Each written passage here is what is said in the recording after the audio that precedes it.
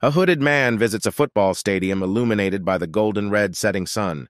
He remembers that before he was just a pathetic strategic analyst for the K3 League, whom no one recognized. He adds that he still believed in himself and was confident that his strategies would work even in the big leagues. However, people around him looked down on him due to his lack of achievement and status in society. According to the main character, this is why no one believed in his success and treated him like trash. However, the man is now transported to the present, in which his football team is playing out the last half of an important match. The crowd of fans shouts incredibly loud words of support, saying that his team is simply burning on the field. The man smiles, listening to the words of football commentators that they had previously heard many predictions that this would be a one-goal match. They add that a player named Burton White is doing very well, they also note that this team is coached by some unknown Asian coach who previously played in the major leagues and is doing something incredible, trying to resist the best European team.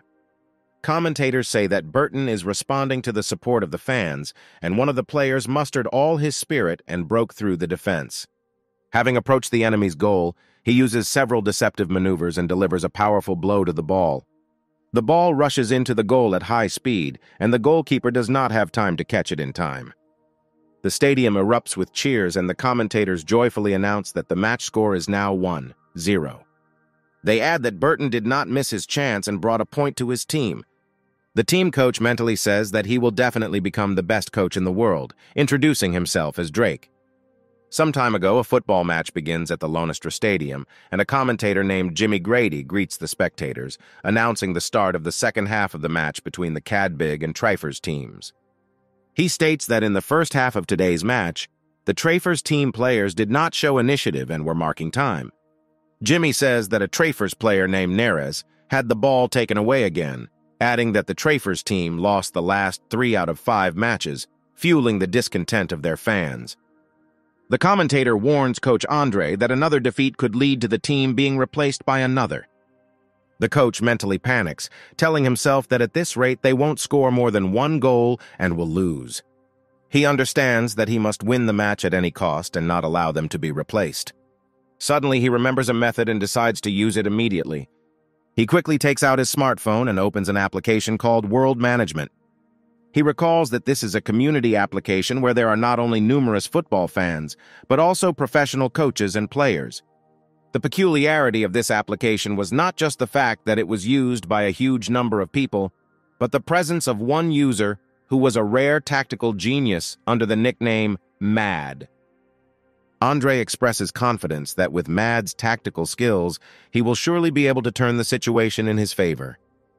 Having completed the authorization procedure, he sees that Mad has already written to him that his affairs do not look very good and happily tells him that he is glad that he is watching his match.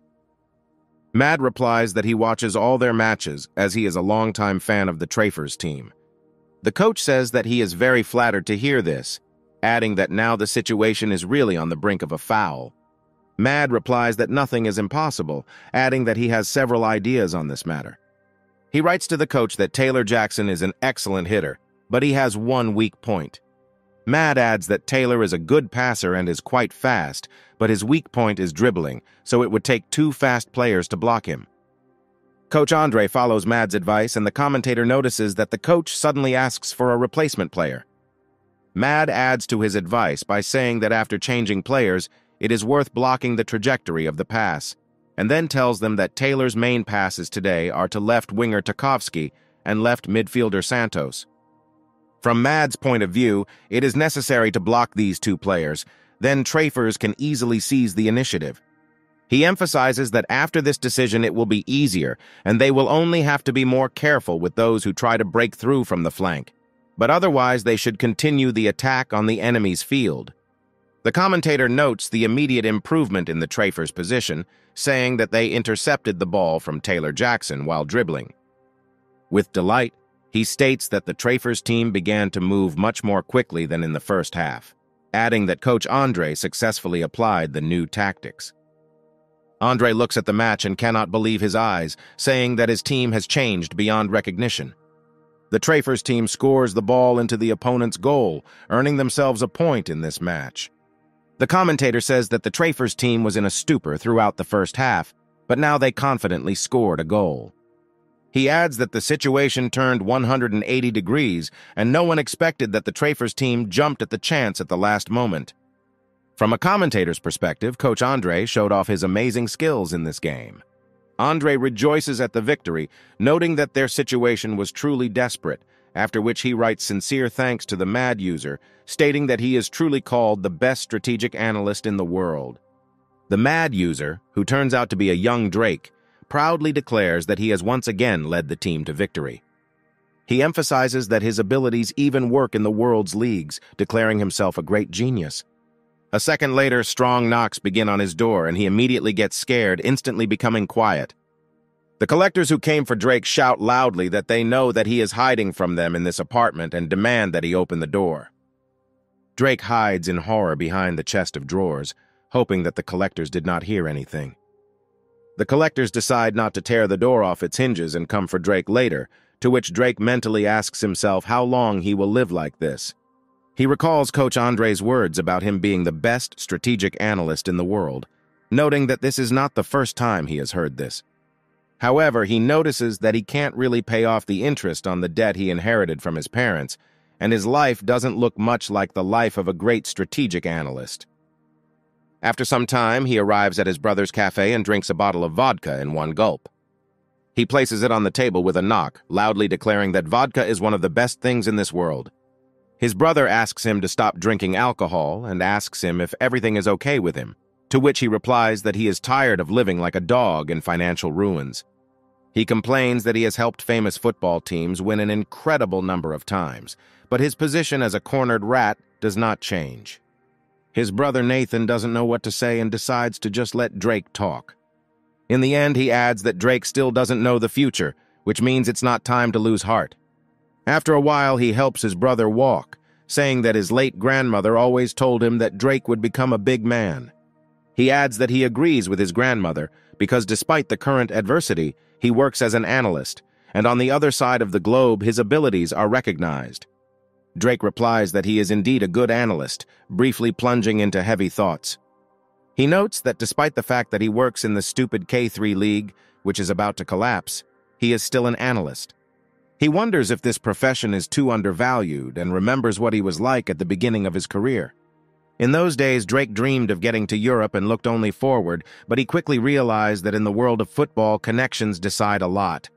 He recalls that those who passed the test much worse than him ended up in the K1 League, but no one was outraged by this result. Deep in thought, he notices how one of the football players tells him that he does nothing, but receives a stable salary, adding that he is even a little envious. Drake tells him that, in his opinion, the football players of his club also do not train, but they receive rather large salaries. He tells them that the beginners try much harder than them and asks them if they are sweaty after training. The offender does not evaluate these words and is already preparing to resolve the issue with his fists. However, suddenly the head coach of the football team calls out to Drake, asking for a moment of his attention. He says they need to talk and invites him into his office. Drake agrees, mentally annoyed that these conversations are scheduled at the most inopportune times. Drake recalls that the club's head coach was very proud of his connections and always turned to him in difficult times. The coach invites Drake to sit down, but he refuses and asks him why he called him to his place. Drake notes the detail that the coach looks very subservient for the day and hesitantly mumbles something incomprehensible about how their club has been stagnant lately. He tells Drake that if they lose again, they will be demoted, to which Drake then stated that he is well aware of this he adds that for this to change, the club needed to follow the strategy he was proposing rather than changing things on the fly. Drake reminds the coach that he heard that the head coach was recently called by the owner of the club, and if the club is demoted, he will finally be fired, to which the head coach says that this is exactly what he was told. He asks Drake for help, saying that apart from him they have no hope, adding that he has four daughters who will not forgive him if he decides to work. Drake then mentally admitted to himself that he didn't care about his problems, and he wanted to tell him to deal with it himself. But the head coach continued his story, adding that his third daughter was now in her last year at school, to which he, he is also mentally perplexed about how this should have touched him. However, after thinking a little, he comes to one very important thought and interrupts the coach's story by hitting the table. He tells the coach that he has one important question for the coach, to which he puzzledly asks him what he wants to know. Guessing that he will be the next one after the head coach is fired, Drake asks him if he agrees to do whatever he wants if thanks to him the team still wins.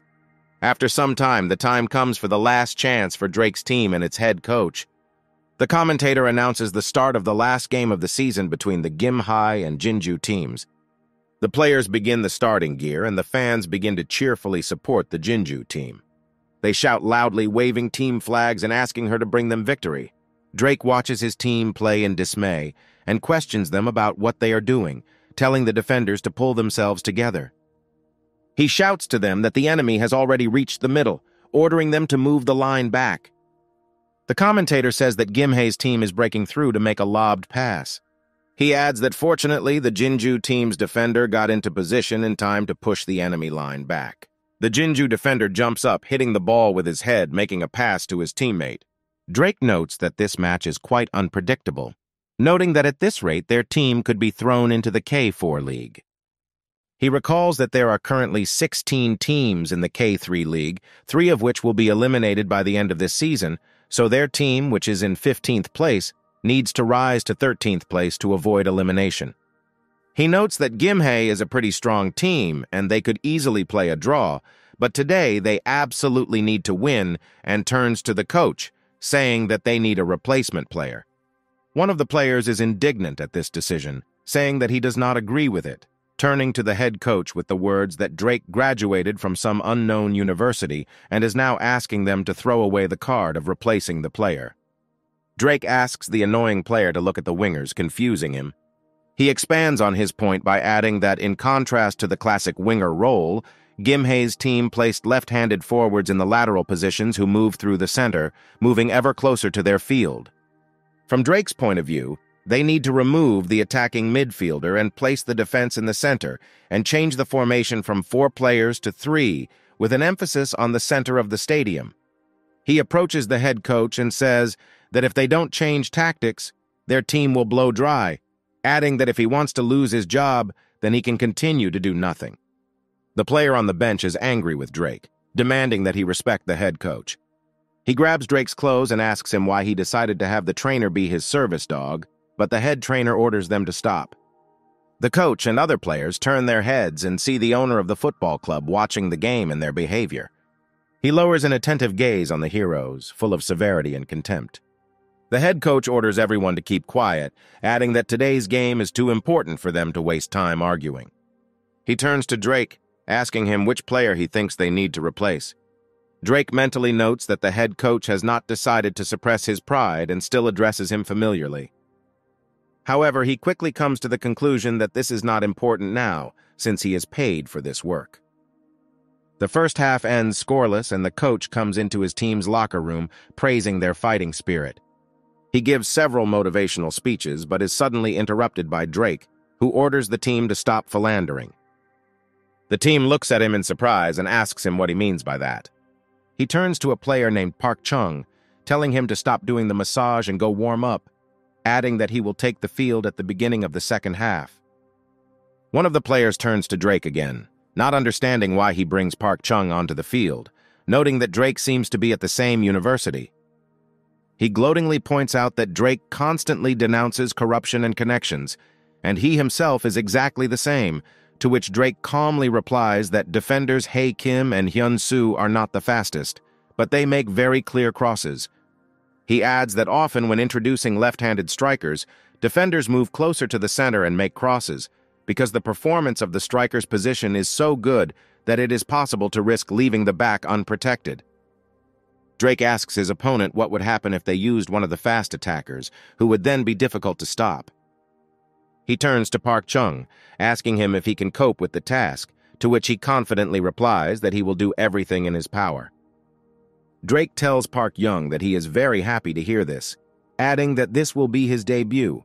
However, he will only have to do what he is told, and as soon as the counterattack begins, he must run as fast as he can without looking back after what he says is that today he will make him the star player of this match. The second half begins, and the commentator announces that the Jinju team will field Park Chung-ah in the second half, noting that this is a rather bold decision, since this team is on the verge of relegation from the league. Almost immediately, Park Chung goes on the offensive, rushing forward, and the commentator notes that Park is incredibly fast and no one can keep up with him. Gimhae's team players shout at each other, saying that they need to block him immediately. The commentator praises Park Chung's strength and speed, noting that the Gimhae team's defenders are in a daze, leaving him one-on-one -on -one with the goalkeeper. Taking proper aim, Park Chung delivers a crushing blow to the ball, giving it enormous speed and an unpredictable trajectory. The goalkeeper fails to predict the movements of the ball, and the ball easily hits the goal, straining the net from the force of the impact. The commentator happily declares that Park Chung scores a goal 10 minutes after the start of the second half, thereby saving his team from a crisis. Park Chung joyfully looks at the goal, not believing that he managed to score a goal, while the commentator says that this is the debut goal in Park Chung's debut game, adding that he bypassed four defenders with his speed alone. The coach joyfully jumps up from his seat saying that luck has finally smiled on them. Drake says that it is too early for them to rejoice and tells the coach that he would prepare another card to replace the player.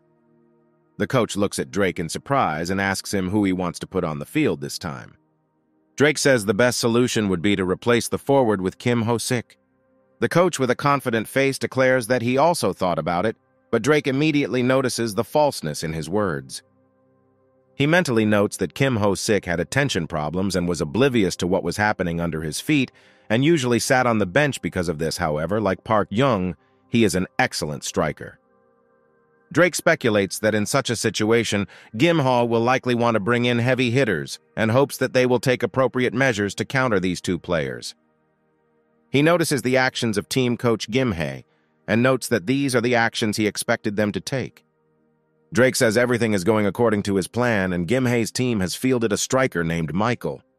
The confrontation between the teams continues and the Jinju team player successfully blocks Michael's attempts to go on the offensive. He takes the ball away, and the commentator notes that the second half is beginning to come to an end. He adds that the Jinju team now has another chance, noting that the ball is passed to player Kim Ho-sik.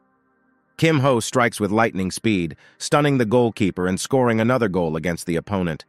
Kim Ho-sik rejoices at his success, and the commentator notes that the Jinju team continues to win 2-0.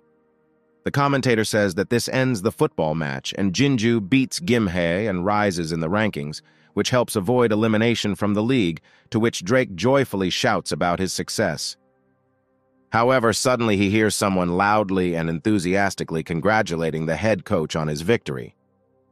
Turning around, he notices that the same player who endlessly argued with him is sucking up to the head coach, and he tells him that today's victory was a success solely thanks to him.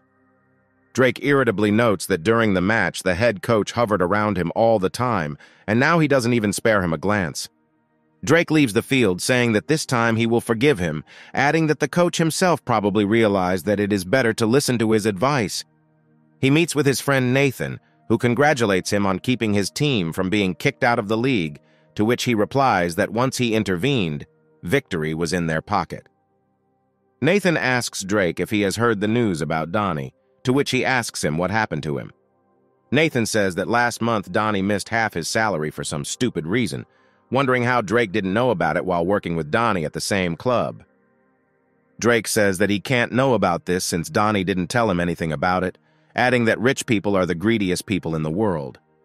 He suddenly thinks out loud, wondering if this could be the reason why Donnie didn't give him meat, to which Nathan is surprised that Drake cares about such minor things. Suddenly, Drake decides to check his bank account for his paycheck, to which Nathan irritably says that Drake could pretend to be interested in listening to him. However, upon seeing his receipts, Drake freezes in place, looking at his phone with a dead gaze. Nathan asks Drake what happened, looking at him questioningly. Drake's icy bewilderment turns to anger, and he begins to shake with anger, looking at his smartphone.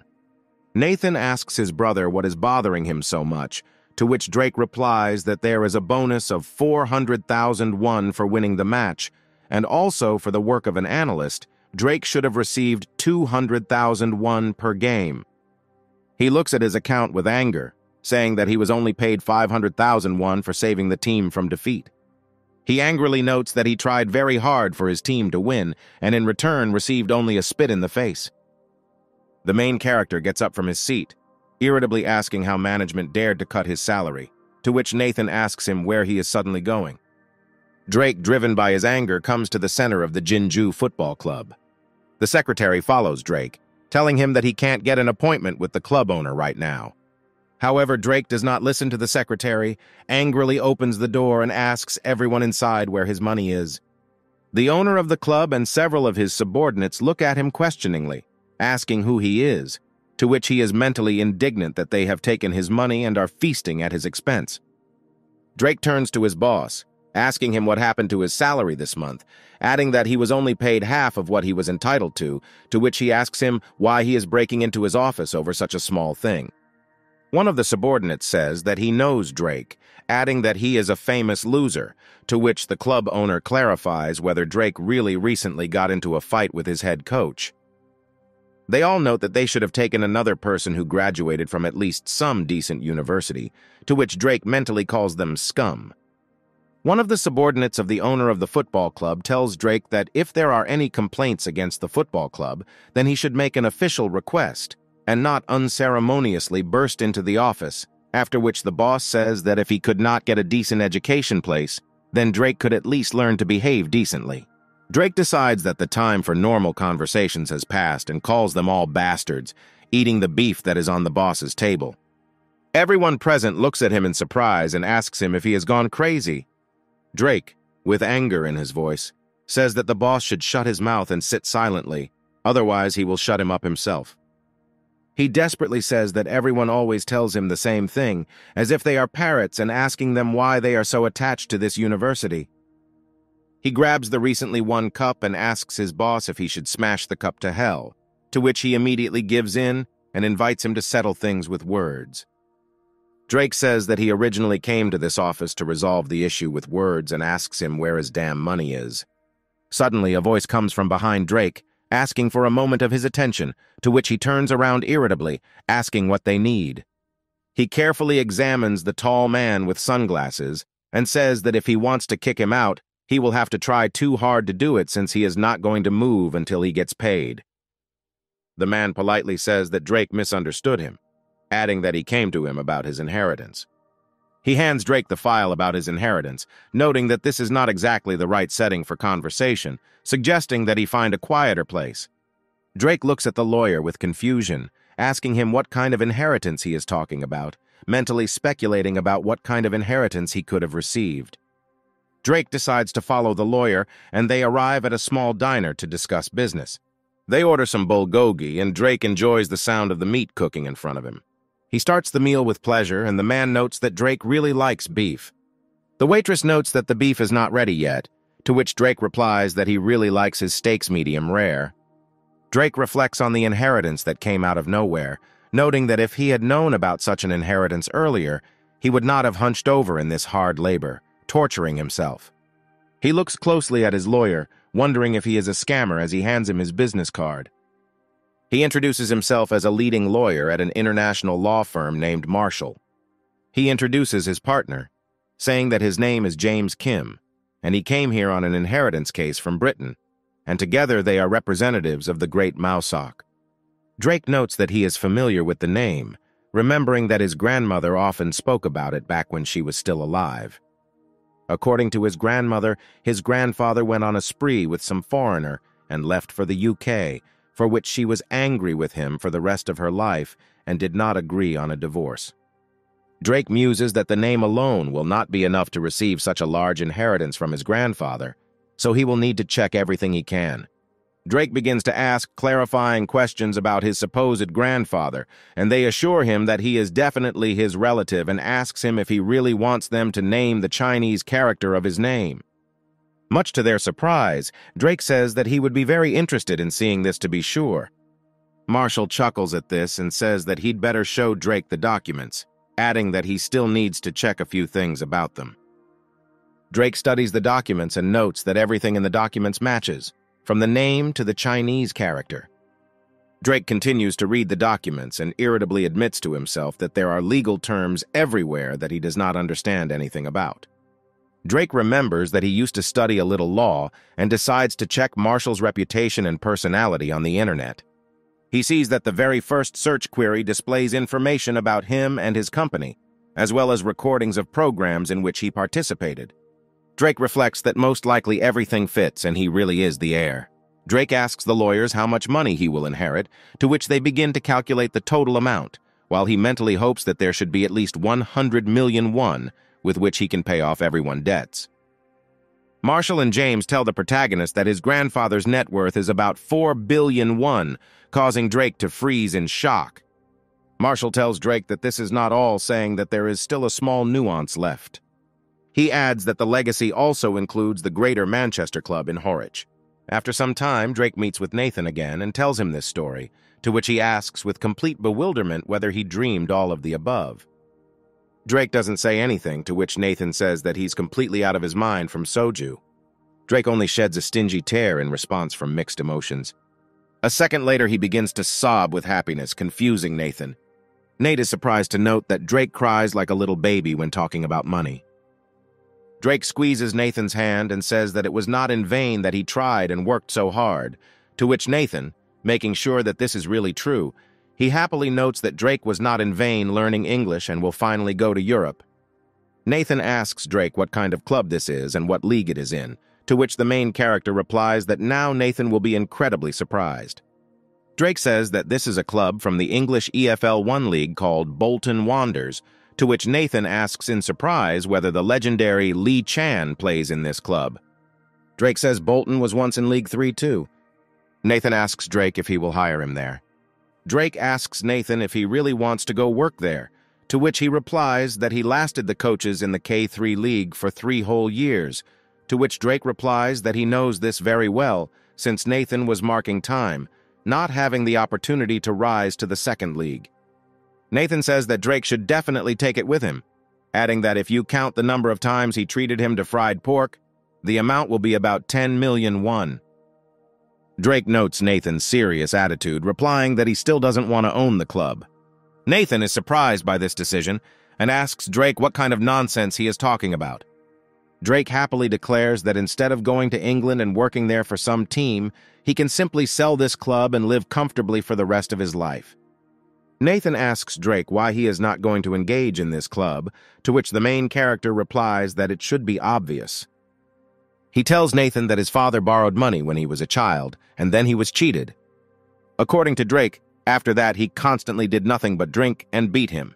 Also, due to such a difficult life situation, Drake's mother ran away from their family. He also recalls that after this, Drake's grandmother took him under her wing and raised him, after which he decided that he wanted to connect his life with football, adding that if it weren't for football, he would have been doing something illegal. Drake ends his story by saying that after such a childhood, he realized very early that in this damn reality, the only thing that matters in life is money. According to Drake, even his passion for football is nonsense and first he needs to sell the club, buy a building and live comfortably. After some time, Drake meets with lawyers and they give him documents about the inheritance, saying that usually the inheritance goes equally to the children and grandchildren of the deceased. They add that, nevertheless, luck seems to have been on his side, adding that if there had been a will, the inheritance would have passed in favor of the one named there. However, according to lawyers, his grandfather suddenly passed away, albeit in the company of his mistress, to which Drake is surprised that his grandfather managed to cheat there too. The lawyer carefully asks Drake if he would like to check out the football club personally. Drake politely refuses, saying that he found all the necessary information on the internet, he tells Marshall that Bolton Wanderers are in League 3 and are on the verge of relegation. The Marshall suggests moving on to finalizing the deal, inviting Drake to provide his fingerprint as a sign of agreement. Drake prepares to put the stamp, thinking that he didn't know his grandfather anyway, and the sale of the club can be entrusted to a representative, so as not to go there personally. The Marshall carefully watches as Drake signs and imperceptibly smiles at the moment when the protagonist's finger touches the contract. He stands up and tells Drake that the documents are fully signed and ready, adding that he will contact them after the entire transfer procedure is completed. He also adds that the funds will arrive in the bank account the very next day. 24 hours later, Drake checks his savings account and finds $3,800,001 in it. He joyfully realizes that now all this belongs to him, which means he has finally become a rich man. Drake proudly declares that from now on he will live happily for the rest of his days, while his friend inspects the car at the dealership. Nathan tells Drake that this car even has an HD TV, to which DeLeo says that it is a new model, asking them if they want to take it for a test drive. Drake and his friend agree and get into the car, after which Nathan tells Drake that he is now the chairman, so he should live up to his status, asking him if he can buy a Maserati car. Drake says that sounds good, and he may buy one in the future, adding that he will most likely buy two or three cars and change them from time to time. Nathan notes that Drake is acting as usual, not at all embarrassed to show off, to which Drake replies that he is in a great mood today, so Nathan can choose any car for himself.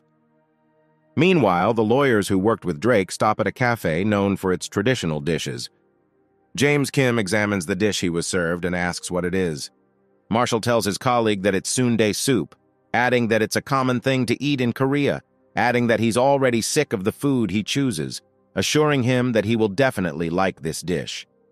James asks Marshall about yesterday's situation, asking if everything will be okay, to which he looks at him with slight bewilderment, asking what he means. James says Marshall didn't give details of how things are currently going at the club and didn't touch on the topic of finances. Marshall replies that Drake should have checked this himself, adding that except for the amount of the inheritance, Drake did not really listen to all the other information. According to Marshall, they were simply doing their job, which is why he pulled out the documents, emphasizing that he did not deceive Drake in any way. He tells James to close the topic by showing his phone and saying that Drake was looking for information on him. He notes that people can be terribly simple-minded, laughing at the fact that Drake believed him as soon as he saw that he was starring in the program. He reviews the site, noting that the administration deliberately lowered down unflattering articles that are difficult to find unless you specifically look for it.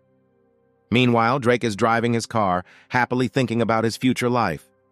He says that he has finally repaid all his debts and can now safely leave Korea, wondering where he should go.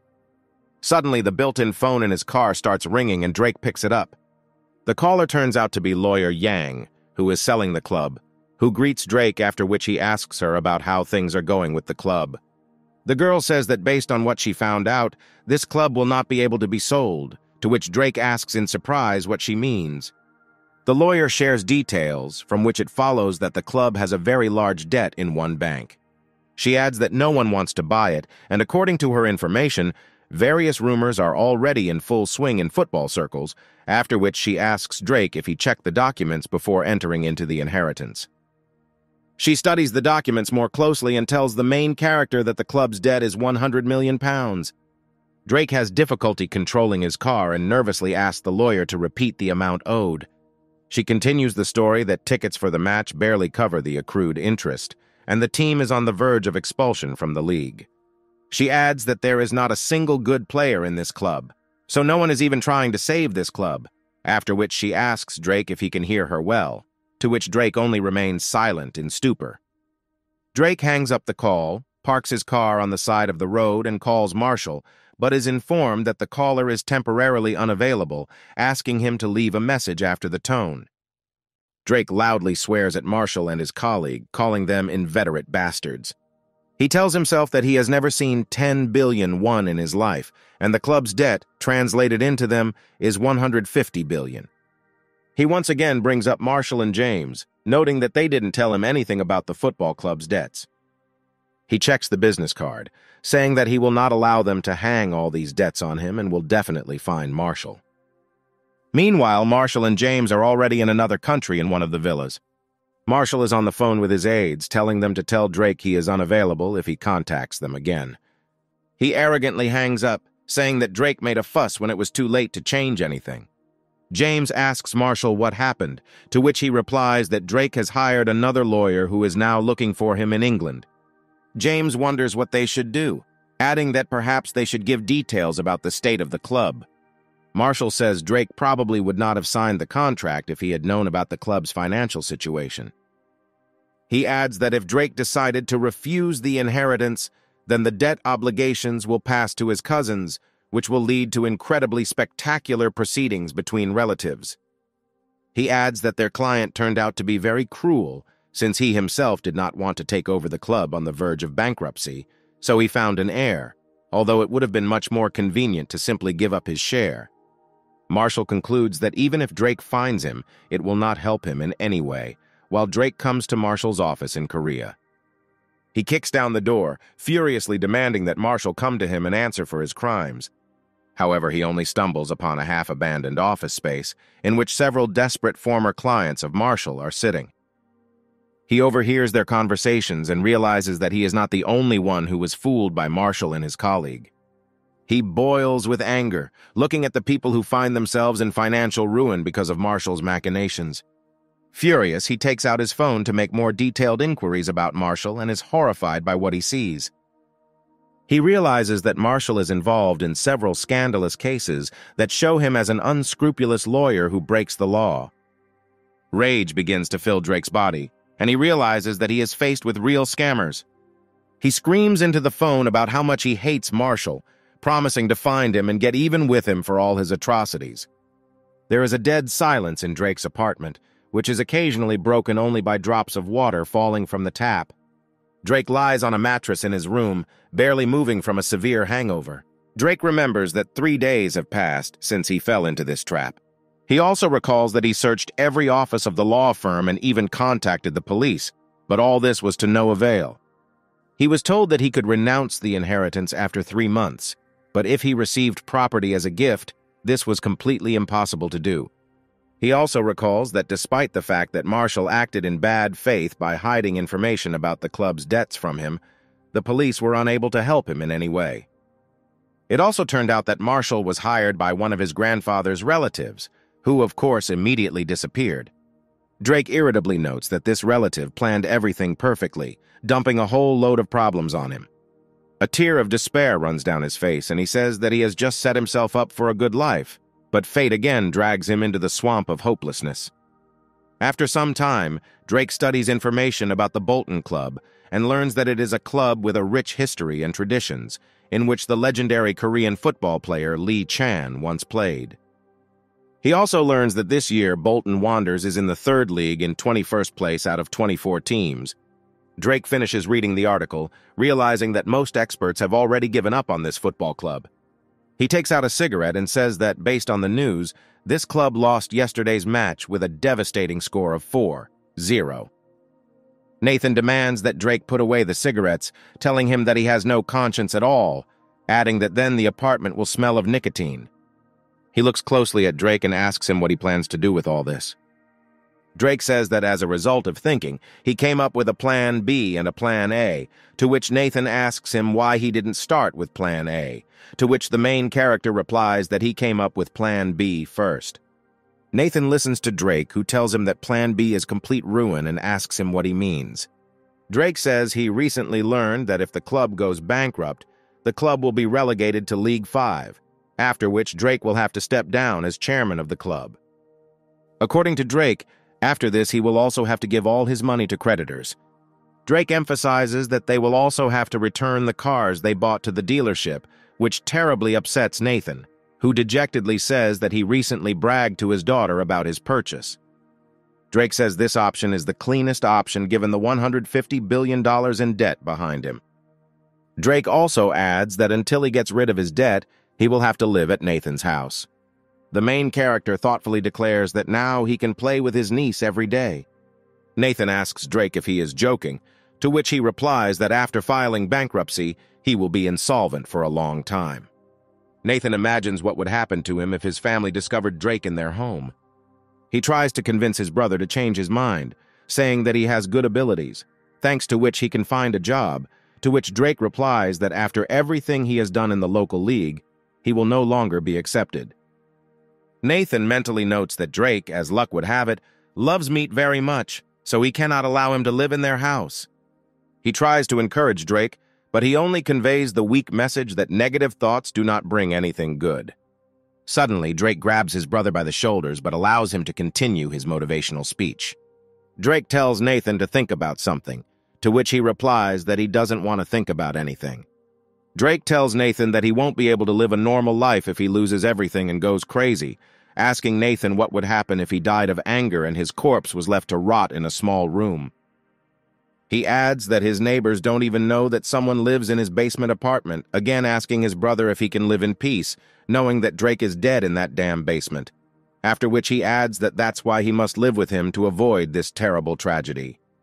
Drake asks Nathan for help, to which he replies that he himself is now ready to kill him, to which he says that he will have to come to terms with this desire, since he bought him a car. Nathan points out that the car will have to be returned anyway, and Drake decides to come up with a better argument. He says that he will try to cancel the return of his car, noting that he is very caring, and asks Nathan to let him live in his apartment in return. Nathan asks Drake what his plan A is, to which he replies that he was just about to tell about it. The protagonist reports that Plan A is a simple sale of the football club. Nathan reminds Drake that he himself says that this club cannot simply be sold, to which Drake responds that no one will want to buy a club that has a huge debt. Drake adds that his cunning plan is to sell the club for next to nothing. To implement this plan, Drake is going to travel to England to do everything in his power to ensure that the club remains afloat until the end of the league. He adds that as soon as the situation stabilizes, he will sell it at a low price, noting that if the club is now worth about 30 billion, he will sell it for 10 or 20. Drake begins to announce the conclusion of his thought, to which Nathan replies that he has no choice but to live in Korea and feed his family. Nathan tells Drake that he will send him Korean food regularly so that he will not forget about his homeland. He says that if Drake chooses Plan A, then he will have a very difficult time, to which Drake confidently declares that they should all plow together. He adds that he has now finally found a job, just like Nathan asked, adding that they should go to England together. He adds that even though Nathan is now working as a coach, his team is still on the verge of relegation. Nathan says that it will not be better in England, to which Drake replies that this is completely different, and if Nathan agrees, he will be able to say that he worked abroad, adding that he will take care of his family and provide everything necessary for living. Nathan thinks about the fact that Drake was a coach in League 3, but had a great instinct for athletes and took good care of them. Meanwhile, Drake reflects that it will be impossible to manage an entire football club alone, and even if he goes bankrupt, he will not be alone in his misfortune. Nathan agrees, saying that his daughter would also benefit from living abroad, adding that he agrees to go with him only if he really provides housing and food for his family, to which Drake says that he swears to him of this. He hugs Nathan, saying that he was confident in him, because they are even closer than siblings. Nathan thinks that he will try to test Drake's abilities in business and trust him. Drake and Nathan's family buy tickets and fly to England on a plane to Manchester. After staying at the hotel for a short time, Drake decides to try on the business suit he bought. He looks at himself in the mirror, saying that when he smiles, he will only need to show his five front teeth. He tells himself that he looks good enough, adding that these are just debts that he can definitely handle. Having set himself up, he leaves the room, saying that it's time to pull himself together. Arriving at the club office, he deserves a briefing that the club includes the team, the entire coaching staff, medical staff, as well as office workers such as managers. The head of the club tells Drake that they are all called the front office, or the more laconic term support, to which Drake replies that in general, everything is clear to him. The manager says that now he must explain to Drake the backstory of the club, to which Drake realizes that he is about to fall asleep from boredom. To avoid a boring lecture, he remembers how he arrived at the University of Bolton Stadium an hour ago. He looked around saying that he was the most ordinary man in the street who understood nothing about football. Suddenly, a man approached him and politely greeted him, noting that he had been waiting for him for a long time. The man introduced himself as Richard Gears, adding that he is the head of this football club. He shakes Drake's hand, saying he's honored to meet him. Richard Gears invited Drake to follow him, adding that he wanted to tell everything about their club. Drake returns to the present and tries in vain to convince his brain to continue listening to Richard's lecture. He tells himself that he is now the owner of the club, which means he should know at least basic information about it.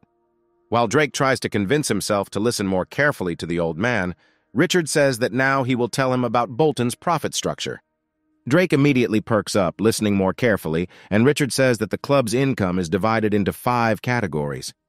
Richard says the most profitable of these is the sale of tickets to matches, adding that part of the money from sales goes to the maintenance of the players, and the other part is the profit of the Wanderers Company. Drake asks Richard how many tickets are sold on average, to which he replies that the club sells about 7,020 tickets each season, to which Drake mentally notes that this is not the worst result, provided that it is only a third of arrived. He recalls that he recently saw access to the upper stands of the stadium blocked. He approaches Richard, asking him why they can't open up access to these stands to make more money. Richard replies that the reason for the closure of the upper stands is the low population of the city of Bolton. He adds that the total population of the city is 240,000 people, to which Drake reflects that even the city in which he lived had 340,000 people. Richard says Bolton is a textile center with many factories, and a large proportion of the population are factory workers with little entertainment in their lives, so they prefer to get out to the stadium to watch a match live rather than sit in front of the TV. Drake says that the situation became much clearer to him, thanks to Richard for his detailed answer to the question. He says that he has heard that the English as a nation love football with all their hearts, to which Richard replies that this is true, adding that for this reason, even in such a small city, more than 7,000 people attend the game. Drake wonders if Richard Gears is trying to get him to think positively, but the club leader says that this is the end of the general information and they can move on to a short excursion. First of all, Drake decides to meet the medical staff to find out how things are going. He then goes down to the field to observe the team's training. After this, he meets with the club's coaches to analyze their work. After the tour, Richard Gears hopes Drake has his first impression of the football club. Drake reflects that everyone seems to be polite and friendly on the outside, but he still felt their heavy gazes on his back. According to Drake, these glances incinerated him, making it clear that he would never be welcome here. Richard says now it's time to talk about the really important issue. Drake goes into the manager's office and he shows him the documents, saying that they contain all the personnel expenses and the salaries of the team's players. Richard says League One teams operate on an average budget of £6 million, but Bolton Wanderers now have an average spending budget of £15 million. Drake reads the financial report with horror, admitting to himself that he did not expect that such a club would have expenses three times higher than normal. He asks Richard how this could happen, adding that such wastefulness is akin to trying to fill a broken jug with water. Richard says the former owner was keen to get into the league, so he spent a lot of money this season and brought in a lot of potential players. Drake ruefully reflects that his grandfather must have bought his players at random, and because of this, about 9 million pounds is spent annually on player salaries alone. He goes over the reports again in his head, realizing that last year's budget deficit was as much as 40 million pounds, which means his grandfather continued to spend money despite huge debts. He recalls his metaphor about the broken jug and notes that from a financial point of view, he has not yet heard a single good news that would somehow reassure him. Drake realizes that he himself is a kind of broken jug and switches off for a while, plunging into his thoughts. Suddenly, a familiar voice calls out to him, inviting him to eat a cookie to perk himself up properly. Drake asks Nathan why he decided that the reason for his bad mood was a desire for food, to which he asks if he really guessed wrong. Drake says it's all about the football club's budget, adding that he can't just give up so he has to fix this whole situation and get the company back on its feet. Nathan eats a cookie and asks Drake what his plans are, to which he replies that first of all, they will have to cut the budget and save more. With these words, he confidently rises from his seat and says that he will definitely finish the job if he has already started. After some time, he calls the club manager into his office and tells him that he is going to cut the spending budget. Club manager Derek Scott says this is a terrible decision given the club's difficult times. Drake calmly replies that now is the time when it is necessary to save money, asking Derek what alternative options he has for getting out of the situation. Derek Scott says that he doesn't care how low their budget is, adding that he doesn't understand Drake's actions, as he is proposing to cut the roster of players when they should instead be investing in them as the future of the club, after which he annoyedly states that Drake is trying to embarrass his team and club. Drake slams the table in anger and questions Derek about why he thought expensive players would play better. He remembers Derek's words about investing in the players and says that he wants to ask him a counter question. Drake recalls that Bolton, as part of EFL 1, invested generously in high-level players, but still found themselves at the very bottom and asks Derek why this could happen. Derek doesn't find anything that makes a convincing argument, and Drake says he doesn't care whether it's the player or his manager. He is adamant that revenue restoration will proceed as scheduled, adding that that's all he wanted to tell the manager. Derek leaves in a rage, slamming the door loudly, to which Drake is surprised, wondering why he had to react so violently. Drake reflects that the club's money does not belong to him, but he is still responsible for it, which means the regime will be tightened so that they do not have to pay fines after a loss. Meanwhile, Derek walks down the hallway, irritated by the fact that Drake only cares about money. He angrily calls Drake an amateur who doesn't understand anything, indignant that he dared to behave like that with him, adding that Drake is not at all like the previous owner of the club. He recalls that the previous owner of the club was not only generous with money, but also invited him to play golf or go on a yacht. He also remembers that when they were relaxing, he introduced him to incredible beauties. Afterwards, he angrily recalls how Drake suggested he change tactics, mockingly asking him if he planned to motivate the players with anything other than fiery speeches.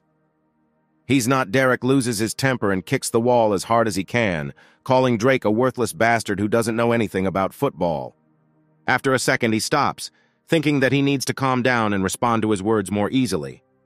Meanwhile, on the expanses of social networks and accounts related to the football life of the Bolton Club, news appears that the new owner of Bolton Wanderers does not love his club and he only needs money and power. Forum users argue that this decision is deeply erroneous, adding that Asians do not understand anything about sports. Nathan reads the comments, surprised at how many rumors have spread, considering that no one has given any interviews on this topic yet. Drake realizes that all this started because of Derek's tricks and reflects that he is unlikely to leave him alone. Nathan concludes that the new rules seem too harsh to him, noting that nevertheless, sales cover the salaries of two or three people, let alone six. Nathan says that nevertheless, there is Owen Doyle in the club, to which Drake says that he understands his admiration, since this player is the symbol of the team, who gave it nine years of his life. However, he argues that Doyle has fallen sharply in the rankings recently, so he costs the club just 5,100 pounds a week. Nathan says Drake should rethink his decisions, adding that such changes could lower the morale of the entire team. Drake tells his brother to speak directly about his ideas if he has them. Drake tells Nathan that he heard that the guys from the EFL 1 team were getting 3 million won a week, to which he replies that Owen Doyle almost tripled that amount. Drake looms over Nathan, telling him that in 26 games this season he has missed three goals, to which his brother replies that it's hard to argue with that argument.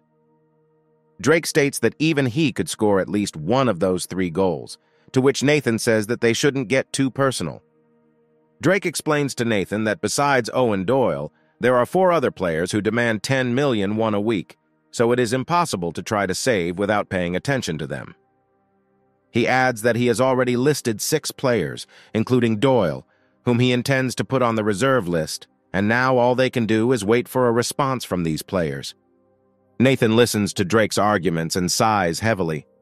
He asks Drake if he knows that they have a football match tomorrow, to which he replies that he knows about it. Nathan says that if Drake knows about tomorrow's match, then he must understand that if they lose, they will drop to 24th place in the league rankings. Drake recalls that the EFL one includes a total of 24 teams, which means that if they lose, they will end up in last place. Drake is immersed in heavy thoughts about what could happen if he loses, while Nathan says that he understands his intentions, recommending that he still prepare for tomorrow's match. A few hours later, night falls and only two windows of the club have lights on. The head of the club reviews Drake's reports and is surprised at what is written in them. He notes that Drake is the complete opposite of the former football club owner. The head of the strategic planning group named Emma Charlotte comes to the manager and asks for a moment of his attention. She asks him about the team reduction plan provided by the new owner of the club. The manager asks her why she is asking him about this, to which she replies that she is driven by idle interest. She politely thanks the manager for his work in restoring the team, to which he chuckles and replies that this is not his merit.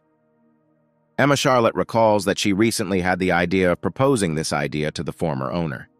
The manager tells Emma that the idea of reducing the roster belongs to the new owner of the club.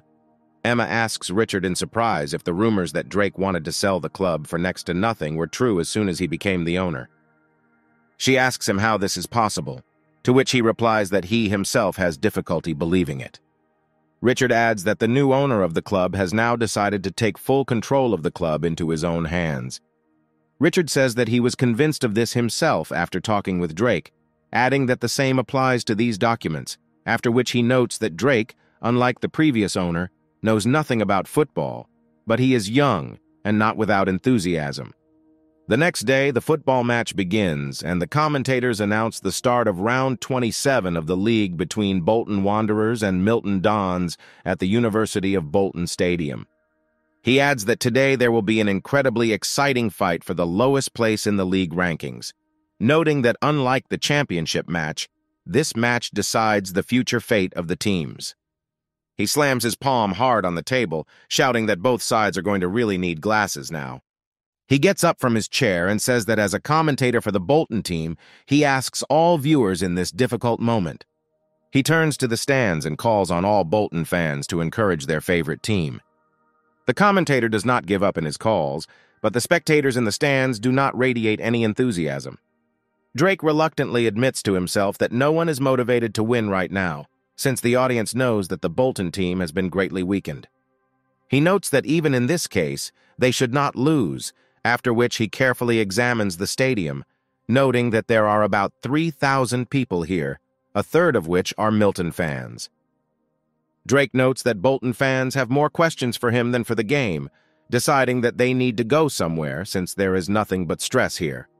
Meanwhile, one of the fans takes the microphone from the commentator and turns to Drake, saying that he knows nothing about English football, adding that Bolton will go broke if he continues to manage the club.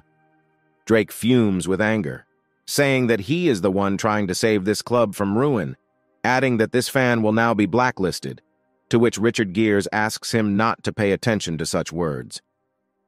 He adds that when Bolton scores, the fans quickly switch to the match, so they just have to wait for the goal.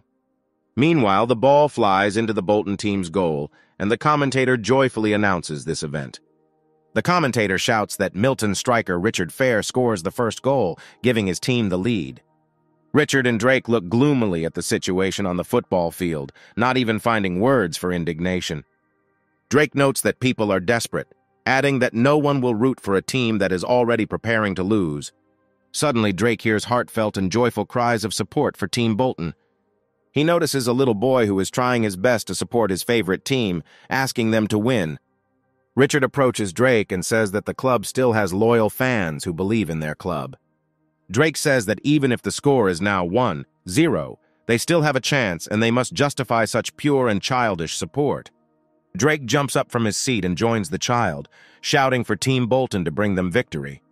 He continues to stubbornly support his team, but a few seconds later the ball is back in the Bolton goal, after which the commentator praises the Milton Dons team's tactics. Drake sadly sits down on a chair, saying that, contrary to his wishes, miracles do not happen in the world. He decides to calm down and watch the game, noting that the opponent's skills are also excellent. He is surprised by this situation, thinking about when they managed to become professional players. He notes with sincere understanding and sympathy that he feels very sorry for this boy, looking for him with his eyes. However, the young fan gives Drake the middle finger as fans scream for Drake to get out of the club. Drake stoically endures what he sees, noting that reality is incredibly harsh on him. Sometime after the match, he talks to Nathan, noting that they are in big trouble. Drake notes that Nathan will be head coach of the Bolton U21 team, but he has not shown his abilities yet. He reflects that if this continues, his plan to save Bolton's budget will completely fail, since they currently have no tactics and the method of selecting players leaves much to be desired. He adds that the current team composition is no good, and there are no capable players among them, while Derek received his money for nothing. According to Drake, things cannot be left as they are, otherwise the team's morale will completely fade. adding that if they had lasted in that game, they would have been paid a fine of 3.8 billion. He tells Nathan that there are too few people in the stands, noting that this time they finished last in the league, which means they will continue to fall, so they urgently need to change the situation. Otherwise, there will be even fewer spectators, and the money will stop flowing. Nathan asks Drake how they can attract an audience, to which he replies that he has a few ideas for this. He asks Nathan what his nickname was, to which he replies that everyone kind of called him a bastard. Drake tells his brother to stop talking nonsense, and Nathan thinks again, trying to remember all of Drake's nicknames. He goes through all the offensive nicknames of his brother, to which he asks him to pull himself together and not go through all this nonsense. Nathan is briefly confused, and Drake says that he doesn't really care whether he remembers or not, since he will remind him on his own. Drake says that everyone used to call him player, to which Nathan asks him why he remembered that. Drake says he has no other way to make money right now other than sports betting. Nathan is surprised by Drake's words, thinking that Drake cannot start gambling. Drake notes that football in England is different from normal football in that you can bet on it.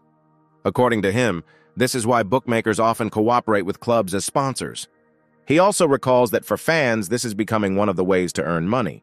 He says that a significant portion of fans also place small symbolic bets, like some kind of ritual, after which they support and sincerely pray for their team to win. He adds that given all this, a sponsorship contract with a bookmaker would be a smart option for them, noting that there are no clubs yet that would proudly engrave the logos of bookmakers on their jerseys. He reflects on the fact that in the last game he clearly saw the despair of the fans, who crumpled and tore the paper in their hands, suspecting that these pieces of paper were definitely certificates. He adds that the next step is to encourage fans to bet more often. Richard says that they already know all this, asking Drake if he has another form of betting in mind. Drake says he wouldn't call it another form of betting, adding that they will be selling limited Bolton Wanderers betting slips. He develops his idea by saying that this is based on the same bets on a win, draw, or loss as in regular coupons. Richard tells Drake that bets limited to the outcome of one match are risky, and they can, for example, go into a loss. Drake thinks that Richard is right, since the chance of winning is only 33%. He tells Richard that he has a plan in which they will not lose anything financially, to which Richard asks how this is possible. Drake says they may add a refund policy, as well as adding bets not just on wins or losses, but on the number of goals a team will score and what the final score will be. He adds that when a spectator buys a ticket for a match, they will also be offered a bet slip. Also, according to Drake, you can add a bet on who will score a goal, and even those who are not interested in gambling can try it as entertainment. One of the meeting participants says that from a spectator's point of view, to win, they will simply have to bet on the team losing. Emma looks at Drake and notes that he is in charge of the planning, unlike the previous owner. She recalls that the previous owner simply listened to the plans and decided whether to approve it or not. However, even this does not allow her to close her eyes to the fact that Drake tried to sell the club as soon as he became the owner, and she decides to continue to monitor him in the future. Drake finishes his explanation by noting that it's getting too hot in here, taking out a handkerchief to wipe his face. The head of the club notes that in his opinion this is a good decision, inviting others to also express their opinions. He adds that no one should be embarrassed to express their opinions as leaders of different teams, adding that if there are no objections, he would like this plan to be implemented as soon as possible. Drake looks around to see if anyone has any comments, but no one objects to his idea. Drake briefly glances at Emma Charlotte while Richard says that since no one has any objections, they unanimously approve of the plan. Drake is surprised by this outcome and reflects that his grandfather's brilliant talent was passed on to him. Richard asks the others what else they need to discuss, to which Drake says he has something else to tell them.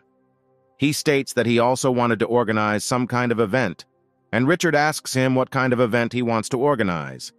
Drake says he's thinking about pulling off a random prank, confusing everyone present. He reveals his idea, saying that bets alone will not be enough to attract spectators, so the drawing will be carried out according to the numbers of entrance tickets, calling the numbers of the three lucky tickets and rewarding the spectators who bought them. Drake points out that in Korea, TVs, refrigerators, and other household items are given away as prizes, but they will offer winners five free tickets, adding that if profits increase over time, they will be able to give away more expensive prizes. He also states that the giveaway doesn't have to happen during the upcoming match, as they will randomly choose which match to do the giveaway at. He asks others what they think about this, to which he is told that these measures sound like something not too expensive. Drake proudly notes that his opinion has never been so seriously discussed in Korea, mentally wondering how this plan differs from the previous one. Richard says that in order for the number of viewers to grow, they also recommend increasing the amount of advertising to promote innovations. He emphasizes that local advertising includes articles on websites, outdoor advertising, and advertising on regional TV channels, adding that even broadcasting advertising on TV will not cost that much. With that, Drake calls out to the marketing manager, who nervously gets up from her seat. She stammers and asks Drake if he has any instructions for her. Drake asks the marketing manager to make a large, highly visible banner and place it in every shopping center. He adds that they will need banners for special matches, adding that it will be advisable to put them up two weeks in advance, to which the girl asks him what he means by special matches. Drake explains his idea by saying that these matches will be matches against the top teams in the league, such as Rochdale or Preston. Drake asks the manager to make the banner catchy and unusual, adding that they can depict their opponents with food. Drake says they can portray the goalkeeper named Dales as Bolton's tasty catch, and asks the others what they think of the idea. Drake says that as an act of solidarity, they can portray the teams together as if they are on the same level as Bolton. Drake looks into the conference room, but is met only by deathly silence and looks of complete incomprehension. Drake reflects on how he seems to have gone overboard, asking other people for their advertising suggestions. Not waiting for an answer, he turns to the manager, saying that he has one more proposal. He adds that he would like to negotiate with a local radio station about scheduled broadcasts about the Bolton Club, to which Richard asks him why he would do this. Drake says that with this he will fire the first bullet, adding that he needs to make himself known to other teams. He also adds that at the moment it should turn out to be the most spectacular. Meanwhile, evening falls in Manchester County and all employees go home. Manchester Blue Moon's strategic analyst Neil Bardock sits at home and reflects on the current team lineups. He notes that Manchester now ranks first thanks to his painstaking efforts. He reflects that this season the tactics he proposed have already brought several victories, noting that if this continues, they will live happily ever after. However, he notes that, to his great regret, a user named Mad suddenly disappeared somewhere and has not appeared for a month. He adds that the reason the head coach trusts him is because he followed the advice of Mad's tactical expert. He continues to hypnotize Drake's account wondering why he hasn't been online for so long, suggesting that he might just be busy at work. He also expresses confidence that he is not the only trainer who relies on tips from this user. Meanwhile, at the Liverpool Red Phoenix's training ground, two coaches are just as eagerly awaiting Drake's return to the football app. One of the trainers says that he continues to send messages to all his accounts, but Mad has not read anything. Head coach named Selek Bubash notes that three months ago he first borrowed Mad tactics. He adds that with just one borrowed strategy, he was able to win four times in a row. At that time, they decided to borrow his tactics, impressed by its genius. He recalls how, impressed by this tactic, he told the manager to hire the man. Then he even personally sent him a message to his account, introducing himself as the Liverpool coach and making a business proposal. Then Drake, who did not believe that the sender was the real Bubash, rudely dismissed him. Jellick was stunned by such a sharp and aggressive response. He continued to try to negotiate with Drake, but Drake told him that if he continued to pester him with his requests, he would block him. Jellick sadly notes that in the end, Mad blocked him anyway. He reflects that he still sends emails to this user through another email, but judging by the fact that new tactics have not been loaded for almost a month, someone else might have hired him. He ponders the possibility that he might have been taken by the EPL suggesting that the likes of Trafford Chelsea or Arsenal London could certainly offer him an important job. Meanwhile, Drake goes to a radio station to record the first podcast about Bolton's life. Commentator Aaron Bench announces that today they have a special guest, who is the current owner of Bolton, Mr. Drake. He says that he is honored to meet Drake, to which Drake replies that he is just as pleased to meet him. Aaron Bench suggests starting a podcast and says that first of all, he would like to ask him one main question. He says Bolton Wanderers are on the brink of relegation after losing a recent match, adding that as a Bolton supporter, he is genuinely worried about them. Drake smiles, noting that he knew the host would bring up this topic on today's podcast. He says that things are exactly as the presenter describes, adding that to get out of this situation, they decided to change key Bolton players, including Owen Doyle. Meanwhile, Nathan spends his first team training session with Bolton Wanderers while listening to this podcast on the radio. After some time, a man accosts him, asking him what he is listening to. Nathan greets the man, who turns out to be the director, saying that he is listening to the radio, which is currently playing an interview with Drake. The director is interested in what was said and comes up to listen to the interview. This interview is gaining wide popularity among Bolton residents, and they listen to it during their working hours.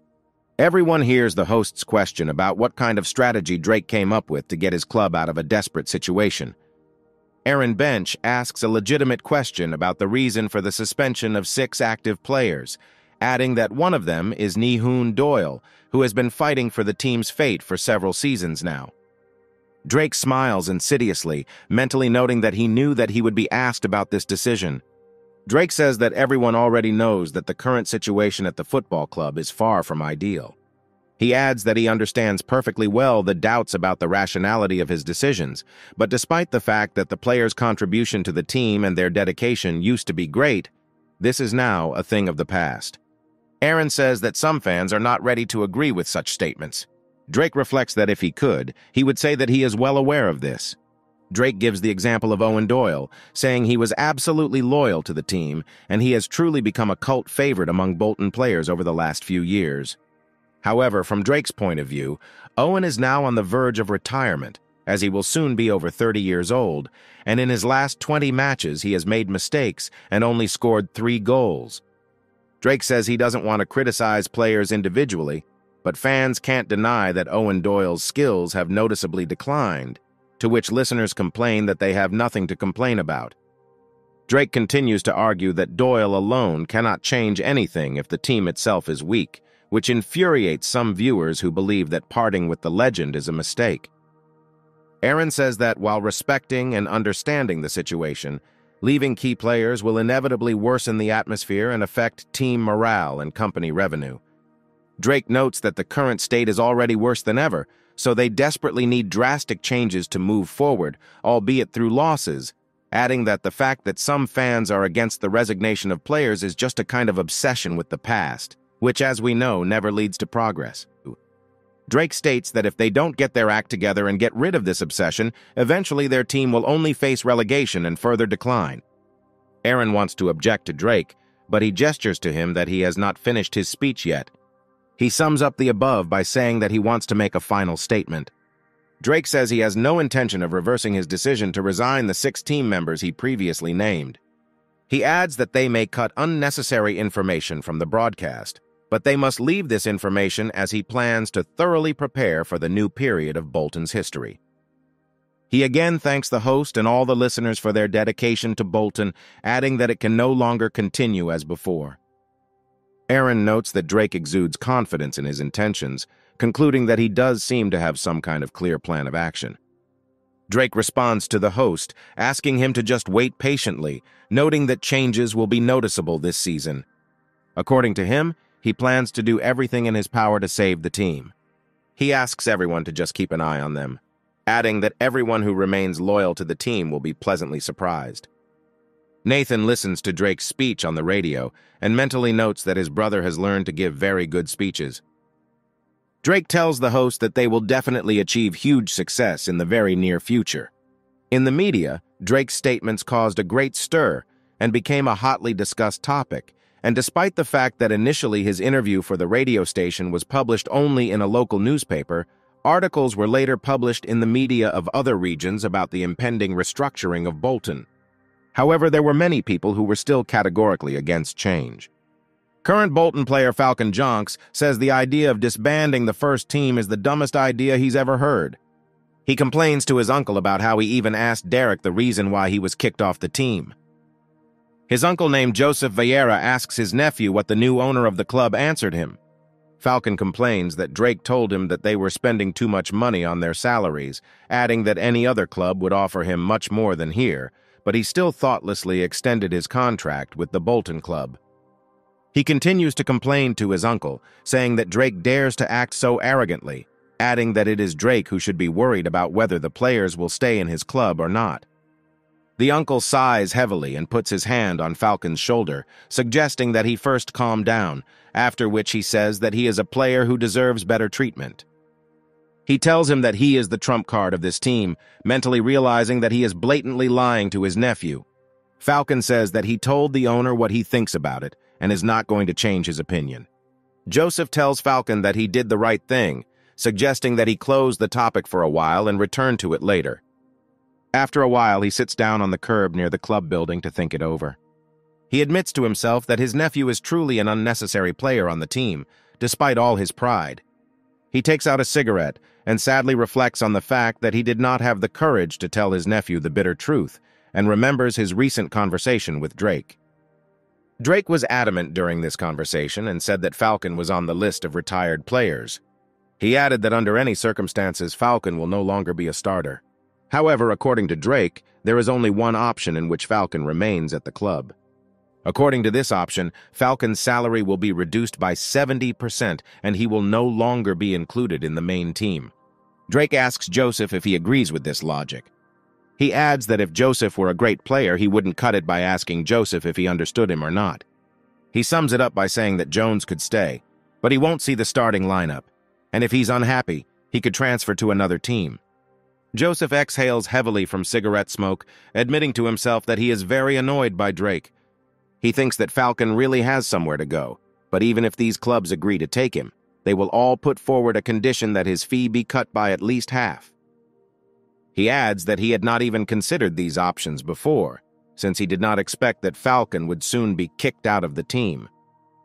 Joseph annoyingly notices that Falcon not only does not understand the situation, but also sincerely believes that even in Bolton he is paid too little.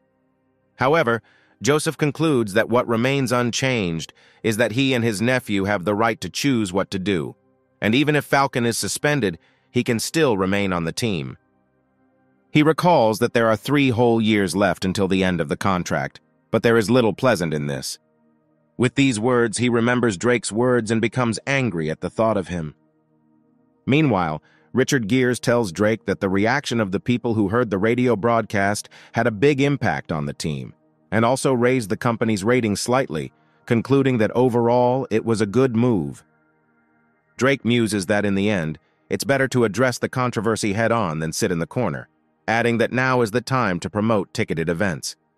He notes that his speech was received mostly positively, and most fans calmed down a little and came to terms with the upcoming change in the team's composition.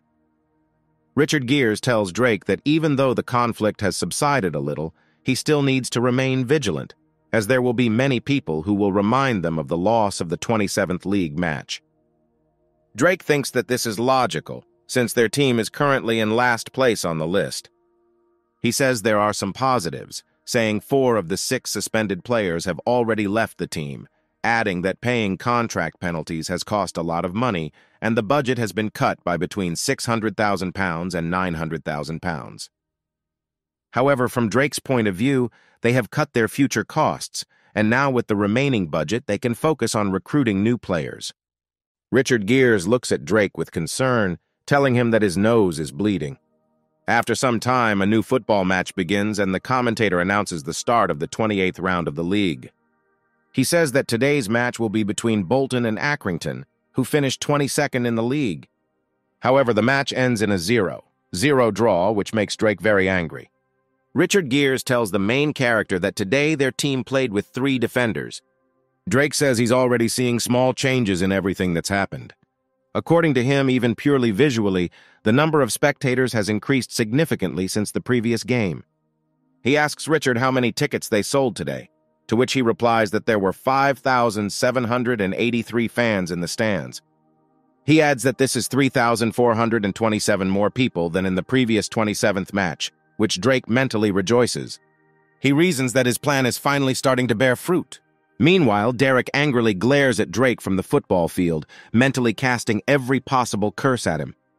He is indignant that Drake still cannot come to his senses and is angry with him, although the only one who is supposed to be angry in this situation is Derek. Drake muses that such pranks can attract spectators, but in the end, fans only want to win.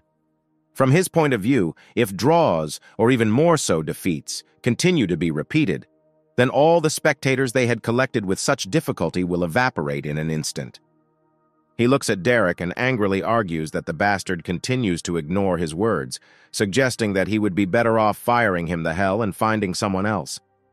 He asks the club manager what is on their schedule today, to which he replies that they have an appointment with an agent firm. Drake asks Richard if this agency firm is the same one with which the previous owner entered into a contract, to which he replies that this agency was directly recommended to the former owner by manager Derek Scott. Richard adds that the head of Agency A, named James, personally selected potential players for them, who were subsequently hired by the previous owner, but practice has shown that the new recruits were useless. He adds that this is the main reason why the Bolton Club fell to the bottom.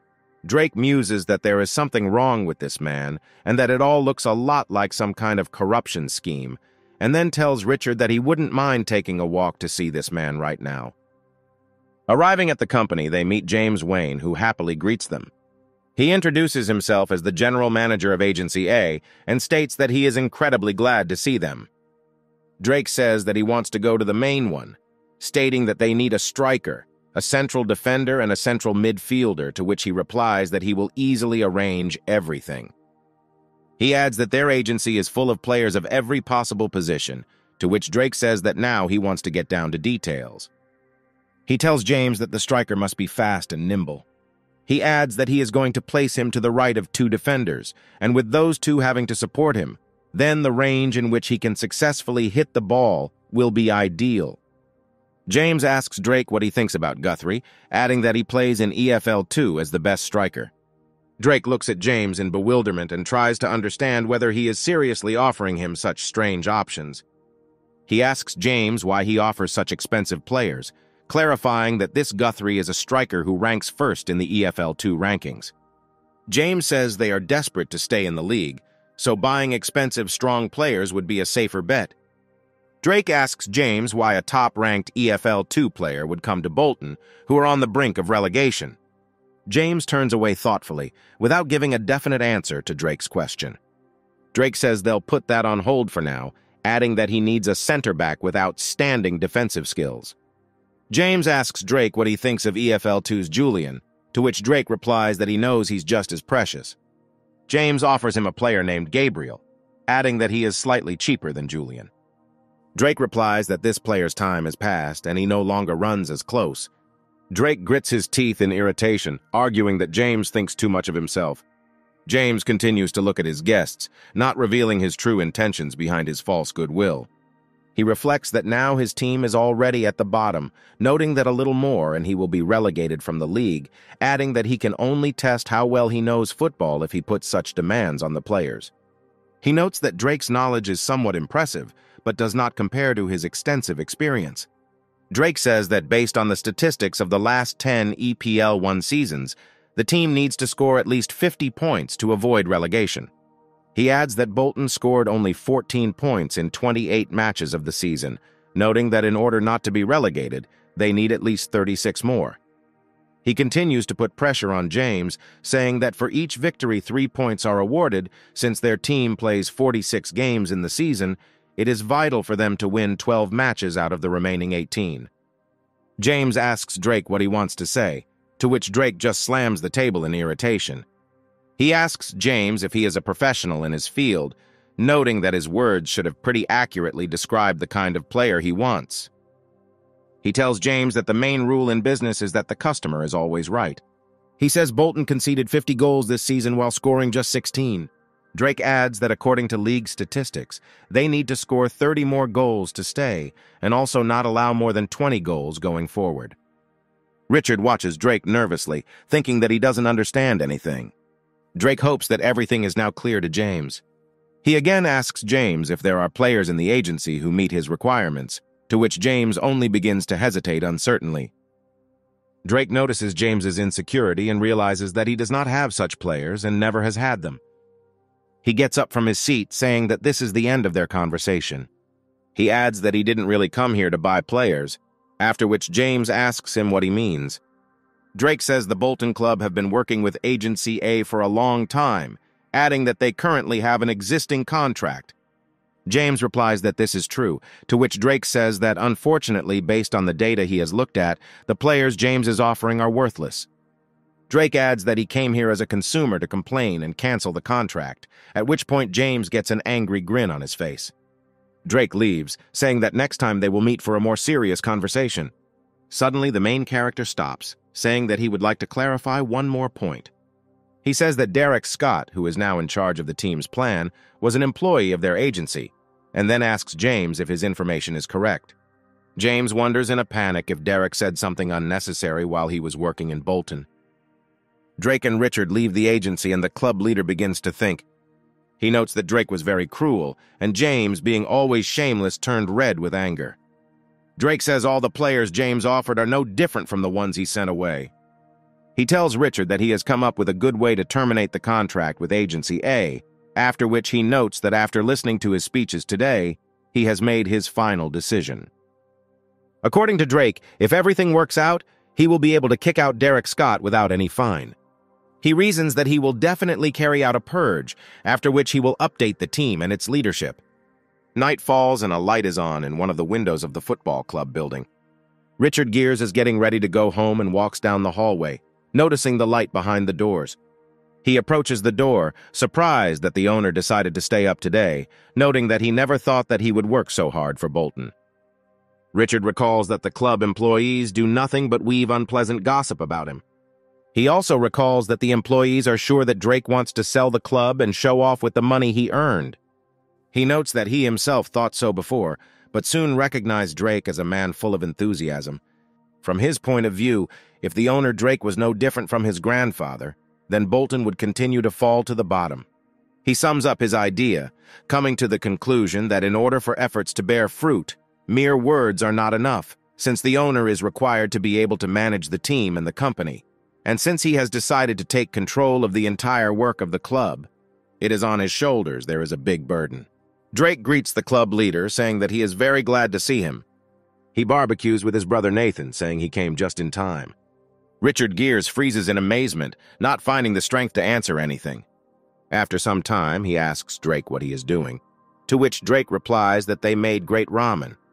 Richard asks why he chose this particular location, to which Drake calmly replies that it's his office anyway, so there's nothing wrong with it. With these words, he hands Richard a package of ramen, saying that they have another one. He looks at him kindly and asks him what he will choose between chopsticks and a fork. Drake and Nathan begin to eat, and Richard sits shyly in his chair, thinking that he was sure that Drake was immersed in work. Drake says it's some of the best ramen he's ever eaten, while Richard Gears is still wondering if it's right to eat in the club owner's office. Drake asks Richard if he has learned anything about Derek Scott, bringing him to his senses. Richard says that in his opinion, he is a common parasite, from which there is no benefit, to which Drake says that he agrees with this, asking him not to hold back his expressions. Richard adds that the relationship between him and his former owner became very distant after he became director. He recalls that it was very difficult for him to silently observe what was happening especially due to the fact that the previous owner did not even look at the plan for the upcoming games, while Scott took advantage of this attitude and threw dust in his eyes, easily manipulating. Drake tells Richard that he's certainly been through a lot working with a jerk like Derek. With these words, he hands Richard a bottle of soju, saying that in combination with ramen, it is the best cure for suffering, to which Richard says that he will drink only one glass, Richard asks Drake how long he has been drinking like this, to which Drake replies that he does it not so often and only in memory of his homeland. Drake congratulates Richard on his first drink and they clink glasses for some soju.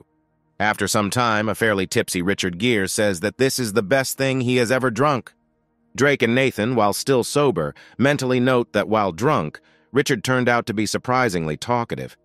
Meanwhile, Richard Gears, having gained a taste for it, asks Drake and Nathan to pour him another glass. They agree, and the whole night passes by talking and drinking. In the morning, Richard Gears gets up, holding his head, which hurts from a hangover, and asks for forgiveness from his drinking buddies, saying that he hasn't drank so much for a long time. Nathan says it's no big deal, and Drake notes that his brother seems to have a pretty bad tolerance for alcohol. Drake turns to Richard and says that he has something he would like to show him. Richard curiously asks Drake what he is offering him, to which he replies that this is a complete list of players recommended by Agency A. Drake says that after carefully studying these documents, he realized that Derek Scott had two relatives here. Richard notes that such detailed details were not included in the players' profiles and asks Drake where he got such information. Drake says that when he has free time, he visits the first team's training center to keep himself in shape, adding that during these trainings he got to know some of the players. Drake continues the story, saying that when they became friends enough, they shared some secrets with him, noting that, among other things, some players complained about nepotism in assigning players to the team. Nathan studies the documents, saying that he is familiar with this scheme since they have already encountered this in the Korean Third League. He recalls an incident when the manager's son brought his players to the team through an agency, and later it was revealed that they were his relatives. But when information about this hit the media, he was not only fired from his job, but also prosecuted. Richard Gears says that if Derek really did something like this, it is a very serious crime. Richard asks Drake if they should report this to the police and seek legal proceedings, to which Drake responds that this would be the best option, but it would take a lot of time and cause a lot of unnecessary headaches. Nathan asks Drake how they can bring Derek Scott to light. Drake asks Nathan who the last player purchased from the agency was, to which his brother states that he can find out. He immediately asks Drake why he needs this if he fired all the players from there. Drake says that he can try to negotiate with them, to which Nathan asks him in surprise what kind of agreement Drake can offer them. Drake approaches Richard Gears, asking him for a recommendation to several companies, so that they would get the impression that Drake is an extremely reliable person. Richard Gears asks Drake what he is up to, to which he replies that he has a great plan and he needs people to help implement it. He also adds that there is a person on his team who is excellent at talking to other people. Drake asks Nathan and Richard if they agree to help him, to which they answer that they will definitely do what is required of them. Nathan offers to start work, saying that first Drake needs to outline his plan in more detail. Drake enthusiastically replies that his plan is to re-enter the league and start a war, adding that this is Bolton's main problem. Meanwhile, at the Bolton Wanderers reception, a regular working day employee named Tom Robertson passes by. He asks his colleague if he has heard any strange rumors in recent days. A colleague asks him what he means, and Tom explains his thoughts, saying that Agency A again came to sell them new players at exorbitant prices, adding that they again managed to hit the big jackpot by pushing mediocre and worthless players into the team. A colleague asks him in surprise whether this is really true, to which Tom replies that it is already clear to everyone that Bolton will soon fall apart so the agency decided to take advantage of this opportunity. He adds that the club's new owner is frantically recruiting cheap players for next season, adding that in his opinion, it is still a waste of time and money. A colleague says that if this is true, it makes it even worse for the players who were recently fired. He asks Thomas how he knew about this, to which he replies that every second person in the organization already knows about it, adding that nevertheless they should keep their conversation a secret. The next day, in the training room locker room, Falcon Jones laces up his boots. Suddenly, he hears a conversation between two people who are talking about something secret. Falcon decides to eavesdrop on them and hears that one of the speakers says that he is very close to the guys from the marketing department. He adds that he was told something about certain people, and he thinks that the owner of the club is right after all. His interlocutor asks if he means Agency A, which sells players at inflated prices, to which he replies that he meant them, amazed at where they get so much money from. The interlocutor continues his story, saying that he heard that the owner is going to recruit new players using money from the sale of old ones, adding that in his opinion, the owner has decided to completely change the roster.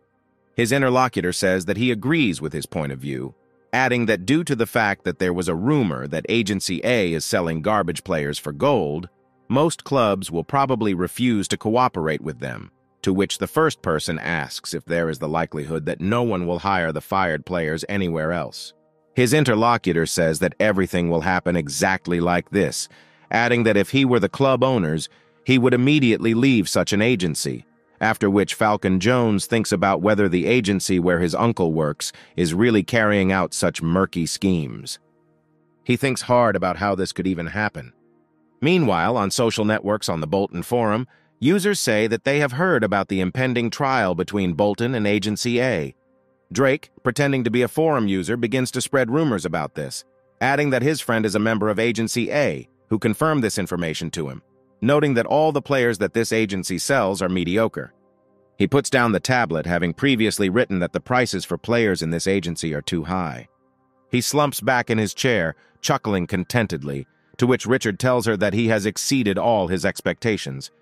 Drake says that the rumors spread so quickly that it didn't even take a day for everyone to know about it, to which Richard replies that they did a good job. Drake says happily that he thinks their plan will reach the final phase much faster than he expected. After a few seconds, the office phone on Drake's desk begins to ring loudly. Drake picks up the phone, and the secretary tells him that the interview with the local newspaper will begin in five minutes, to which he replies that he will arrive there as soon as possible. He gets up from his seat and says that the timing is just perfect for his plans. Drake calls Richard to follow him, saying that it's time for them to clean up the trash. Drake gives an interview to a journalist, saying that time for change is the true face of Bolton Wanderers, adding that rumors have begun to circulate that manager Derek Scott is closely linked to the A agency. Drake adds that unfortunately this is true, as he even had a list of players in his hands. Derek Scott reads Derek's interview and, with trembling hands, admits to himself that he doesn't believe his eyes. He starts yelling at Drake in anger, saying that he doesn't even dare talk about him like that. This interview also quickly reached the ears of James Wayne, who hastened to cut off all ties with Bolton and hastily laid low. He immediately called Derek and said that until Bolton changed their policy and stopped sacking their players, they would not deal with him. Also, after this, all the players who were fired from the team also took out their dissatisfaction on him, while he could not object to them. He notes that Drake may be crazy, but he was smart enough to set him up in an interview. Derek suspects that Drake and James Wayne may have made a deal to kick him out of the Bolton Club. An irritated Derek tells himself that Drake is an Asian bastard who is deliberately setting everything up to get him fired, and then comes to Drake in person to complain. Drake, calmly eating noodles, asks Derek what he means.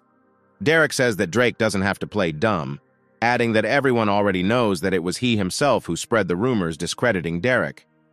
Drake says he doesn't understand what he's talking about, adding that if there are strange rumors going around the club, he will report it to him immediately, to which Derek tells him that there are rumors going around the club that he is collaborating with Agency A and recruiting weak players for a high price. And as evidence, Drake has a list of all the agency's players.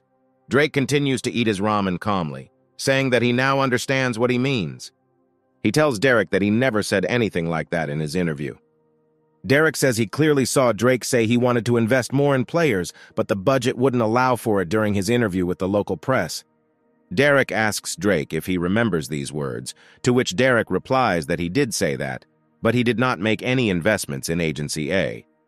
Derek mentally tells himself that Drake is a crazy bastard, while Drake says that he has a list of players associated with the agency, but he should already know this, adding that he was simply recommended some players. But for some unknown reason, this is why strange rumors arose from this. With these words, he notes that Derek is very biased towards him, asking him what he doesn't like about his proposed plan. Derek fumes with anger, arguing that Drake is acting like a big child and playing dumb. The main character puts the ramen on the table, saying that now it's time to talk about other rumors. He tells Derek that it appears two of his relatives are among the Bolton players, asking him if the rumors are true. Drake says he saw it in one of the documents, adding that he also found it in a list he received that belonged to Agency A. Derek wonders what Drake is getting at as he continues to pester him about it being time to check their game stats. Drake says that these players have very sad results, asking Derek if he finds this strange. Drake turns the tablet towards Derek, which shows an article exposing illegal collusion between Derek and the agency, asking him if he wants to look at the information about it. The article contains information that Owen Doyle, who has a contract with Agency A, claims that the decision to release six Bolton players was made by Scott and James. The article also says that Scott and James convinced Doyle to become part of their dubious adventure, promising that a contract with Bolton would allow him to receive a larger fee than anywhere else. Derek's face changes as Drake stands up abruptly from his seat, looking at him menacingly. Derek says he doesn't understand where this information came from, trying to come up with some kind of excuse. Drake says he's heard enough, asking him if he thinks he doesn't know anything. He glares at Derek, saying that he will see him in court, calling Derek a greedy pig. After this, the situation calmed down, and the investigation soon established the circumstances of corruption between Scott and James. During the investigation, it was also revealed that the amounts for the transfer of players were significantly higher than reported to the EFA, thanks to which he concealed part of the income, receiving undue benefits from this. James Wayne was accused of forgery and money laundering, and the EFA banned Agency A from working with clubs in the third and higher leagues for the next five years. As a result, Agency A filed an appeal with the arbitration court, which was accepted for consideration, but the subsequent demand from Agency A to compensate for damage to their reputation was rejected. Drake muses that he has asked for about 3 billion Korean won in compensation for the damage he caused, adding that once they receive the money, their budget will be enough to attract three good EFL 1 players, after which he muses that it will take some time until all legal proceedings are completed, but it will be difficult for one agent to convince the EFA to change its decision. Drake also notes with satisfaction that at the same time the coaching staff was reduced even without a fine or payments, noting that this is a huge step towards success, and now all that remains is to walk the path of the winner. After some time, the next match begins, in which Bolton Wanderers again do not perform at a good level. The commentator notes that the score was restored in the 43rd minute of the second half, adding that Bolton were losing again, noting that even after the departure of Derek Scott, Bolton continued to play in a formation with three defenders. Drake understands that Derek Scott's assistant has taken over as interim head coach, the commentator says that in the 29th round of the league, the match between Bolton and Bristol ended with a score of 1 0. Drake grabs a chair in anger, yelling at his team to play better. He wants to break the window with his chair, thinking that nothing has changed in the team's game, but his assistants hold him back. After a while, Nathan sits next to Drake, who is trying to come to his senses. Drake sadly says that he thought things would change with Derek Scott gone, to which Nathan tells him that Drake should get some rest, adding that he is very exhausted. Drake gets up from the couch and curses loudly, saying that he doesn't understand why things are happening the way they are. Drake says that the problem is not only with the players, but also with the new coach, to which Nathan replies that this is true, adding that judging by the last game, the team was using the old schemes, which suggests that Derek's influence remains despite his departure. Drake says that the problem is that the new coach studied Derek a lot, to which Nate suggests that his brother hire a new coach. Drake says that this is the only way out, emphasizing that otherwise nothing will change, after which he says that unfortunately it will not be easy to find someone willing to join the collapsing team. He asks if there are any good trainers for a low fee, to which Nate says that he can't advise anything on that. He adds that Drake is the owner of the club after all, giving Drake a brilliant idea. Nathan says Drake will have to take care of all this trouble himself. Noticing that the main character has changed his face, Nathan asks him why he made such a serious face, adding that he should not take his words so personally, after which he expresses confidence that Drake will be able to find a suitable trainer. He asks Drake why he keeps looking like he's posing for an interview, adding that it looks a little disgusting. Drake congratulates Nathan, saying that at 21 he has come a long and hard way, thanks to which he is now the head coach of the team. Nathan asks Drake if he is confident in his decision, to which he replies that Nathan will now be the head coach. Nathan hugs his brother, saying that his grandmother was right when she told him to be friends with him. He reflects on the fact that he has now become the head coach of EFL 1, although until recently he was a coach of K3 and could not even dream of such a thing. Suddenly, the catch of this situation dawns on him and he asks Drake to hold his horses. He asks his brother who would be the manager if he suddenly decided to appoint him as head coach, to which Drake says that there is no catch. He asks Nathan to trust him, trying to impress him with a very confident look. Drake says that as Nathan already knows, he will now be taking on a new role as owner and manager of the club. He asks Nathan if he will be able to get the team back on its feet, to which Nathan wearily reflects on the fact that Drake has decided to put the entire burden on him. Drake reflects on the fact that there are a lot of weirdos among club owners, noting that there have been cases where the owner himself played in the first team. He also notes that there were often cases when celebrities and stars were invited to the team. The main character says that compared to these idiots, he is not such an eccentric, since he has experience in sports and an understanding of football tactics. However, nevertheless, on the Bolton forum, the news that Drake will now be personally responsible for strategies for games turned out to be more than shocking news. At the coaches' meeting, Drake says that 29 games have already been played, and by his calculations, there are still 17 games left to play. Drake says they must win at least 12 games to remain in EFL 1.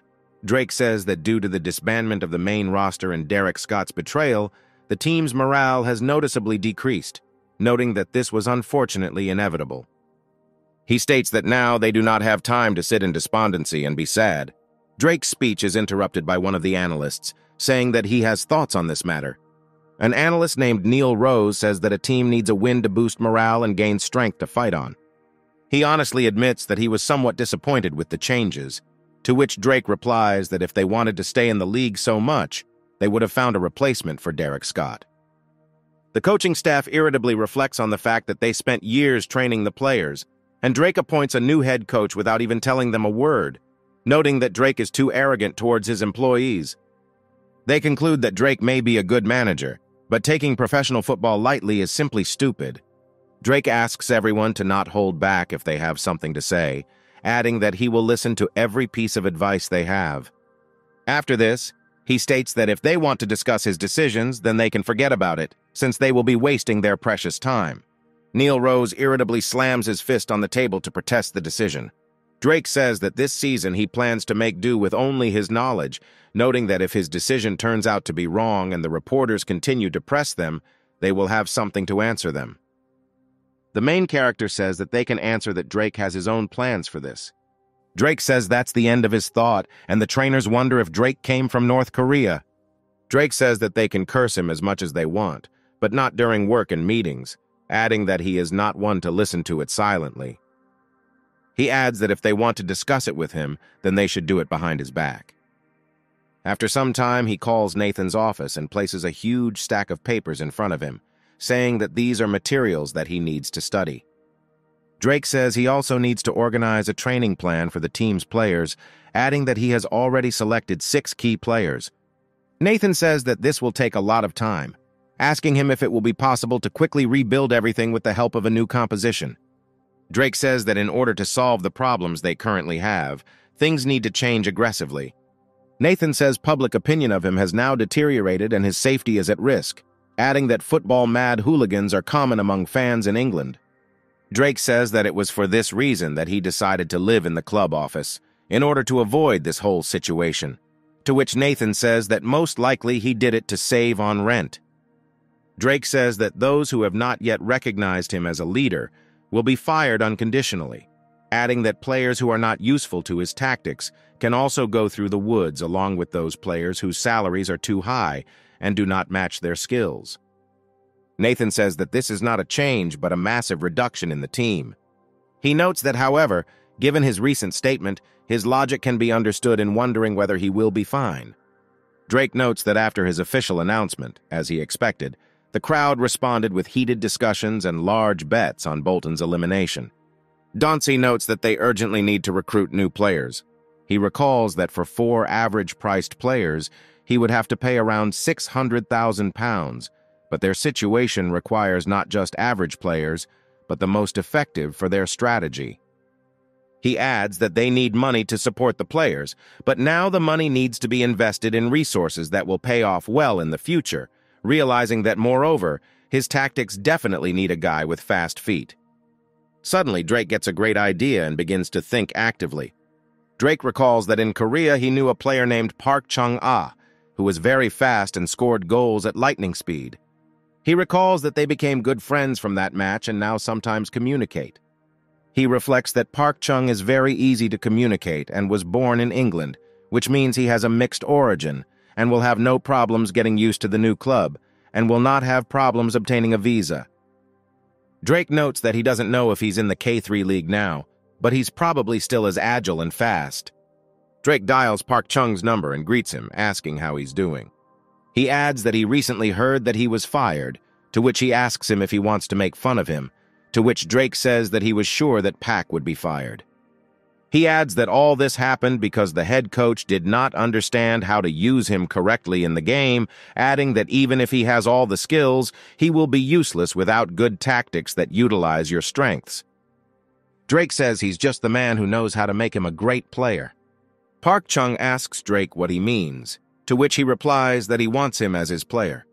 After some time, Park Chung comes to England and Drake hires him, causing discontent among fans.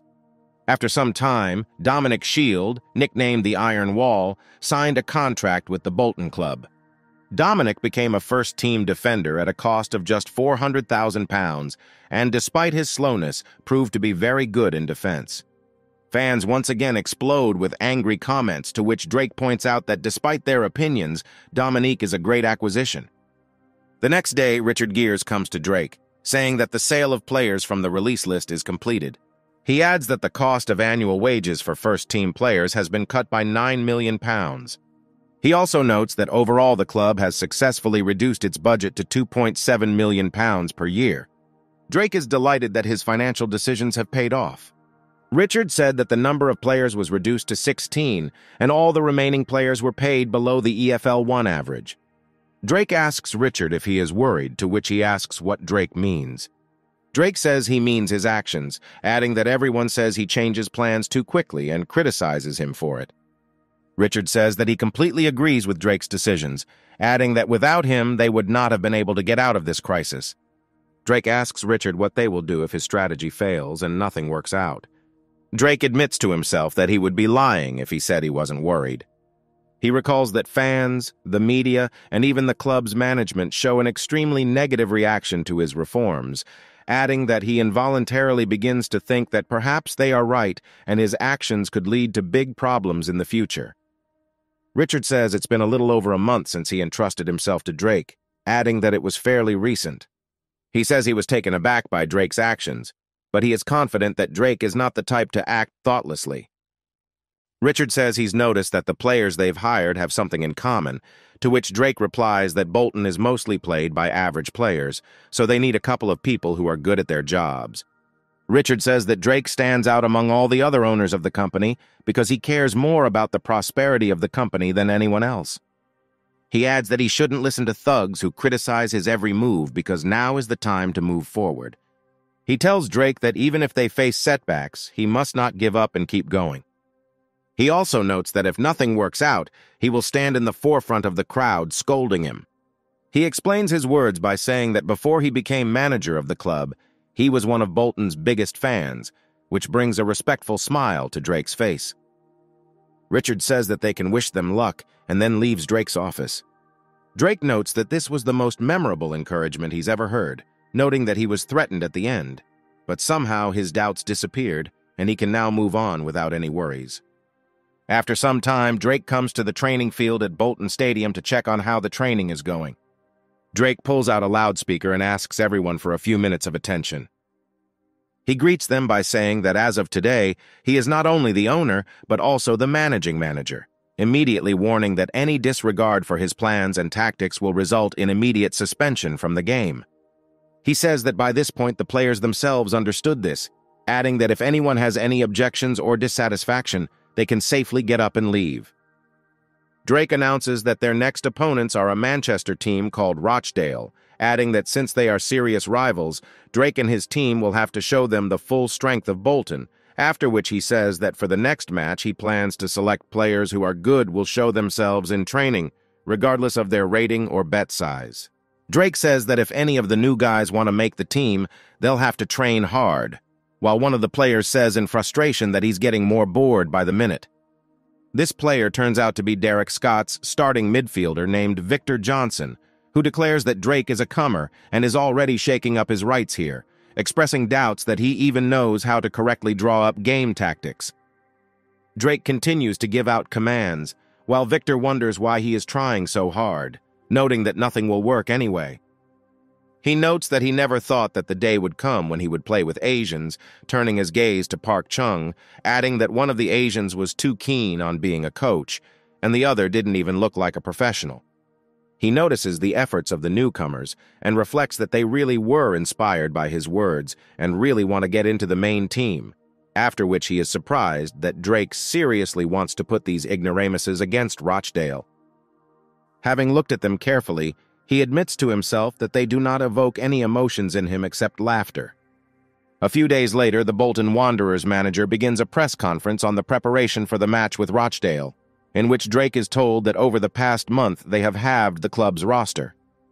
They ask Drake if he is aware that fans are extremely unhappy with this state of affairs, also asking about the reason for the inclusion of a recently hired player in the main roster.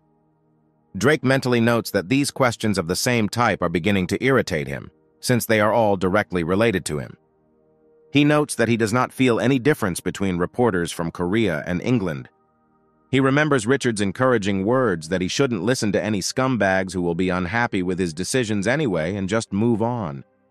He gathers his strength and loudly declares that everything is exactly as the journalists say.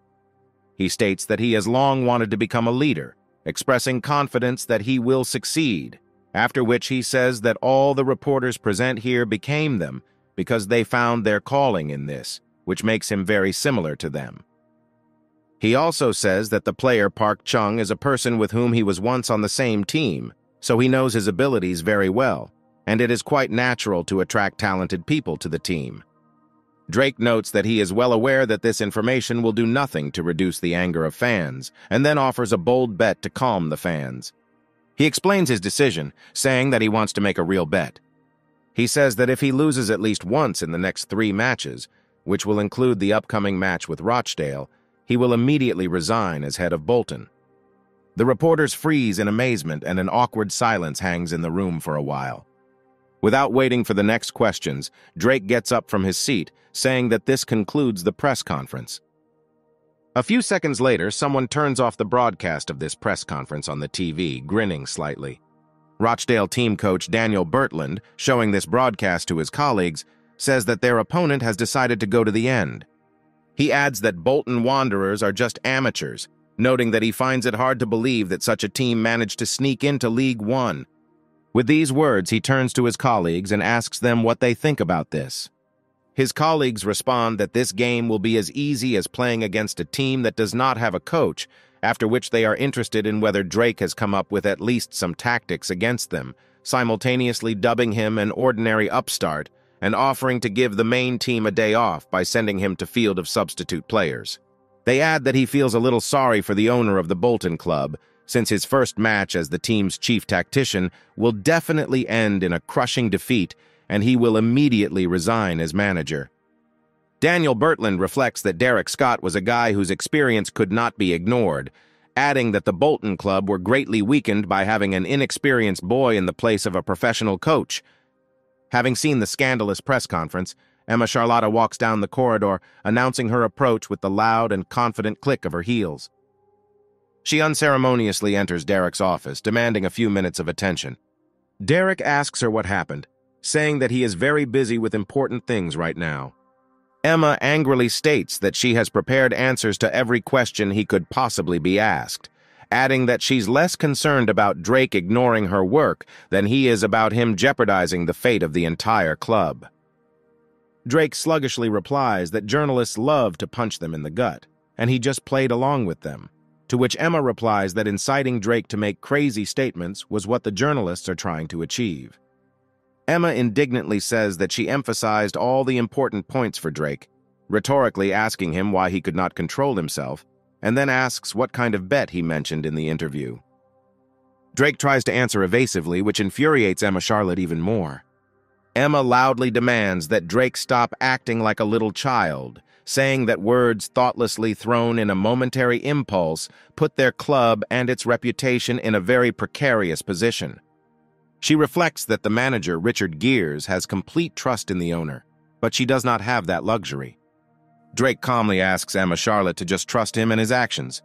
He explains that he did not blurt out anything in a fit of emotion, but set a speech plan from the very beginning.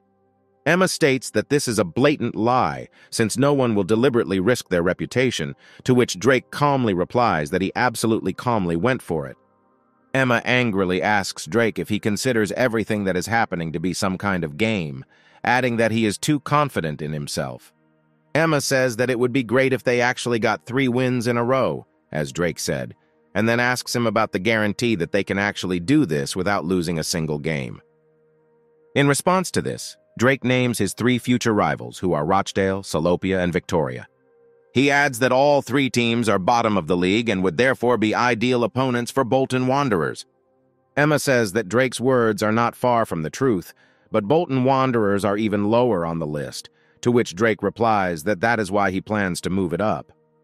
He notes that the difference between Bolton Wanderers and their opponents is only in the skill of the players, which he plans to significantly improve, adding that this is why he called these opponents very convenient, since now everything will depend on the coach and strategy and not on the specific composition of the players. Emma irritably wonders why Drake thinks he's better than all the club's coaches and analysts. She remembers that Drake inherited this club and knows nothing about football, wondering what his self-confidence rests on. Drake asks Emma if she knows that bad people are always more popular than good people. Emma asks Drake what he means, to which he replies that he is the perfect villain for the media.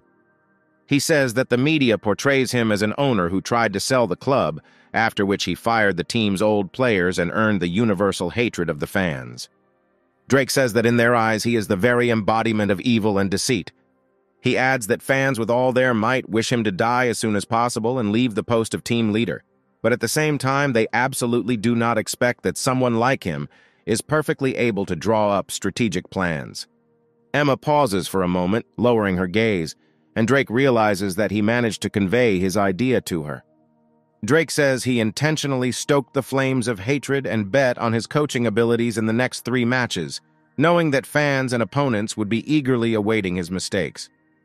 Drake tells Emma that everyone will be watching with interest as the self-confident villain falls before everyone's eyes, and Emma understands that Drake was guided by the desire to attract as many spectators as possible to the matches. She asks Drake if this was his plan, to which he snaps his fingers in delight.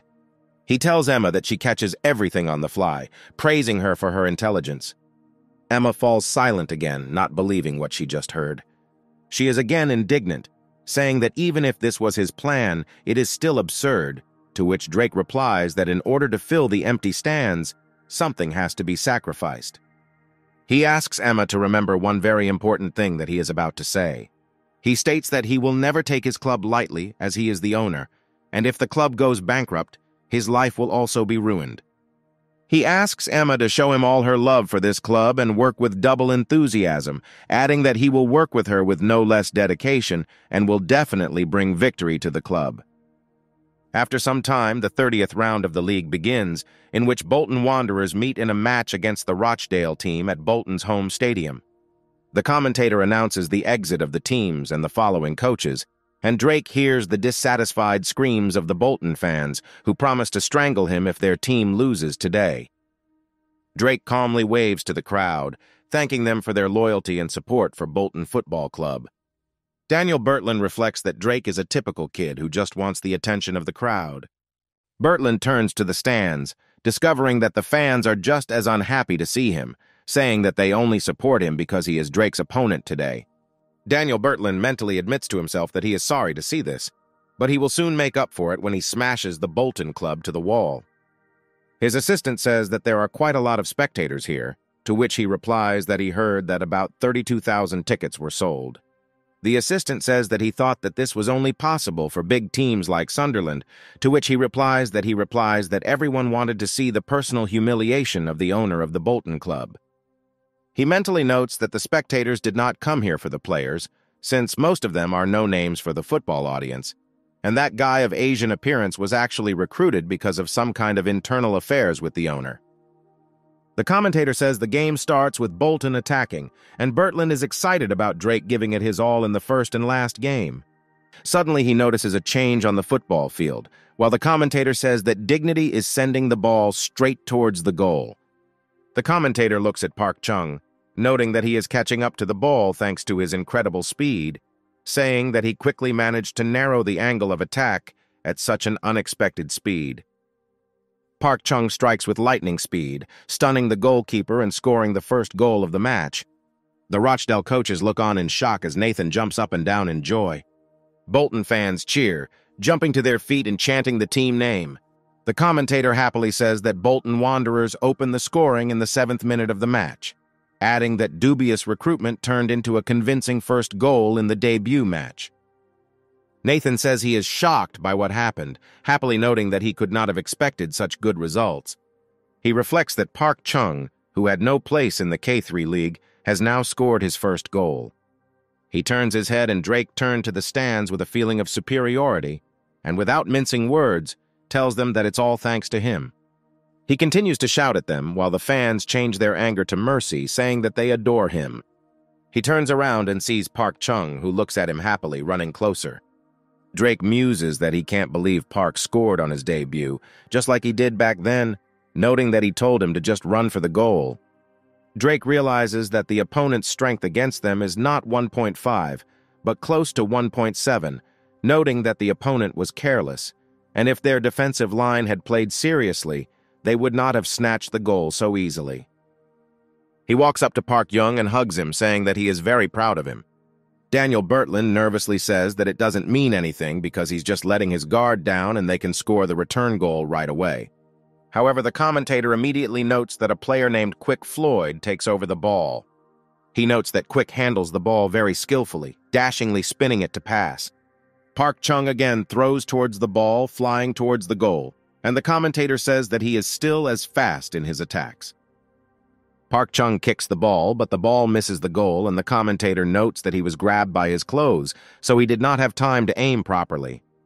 Bertland's assistant asks him if he should hold back their offensive line, to which he muses that he switched them to a more aggressive formation in order to even the score, but this did not help. He looks at Park Chung and asks why the hell he is so fast. Drake praises Park Chung, telling him to enjoy his position. He puts his hand on his shoulder, saying that he scored a goal in the first seven minutes, but the match is not over yet, and it is too early for them to talk about victory, so they need a second goal. He tells Park Young that he scored a goal and now the opponents know about his speed, and then asks what his actions are.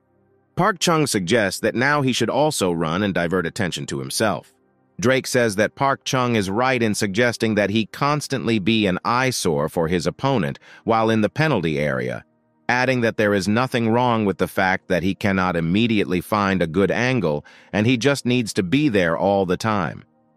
Drake tells Park Chung that football is a very tough fight, and he begins to wonder if Drake expects him to score another goal, noting that he is not sure about it, but he knows for sure that Drake has some kind of plan.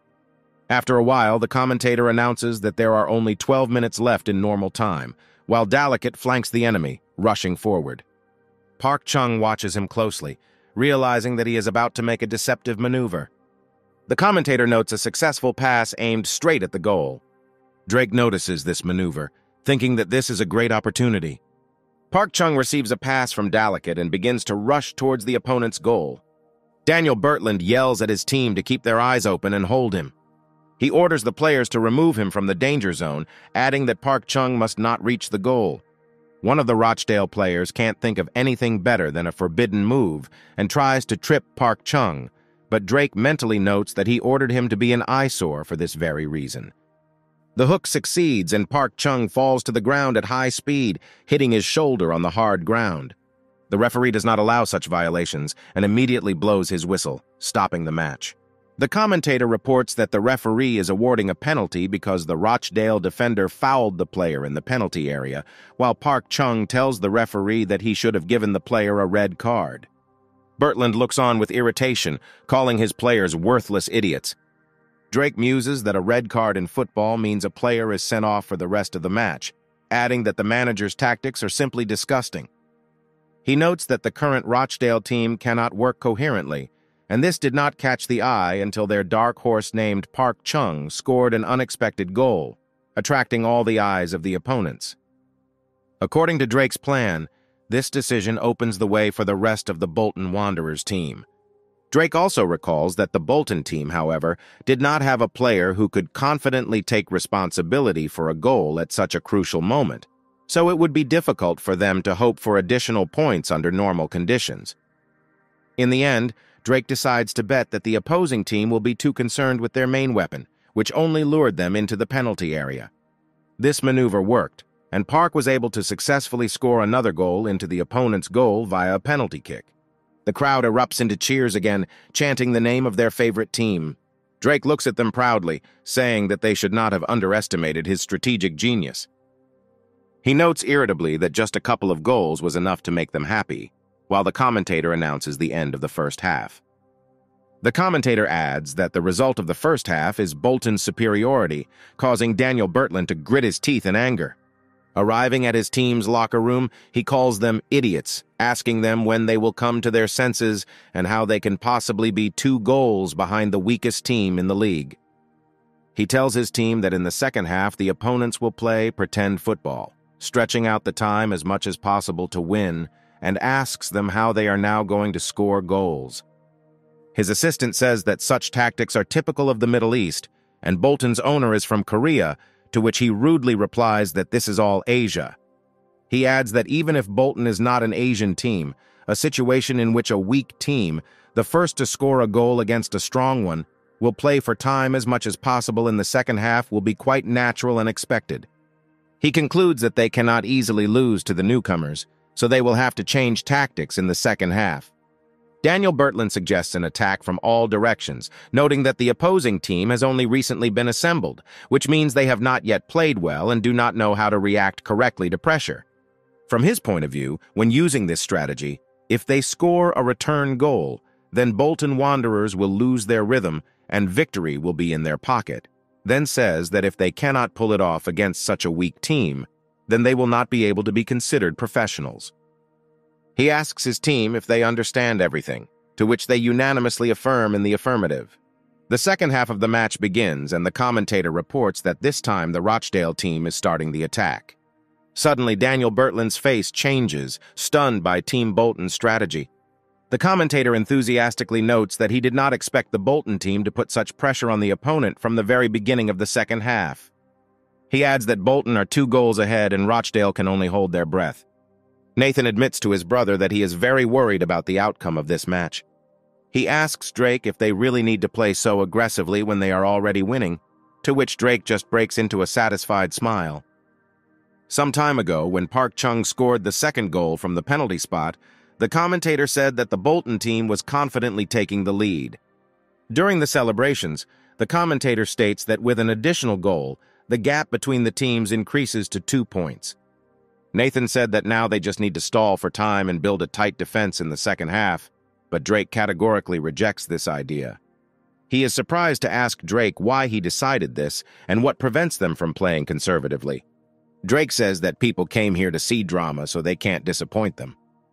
In the present tense, the commentator reports that all Bolton players, apart from Dominic Shield, are on this side of the field and are putting powerful pressure on the Rochdale defensive line, suggesting that they want to increase the gap even more.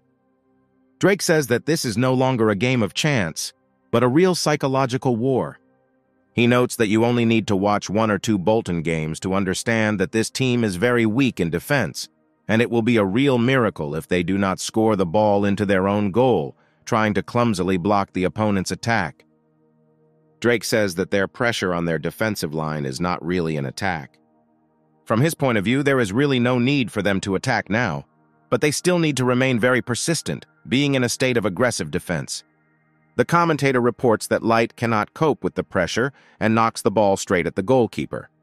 A goalkeeper named Gordon receives the ball and passes a very long pass.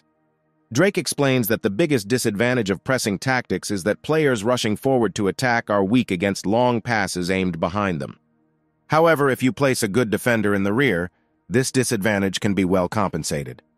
The commentator states that Dominic, left in defense, confidently receives the ball, hitting it with his head. Drake says that against the clunky strikes of Rochdale's fringe players, he brought in Dominic, who has refined skills with the ball in the air. Bolton center back Quincy Quick Floyd rushes forward to intercept the ball. Drake turns his attention to Floyd, reflecting on the fact that he made a bet on this player for a reason. He recalls that he is 184 centimeters tall, which is quite short for a central defender. However, according to Drake, Quincy's distinguishing feature is his fantastic ball control, which allows him to easily pass his opponents and quickly get ahead. Nathan shouts to Floyd that he is a great guy, to which Drake asks him if it's time for them to call him Quick Flash. Nathan asks him if this nickname is the name of some superhero, to which he replies that he reads his thoughts. Meanwhile, the commentator is shouting with delight as Quick Floyd instantly moves deep into the Rochdale defense from the right flank. Quick Floyd approaches the opponent's goal, and Park Chung waves to him, asking him to pass the ball to him. The defenders are catching up with Floyd, trying to prevent his deception, one of them tries to knock the ball away from Floyd, closing the hole in his defense. However, Floyd manages to react to this, placing his foot on the ball and preventing his opponent from knocking it out. Using a skillful feint, Quick Floyd passes the ball to Delicate, who runs up from behind. Nathan says he's very impressed with Floyd's skills, to which Drake replies that it's not that simple. He adds that Floyd does not know how to set up a normal trip, adding that he does not know how to do anything except dribble. Drake says the reason Floyd is at fullback is because despite his level of dribbling, his attack is terrible so he has no use as a striker, but it wouldn't be fair to leave him to rot on the bench and he could be used instead use at least in the central position. Drake says he put him in as a pass defender for another reason. He adds that a wide forward dribbling as aggressively as he does now cannot help but attract all the attention of the opposition, but once everyone falls under his spell, they will lose sight of the forwards flying like a rudder. Park Chung shouts that the time has come and Delicate passes him a lightning-fast pass. The commentator shouts that Delicate throws a forward pass, adding that the left side of the field is practically empty and the ball flies straight there without any difficulty. Park Chung jumps up and the commentator says that this is his chance to score a goal with his head. Unfortunately, however, Park Chung's skills are not enough and he misses the soccer ball. However, another Bolton striker runs up to his aid, delivering an unexpected powerful header directly at the ball. The goalkeeper tries to catch the ball, but he fails, and Bolton earns another point in this match. The commentator loudly reports that a player named Slow Bulky brought the team another point by scoring a difficult goal. He adds that 19-year-old Winslow Bulky draws the line in this half. Drake screams joyfully, thinking that despite all the shortcomings of this little guy, he still has some use. Nathan looks at Drake and suggests that Park Chung set an example for everyone and changed the atmosphere in the team with his sudden goal. The match continues and the commentator reports that Yannick collected the ball without much effort, preventing the Rochdale striker from crossing the center line so easily.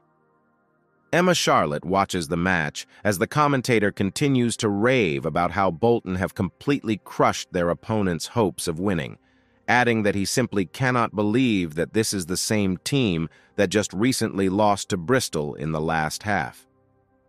He continues his speech by saying that Bolton's owner, whom everyone calls Mr. Drake, who also holds the post of manager, dispels all doubts of the fans in just one game. The coaching staff asks each other if they are now in a dream, noting that they do not believe that this is their team. Emma Charlotte remembers Drake saying that he never takes his club lightly and will do anything to bring them victory. Emma notes that at the time it didn't sound convincing at all and she decided that Drake was bluffing. She watches the broadcast, realizing that Drake is indeed the owner who put his life on the line. Daniel Bertland yells at his team, ordering Kemble to take the right side and defend it. Kemble listens to these commands, noting that it is easier said than done, trying to figure out how to penetrate Bolton's defense.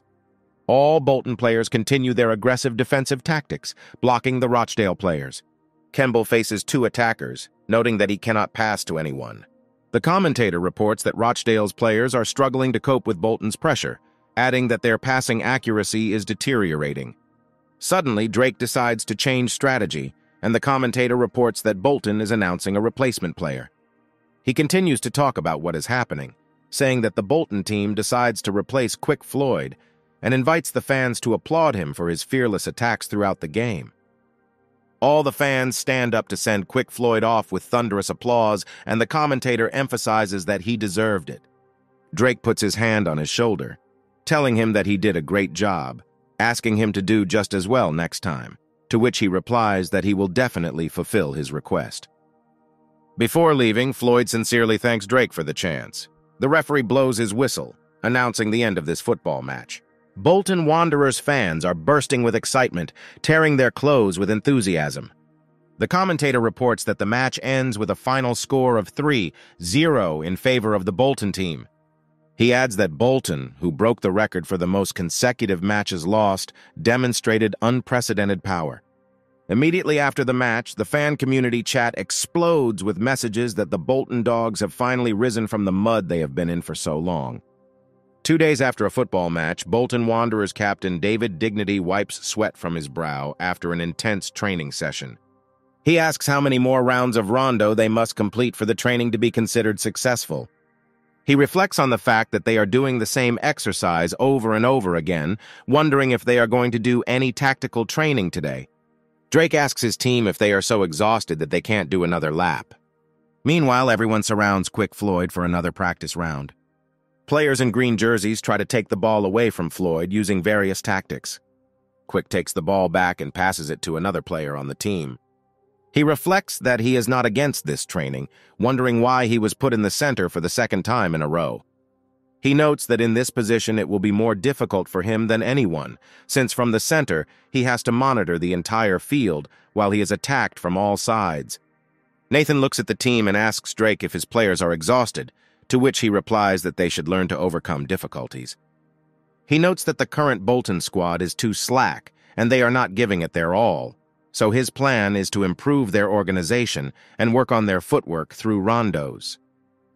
Rondo is a training exercise in which players are divided into a group of passers and a group of dribblers, and the passers take positions around the dribbling group, closing them in a ring, after which they pass the ball to each other, choosing to pass around the attackers who try to get the ball from take them away.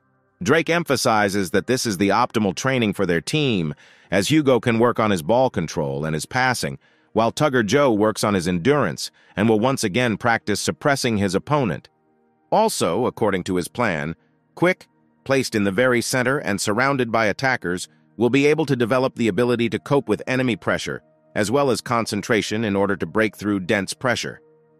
Drake says that after all, their football team should have at least one joker, adding that it's nice to have a card in our hands that can turn even the most hopeless game in our favor.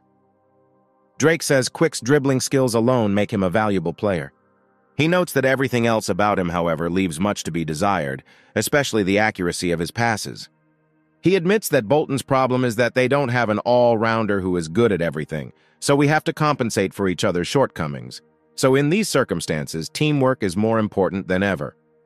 After a while, Drake takes out the loudspeaker again and announces a 10-minute break. Park Chung turns to Drake and asks him why the training ended so quickly. Drake says that training isn't over for him yet, adding that he has a class with him next, inviting him to follow him. Other players wonder why they have to spend hours doing rondos while he is the only one who will be practicing individually. One of the players reflects on the fact that Park Chung constantly sucks up to Drake, contemptuously spitting on the grass.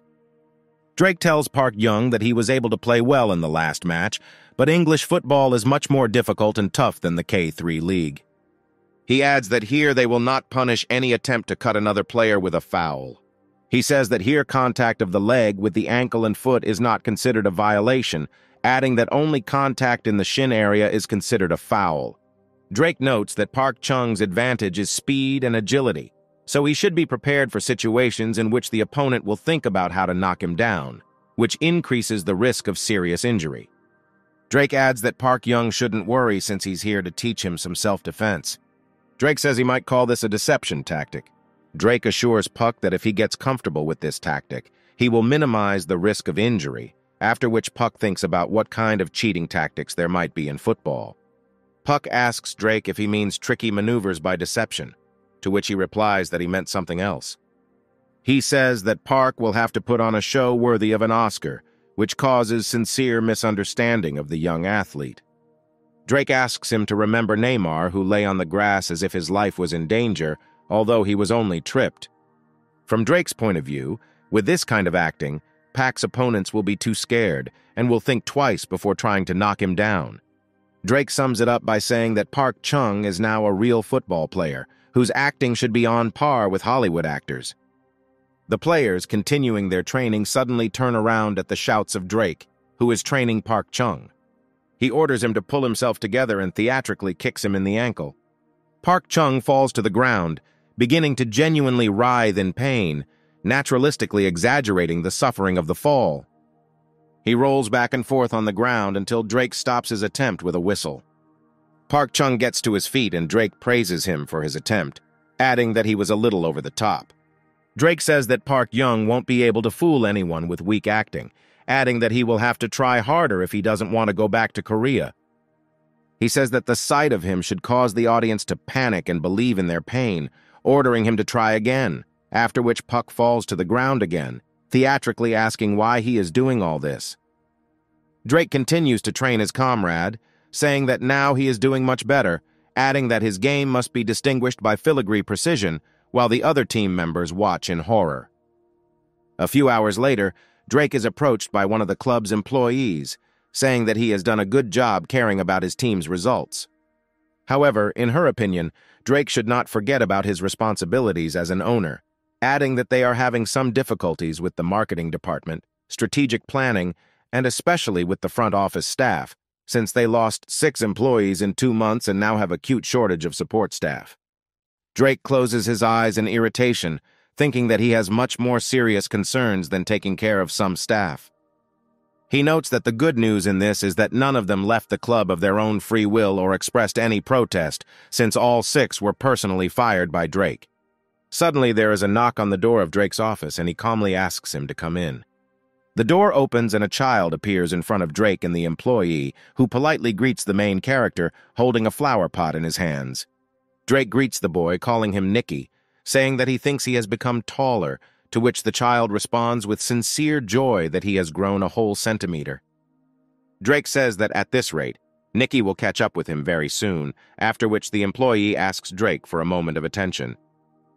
She asks him who the boy is, to which Drake replies that his name is Nicky, and he is the son of Thompson, who works on the facility's management team. Nicky says that he wants to be like Dad, so he is interested in the history and life of the club, and also carries out small tasks, one of which is arranging flower pots. Having completed his task, Nicky leaves the office, saying goodbye to Drake, to which he just as politely tells him that they will see each other next time. Drake tells the employee that Thompson asked his permission to sometimes bring his son to the club, after which he grins, saying that sometimes he feels like he's working as a babysitter, Drake talks about how someday he will take him to the stadium in exchange for some small help, which in any case will be more useful than him just hanging around there with nothing to do. Suddenly, Drake is amazed at how he didn't think of this before and plunges into thought. He recalls that now some farms have a service for tourists, which means that for a fee you can be a gardener and pick fruit for the farm. Drake begins to wonder what kind of results such tactics might bring them while an employee watching his face tells him that he looks like he's thinking about something devious. Drake cheerfully replies that he never thinks anything bad, adding that he has an interesting idea. The next morning, a man comes out of a convenience store next to the Bolton Club with his son. The father tells his son that he will now check the list in case they forgot something. Suddenly, something catches the little boy's attention, and he asks his father to look at what he is showing. The father turns his head and notices that the child's attention was attracted by a small lottery where people had gathered. As he gets closer, he recognizes the club's logo, surprised that Bolton decided to hold a lottery. He looks at his son and asks him if he would like to try and buy one ticket, to which he enthusiastically responds in the affirmative. The father notices that one ticket costs as much as two pounds and reflects that this is an unusually high price for the lottery. Suddenly, one of the lottery participants opens his winnings and finds himself with a ticket to the next match. The father is impressed by the size of the prize and mentally admits that he himself was thinking about buying tickets to the next game. The boy's father says that it is better to be deceived once than to never try at all and buys a ticket, delighting his son. Father and son open the winning ticket and discover that they have received a voucher for a one-day experience with the Bolton Club staff. The father is surprised by such an unusual prize, noticing that other participants have won similar prizes. The next day, Nathan goes down to the first floor of the Bolton Club reception and is very surprised by what he sees. he observes a large influx of visitors who look around with interest. Drake, also watching this, tells his brother that everything is going even better than he expected. He says that when he saw Nicky's enthusiasm, he had a great idea, which was to find and hire people who would be willing to do their work for them. According to Drake, visitors are true football fans, and therefore they are interested not only in the game and the players, but also in everything that concerns the management of the club, which means they are ready to experience for themselves what their favorite club is like. He adds that naturally this work will be paid, despite the fact that for them it is an experience that has no price, since it gives them a feeling of belonging to the club and satisfying their curiosity. One of the visitors passes by them, who received a coupon for work experience as a technical employee for 24 hours. Drake says he was previously worried that the promotion wouldn't get much traction since everyone was busy with work or school, but to his surprise, the club's employee experience quota was full, and they even had a waiting list, adding that of the trial batch of tickets put into circulation, almost 100% were sold and brought people to them. Nathan says he really likes the idea, asking Drake if he's ever thought about giving away the tickets for free, to which Drake asks in bewilderment how he came up with such a strange idea. He asks his brother to leave this childish talk, adding that after all they allow them to enter the sanctum sanctorum and become part of their family, and as it should be in a family, they should help each other. Nathan is blinded by the power of his brother's corporate rhetoric, and he ironically remarks that there really is a real family idyll going on here. After some time, Drake arrives at the Kearsley radio station, and the host welcomes listeners to the Daily Miracles program, saying that today they have a special guest named Mr. Drake, who is the owner and part-time coach of the Bolton team. The host greets Drake by introducing himself as Harry Bench, after which Drake greets him with the same polite manner. Harry says Drake was previously interviewed by his brother Aaron from Horwich Radio. Drake reflects that this is not your average local radio station, unlike Horwich, adding that Kearsley's radio is somewhat unique and goes its own way, different from other stations, and that is why he came here. From his point of view, it's time to start managing public opinion and the rumors swirling around them, and this is a great place to start, but there is open hostility towards him in everything that is said here.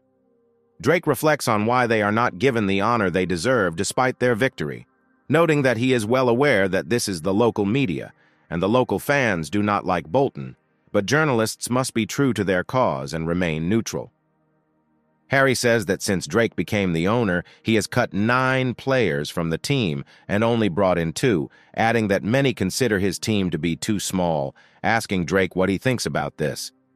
The main character calmly replies that in his opinion, there are enough players in the Bolton Wanderers team, to which Harry says that this is not at all the answer that the fans expected. Harry says that of the 24 EFL 1 teams this season, Bolton are the only one with fewer than 20 players in their first team squad, suggesting Bolton's team policy is rather unusual. Drake laughingly states that he has heard similar statements from his coaching staff many times. He adds that nevertheless, his decision remains unchanged and asks everyone to remember what happened under Derek Scott.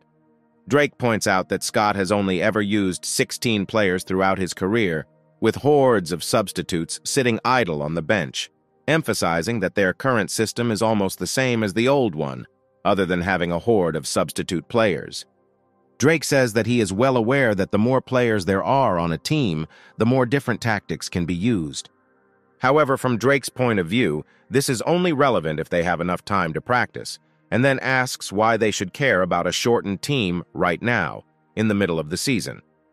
Drake adds that everyone could notice from the results of the last match that you can win against lower teams in the league with a limited set of tactics. And even if the club is small in numbers, in Drake's opinion there is no need to rush and add just anyone to the team, mindlessly repeating the mistakes of the past. Harry says that they have now heard a great speech from the owner of the club, to which Drake comments that he is no stranger to such difficult issues, and that is why he has nerves of steel. Harry tells Drake that he wanted to talk about one last thing and reminds him about the bet he announced at the last press conference. He clarifies that Drake promised that he would resign as manager and stop taking part in the team's training if he lost at least one of the three games. Gary looks at Drake seriously and asks him if the bet is still valid. Drake smiles and understands that it is one thing to use broadcasting to sway public opinion in his favor, but quite another to take care of growing his audience in the process. He decides that the time has come and confidently says that the bet is still valid and they have two matches left. The main character says that he wants to appeal to everyone who doubts his words in order to clarify everything once and for all, declaring that if they lose, he will resign as manager and promises in this case to do everything possible to find a new coach, which the fans will be pleased with. However, according to Drake, he does not even allow the thought that they could lose. Harry says he senses an incredible amount of confidence in Drake and thanks him for his words. Harry adds that he only says this because he believes in him unconditionally. According to Drake, athletes have great potential, and there are many opportunities ahead for them to prove themselves, noting that the same applies to him. He says that they started from the very bottom, and they have no other way but to climb up to victory, after which he assures that they will go as far as they can. After some time, he holds a briefing between the coaches, saying that their opponent in the 31st round is Salopia's team. Nathan notes that they are currently 18th in the league. He points out that Salopia's main striker is Harold Chapman, who played in every game of the season and has 10 goals and 4 assists. He also pays attention to striker Jamie Willis, who is a good threat for them along with his 7 goals and 7 assists. Nathan argues that even if you don't count the number of points they score, such players give the team a good chance of winning by distracting the defense and threatening to make bold passes. He suggests that their tactics should be aimed at suppressing these players, trying to prevent them from gaining possession of the ball as much as possible.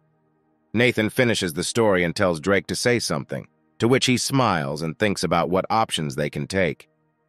Neil Rose says that Salopia is a defensive team rather than an attacking team. From his point of view, the difficulty of the upcoming match cannot be compared with Rochdale, so it will be incredibly difficult for Bolton. Drake asks Neil why he came to this conclusion. Neil says that while Rochdale had already lost three games in a row heading into the match with Bolton, Salopia is currently on a three-game winning streak. Neil invites the entire cast, including Drake, to review the tactics board. He says they owe their performance to their signature defensive tactic of grouping nine defenders in two rows, in his opinion, the players stand very tightly, and this makes it difficult for the enemy to pass. And they also do not play in such a dense formation, so their players will be in the minority, and even one or two passes will be difficult. Having carefully reviewed the diagram, Drake points his finger at the big one. Drake tells everyone else that the enemy team is using Chapman as bait. He explains his guess by saying that he has the highest percentage of goals scored on the team and is also the first player to run on the counterattack so it is natural that he will try to divert attention to himself. Drake says this move opens up the ball for James, who is quick and decisive. The protagonist says that even if they intercept the ball at this moment and carry out a counterattack, the back four will still be firmly in their way. Drake says he's not surprised why this tactic brought them three wins in a row. Neil thinks about the fact that we have sorted out their tactics and says that he wants to add a couple more words. He says that because they will be playing against a packed defense, they need a strategy that allows them to launch effective counterattacks, as well as exploit the differences in height and agility of their players to maintain prolonged contact with the ball. He also notes that the spearhead of attacks can be Park Chan's irreplaceable ability, namely his speed. One of the members of the coaching staff says that he is not a good enough analyst to advise anything, but he suggests Victor Johnson as a starter. Drake is surprised by this proposal, mentally admitting that such a proposal truly discourages him. Neil reflects that he doesn't believe anyone would actually recommend replacement players over proven starters. Drake, after thinking carefully, invites everyone to use Owen Precis on the field. He says that this time he is thinking of making him the starter. Neil says Owen is an attacking midfielder who tore his knee ligament two years ago. He adds that Owen finally returned a few months ago, but he is no longer playing like he used to, and is unlikely to be included in the starting lineup. Drake says that they should still try to include him on the list, to which Drake asks him in bewilderment why he decided so. Drake says he doesn't have any particular reason for this, adding that he's recently been criticized for having such a small lineup.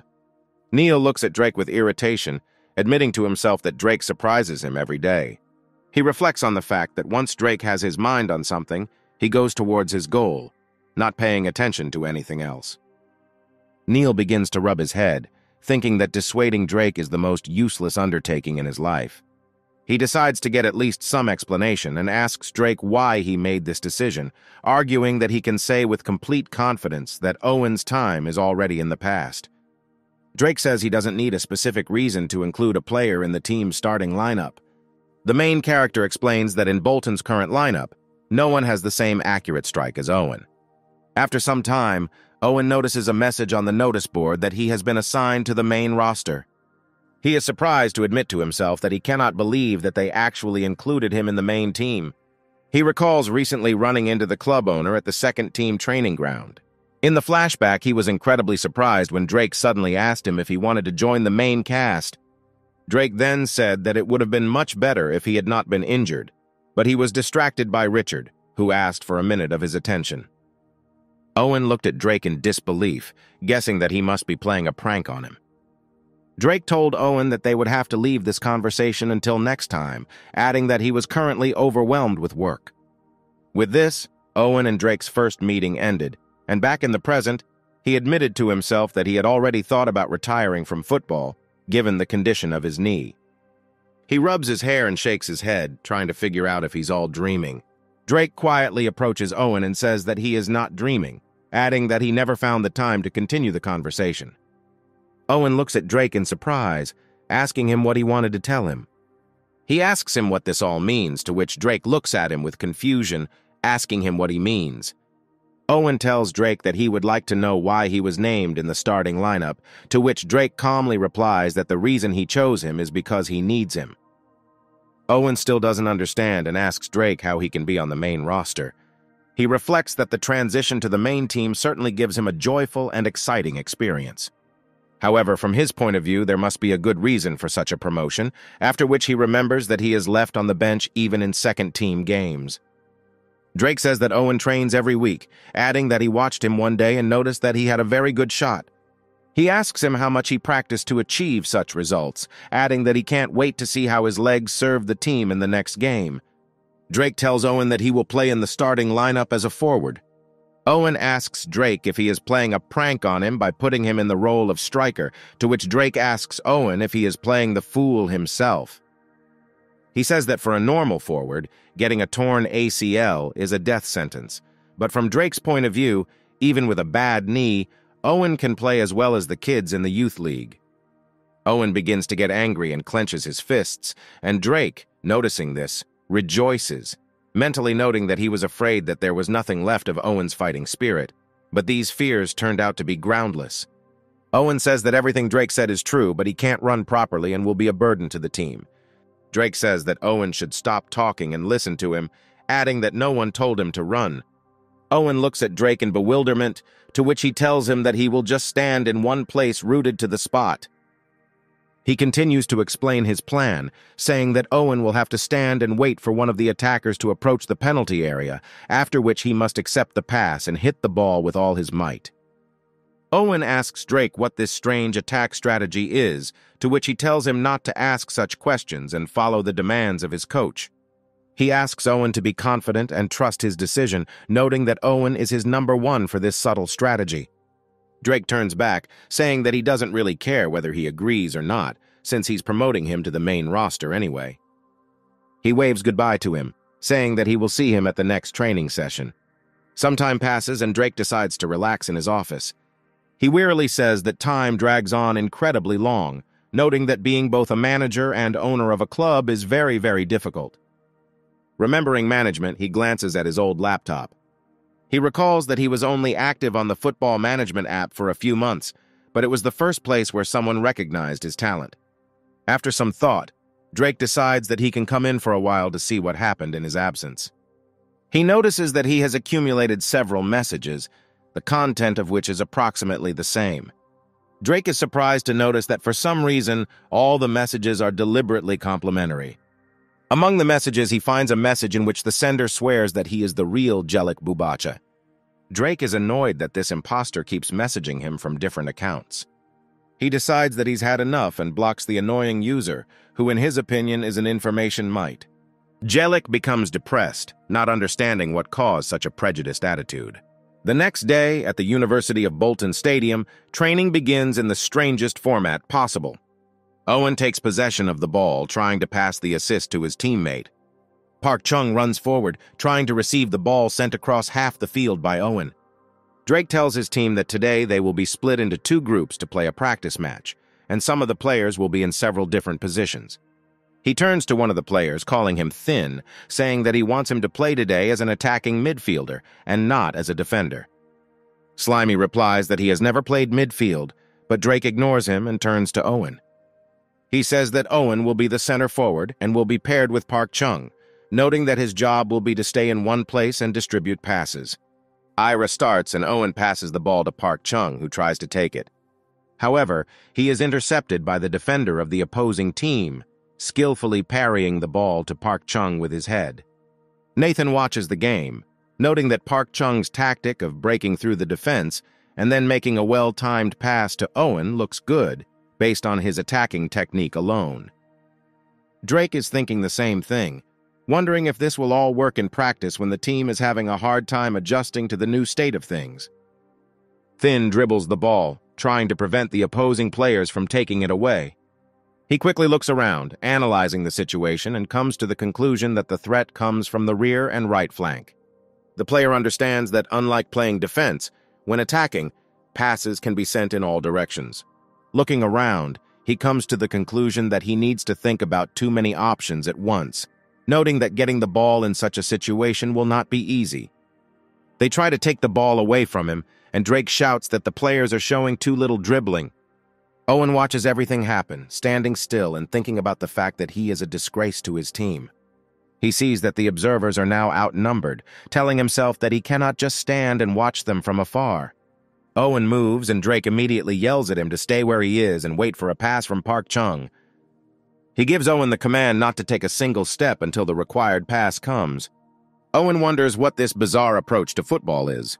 One of the opposing team's players mocks Owen, saying that he won't even need to shower after practice with a game like that. He wonders why Drake took a cripple onto the field, who cannot even run, if nothing would change from his presence or absence. The coaching staff says that even if Owen's shot is damn good, he still won't have the agility to make an accurate pass under heavy pressure. Drake tells his colleagues that they only won once, and they have already begun to act like God knows what to which they respond that most likely he will still have to quit. Two days later, the 31st round of the league begins with a match between Bolton Wanderers and Salopia at Deep Enders Meadow. The commentator celebrates Salopia's goal in the 23rd minute of the game, saying that the score is now 1-0 in Salopia's favor, noting that Harold Chapman scores his 11th goal of the season. Bolton fans immediately blame Drake for everything, demanding that he resign from his post as head of the football club. He ignores these words and turns to Owen, saying that he must now take the field.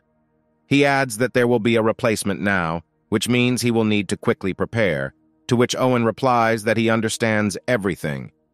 One of the players on the bench says that their team barely survived half the first half and now suddenly wants to make a substitution, surprised at such a strange decision, to which his friend also complains that if they want Owen so much, then they should have released him with from the very beginning of the game and do not waste a replacement card on it. Another player says Owen's presence on the field doesn't matter because he's still a terrible player. The gloating player continues to watch the match, saying that things will only get worse from here. Drake puts his hand on Owen's shoulder and asks him if he forgot that his task is to be in the same place they practiced in training. Drake says that if football were an online game, then Owen would be a turret in it, sweeping away everyone who dares to approach it. A Bolton fan takes a closer look at the player entering the field and is surprised to recognize him as Owen Precis. They are indignant at this decision, shouting that any cripple can overtake Owen. The commentator announces that Owen is coming onto the field, reminding everyone that he was recently included in the main squad, although before that, he only played in reserve matches, as he is undergoing a long rehabilitation after an injury, adding that everyone can't wait to see what he can do after his return. The game continues, and quite quickly one of the Bolton players passes an accurate and neat pass to Owen waiting in front. However, one of Salopius's team's attackers pushes him, and Owen is unable to stay on his feet, falling from the push. Owen ends up losing the ball, and the commentator states that his first appearance back from injury was quite disappointing. The game continues, and the commentator notes all of Owen's failures, saying that he is still recovering from his injury and the decision to return him to the main lineup was hasty. He regrets that it is always painful for him to watch how injuries destroy truly talented players and expresses the hope that none of the players will suffer any serious injuries today. The gloating player on the bench says that everything that is happening can only be called a joke and not football. He watches Owen and asks what a slow guy like him can do with the ball. Drake also watches everything that happens, frowning with dissatisfaction. Park Chung goes to attack, but McGregor blocks him with his body, pushing him to the ground. Using the art of deception, Puck dramatically falls to the ground, starting to scream in unbearable pain. The trick succeeds, and the referee shows a disheartened McGregor a yellow card as a first warning. The commentator notes that Bolton receives a free kick from Pak's serve. Suddenly, Drake calls out to Owen and asks him to come to him now. He goes to Drake and the stands explode with requests to remove Owen and put Victor Johnson in his place. Owen reflects that after such a disgrace, he will most likely definitely be replaced. However, to his surprise, he hears only words from Drake that he is excellent at coping with the task. Drake adds that today his skills are even better than in training and he acts almost like a goalkeeper. Drake notes that it would also be nice if he always did what he was told. From Drake's point of view, the longer Owen stands still, the better it will be, since he is a turret. Owen reflects on how he feels taking the field clearly shows that his career as a player is over and doesn't understand what he can do right. Drake notices Owen's thoughts and suggests that he make his face simpler, saying that he thinks too much for a man who already has enough on his plate. Owen tells Drake that he himself saw that he cannot stand in that place and receive and pass passes as Drake asked, to which Drake mockingly tells Owen that he is participating in the most important game of the season and still dares to whine that it is going wrong as he wants. Drake notes that Owen completed all of his passes today, except for that pass to Quick when he fell and another one that went wide. Owen realizes that all this time, he was fixated only on the fact that he did not succeed and completely lost sight of everything except that brawl and the goal scored. Drake says that today Owen was completely freed from running around, which means no one can blame him for being slow or immobile. Drake says that everyone appreciates Owen when he takes a pass well, but criticizes him when he loses the ball, adding that it's time for Owen to stop thinking too much and just shoot the ball. Drake admonishes Owen, saying that right now it doesn't really matter whether he has the ball or not, but when he gets it, he shouldn't give anyone a chance to take it away and just shoot straight into the goal with one touch. Drake adds that Owen is a linebacker with limited mobility, so he should give up mobility, which he doesn't have anyway, and focus on his feet. He turns Owen's attention to the stands and asks him if he can hear them booing him and Drake, after which he says that the crowd is already biased against them. According to Drake, even if they took off their clothes and danced naked in front of the entire stadium, their reputation could not fall any lower. He puts his hand on Owen's shoulder again and tells him to stop looking back at others after every step he takes. Instead, according to Drake, he should believe in himself, and if he can't, then he should believe in Drake because he was the one he chose for this match. Owen is inspired by these words and returns to the field to the loud indignation of the spectators, whose expectations Drake again disappointed with great pleasure. Drake reflects that he really wanted to lighten his burden, but his entire strategy today depends on Owen alone. Drake closes his eyes and expresses sincere hopes that Owen will cope with his task, otherwise this club is doomed. The referee announces the start of the penalty kick, and the players stand in a special wall to protect the goal. Owen remembers Drake's enlightening and hopeful words for him to trust him. He suddenly raises his hand and Puck begins to run from the flank of the defensive formation. McLeod turns around at the noise and realizes that Park Chung is quickly passing them. Owen takes the free kick, spinning it around to prevent defenders from intercepting it. However, Puck does not have time to receive the ball, and the commentator reports that the ball falls directly into the hands of goalkeeper Morello. The gloating player arrogantly wonders how anyone could try to fool his opponent with such a cheap trick. He understands that Puck was supposed to bypass the defense and break through the backs of the defenders, adding that Drake may have thought this was a smart tactic, but now it is in vain. With a satisfied grin, he reflects that their banal tactics were easily exposed, and such tricks have long been ineffective. Owen takes another free kick in the third minute of overtime, breaking through the opponent's defense, but it does not lead to a goal. One of the spectators shouts that Owen is a complete nonentity, saying that even he could score this ball into the goal. He yells at Drake, demanding that he remove Owen from the field, but he understands that Drake is only irritably adjusting his plugs so as not to hear this nonsense. McGregor again prevents a goal from being scored by blocking Pack with a kick to the leg. However, Park again uses his deception tactics and the referee awards another penalty kick. The gloating player contemptuously notes that Park Chung is only good for collecting fouls.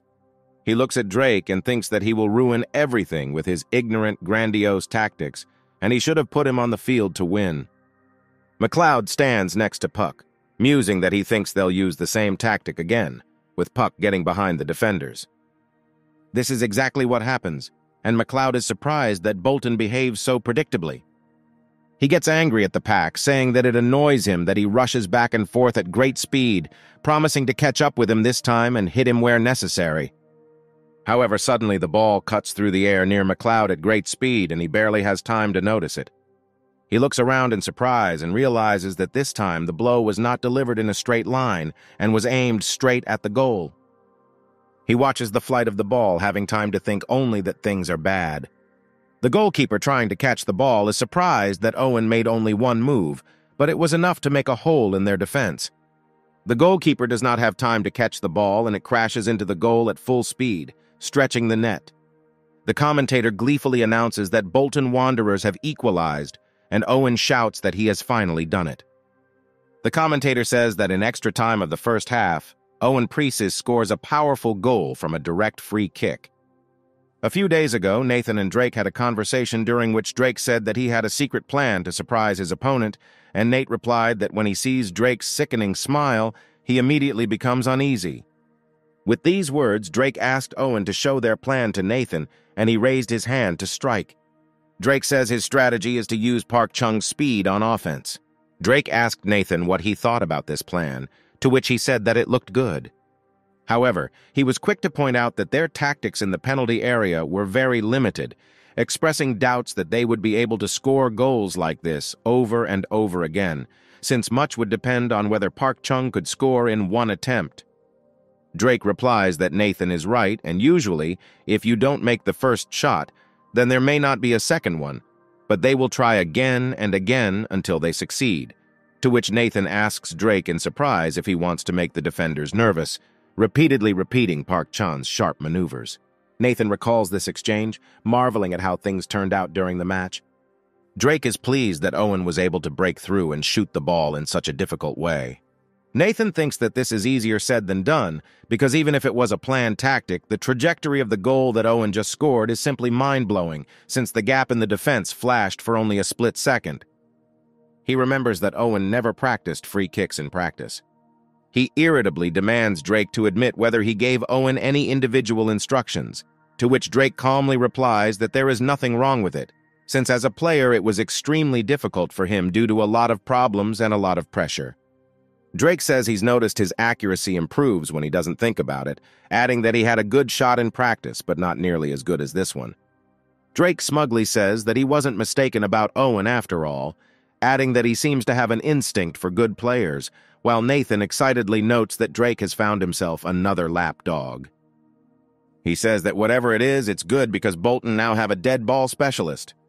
After some time, the commentator announces the start of the second half, emphasizing that this time it all started with Bolton's attack, since after Owen Precis's miracle goal just before the break, Bolton's morale was higher than ever. The commentator notices a long pass from Precis to Park Chung, noting that Owen's shots have become more confident after scoring the goal. The commentator reports that the replay camera switches to Salopia head coach Hazel Modges, noting that he clearly has a displeased expression on his face, since the match is not going in their favor. He angrily yells at his team, ordering them to keep up with Park Chung and stay directly in front of him. Park Chung breaks through the defenders and delivers a powerful shot towards goal, but unfortunately the ball hits the post. Hazel muses irritably that she can't believe they are losing so badly to such a weak team. He also notes that allowing Owen Precis to do whatever he wants can be very costly for his team, so he marks him for blocking. However, Delicate covers Owen and takes a pass from him, and Hazel again notes that he has a good shot. And unlike Precis, his behavior on the field is subject to complex tactics, and even if they stop him, there will still be a guy named Puck looming behind him. He turns to his coaching staff, asking them why they're acting like a bunch of idiots, and demanding that they not just sit their pants down and immediately come up with a tactic. The commentator notes that Delicate deftly gets rid of the pressure and passes the pass to Precis, who is quickly getting into shape after a long break in his career. Bolton winger Aaron Lapid asks Owen to pass him the ball, picking up speed to receive the pass. Puck yells at Owen to pass the ball to him, and the commentator notes that Bolton's left and right wings are going up at the same time. Owen pauses briefly to quickly assess the situation and make a decision. He understands that thanks to Puck and Lapid, who drew off the enemy's defense, the center was completely open. He again remembers Drake's words that he chose him for this match and hits the ball with a powerful blow. The goalkeeper, noticing Owen's plan too late, tries to jump to catch the ball with his hand. However, his speed is not enough, and the ball hits the goal again, as a result of which the football commentator again shouts in delight about Bolton's success. Owen happily stands on the field while his comrades run up to him to praise him for such a good shot. The commentator says that today Owen Precis again asserted himself with effective goals, adding that this is a great comeback and a great game against Salopia. Owen turns to Drake, thanking him, to which he waves his hand, thinking that there is nothing to thank him for. He approaches Owen, inviting him into his arms with the thought that Owen is finally returning to big football. He hugs Owen and reflects that today's drama was a great success. He also notes that this increases their ratings and will have a positive effect on the crowd. After some time, he gives an interview to reporters who tell him that Bolton won a great victory with a large lead over their rivals. They ask him what his opinion is about today's game against the Salopia Club. Drake reflects that all the critics of the decision to withdraw Owen have been silenced and says that he is very happy and proud of his guys, especially thanking them for trusting him. One of the reporters says that before the match, most football fans favored Salopia and predicted her victory, asking him if such one-sided expectations of the crowd did not disappoint him as a new coach, to which Drake calmly replies that he took them completely calmly. He adds that he finds them quite funny, which surprises the reporters. Drake says he's one of those people who enjoys subverting other people's expectations, but he certainly respects the opinions of his fans, adding that he believes two wins will help them reconsider their views on him. The reporter says Owen Precis, who scored two goals in today's game, was named MVP, but he hasn't played in any official games this past half season.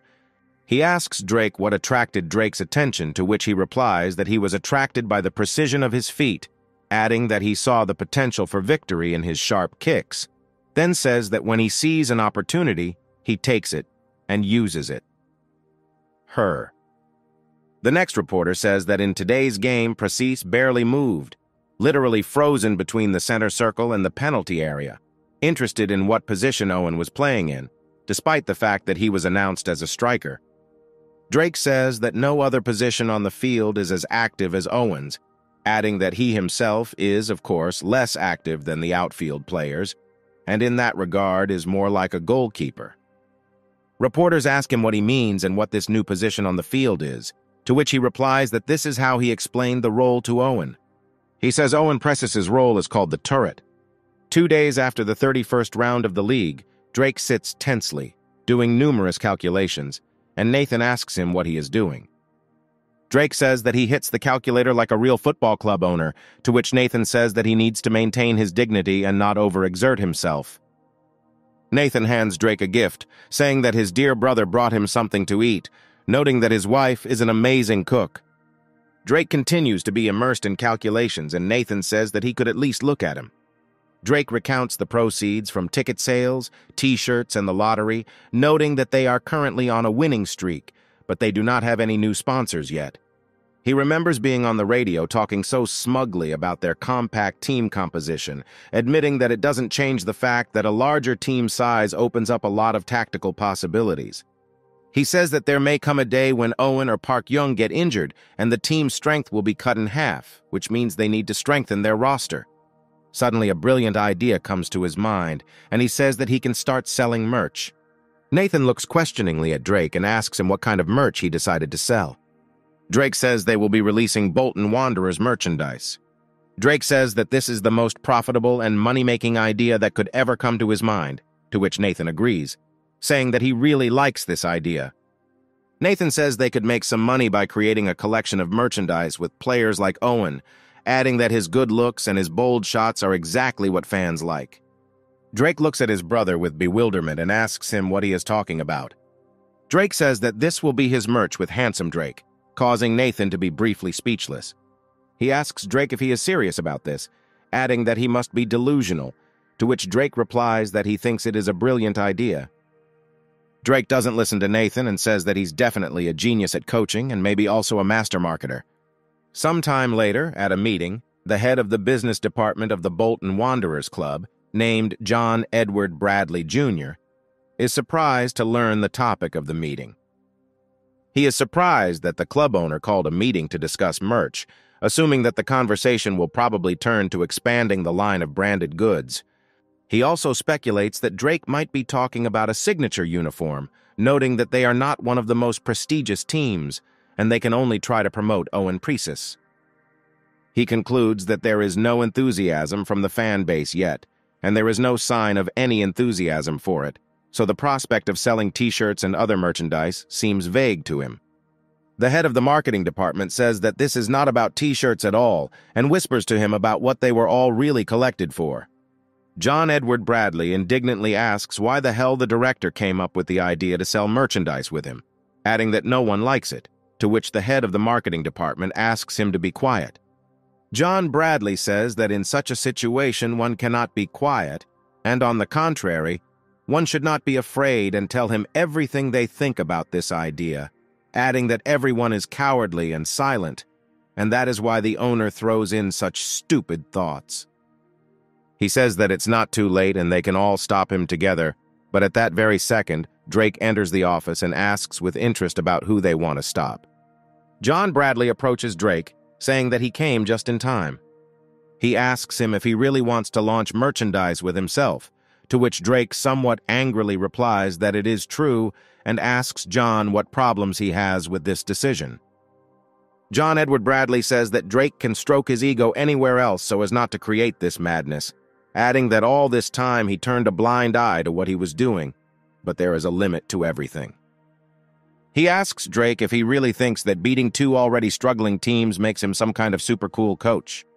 He demands from Drake that he should not even think about starting a conversation about something like that again, and Drake is delightedly surprised. He immediately boils with anger and says that it seemed to him that he fired all the useless talkers from the club. After some time, Drake begins the meeting, asking everyone's forgiveness for the delay caused by unforeseen circumstances. He suggests starting meetings, adding that John Edward Bradley Jr., due to personal reasons, resigned from his position and from the club in general.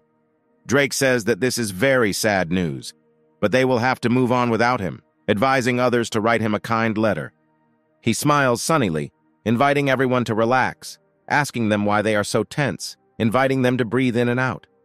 Richard Gears tells Drake that the employees are divided on the branded items that are on the agenda, and Drake responds with surprise that he didn't expect that. He thinks that the director will definitely support his idea, and the dissenting head of the business department conveniently just quit, so it's unlikely that problems will arise. Suddenly, he turns to the head of the marketing department, inviting everyone to listen to her opinion. The head of the marketing department, named Velma Cardville, answers hesitantly and fearfully that, in her opinion, Drake merch, as well as any other branded product, can now only lead to losses. Drake, in a completely non-threatening manner, asks her why she thinks so, to which Velka, with trembling hands, says that this has already happened after the release of blankets and keys. Mentally pleading for salvation, she continues to say that although Drake is the director and eminent representative of the Bolton Club, his popularity may not generate consumer demand among the fan club. Drake asks the others what they think, and most of the staff say that they are of the same opinion. He turns to Emma Charlotte and asks what she thinks about this, to which she coldly says that she agrees with her colleagues regarding the production of his personal branded goods. She adds that this decision could leave them with losses like they've never seen before. Emma says that the fan club may have an extremely negative reaction, from statements about the waste of the club's budgets to demands for his resignation, after which Velma looks at her sadly, thinking that they cannot lose her too. Suddenly, Drake smiles calmly, thanking Emma for her honest opinion, asking how many letters came this time. Richard Gears places a stack of letters in front of Drake, saying that this time there were about half as many as last week.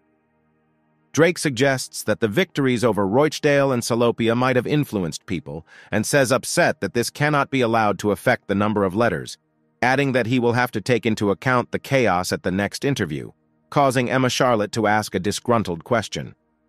Drake admits to her that he was joking, while Velma, who decided to read the letter, notes that it only contains obscene language and death threats. Velma says that these are all threatening letters, to which Drake replies that notoriety is also notoriety, smugly noting that he has succeeded in this matter.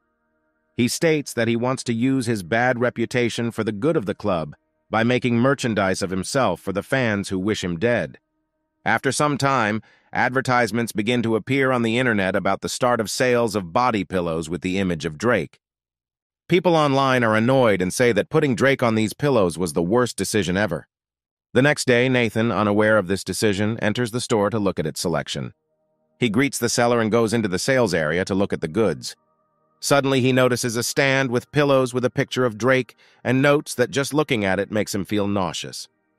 He also notices that the stand is empty and turns to the seller with a question about whether all the pillows were really sold out. The seller enthusiastically replies that in just two days after the start of sales, everything was sold out, even buying out everything that was in the warehouse, and Nathan thinks that everyone has been struck by some kind of brain infection. Taking a closer look, he notices a slogan hanging on a stand with pillows, provoking everyone to try to tear this pillow.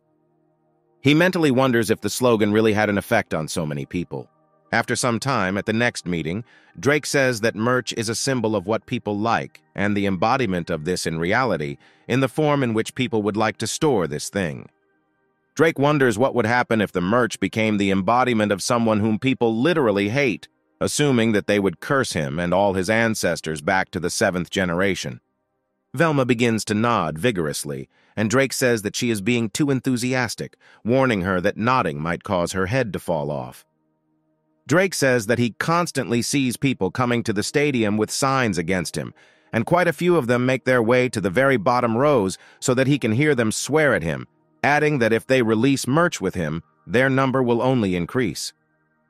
He also says that customers will be able to physically take out their anger at him on this very merch, so he wants to release a Little Drake Dakimakura.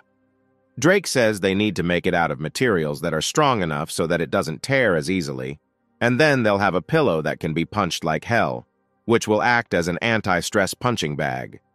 Drake offers advertising copy that recommends kicking the club director, embodied in the form of a little Drake pillow, adding that the more people who hate him, the higher merch sales will be. From Drake's point of view, since these pillows will not be stored but destroyed, they will be purchased again and again. Drake looks at Velma, saying that her face still shows uncertainty about his idea, suggesting that she start a TikTok challenge. The idea was warmly received, and Velma was the first to volunteer to participate.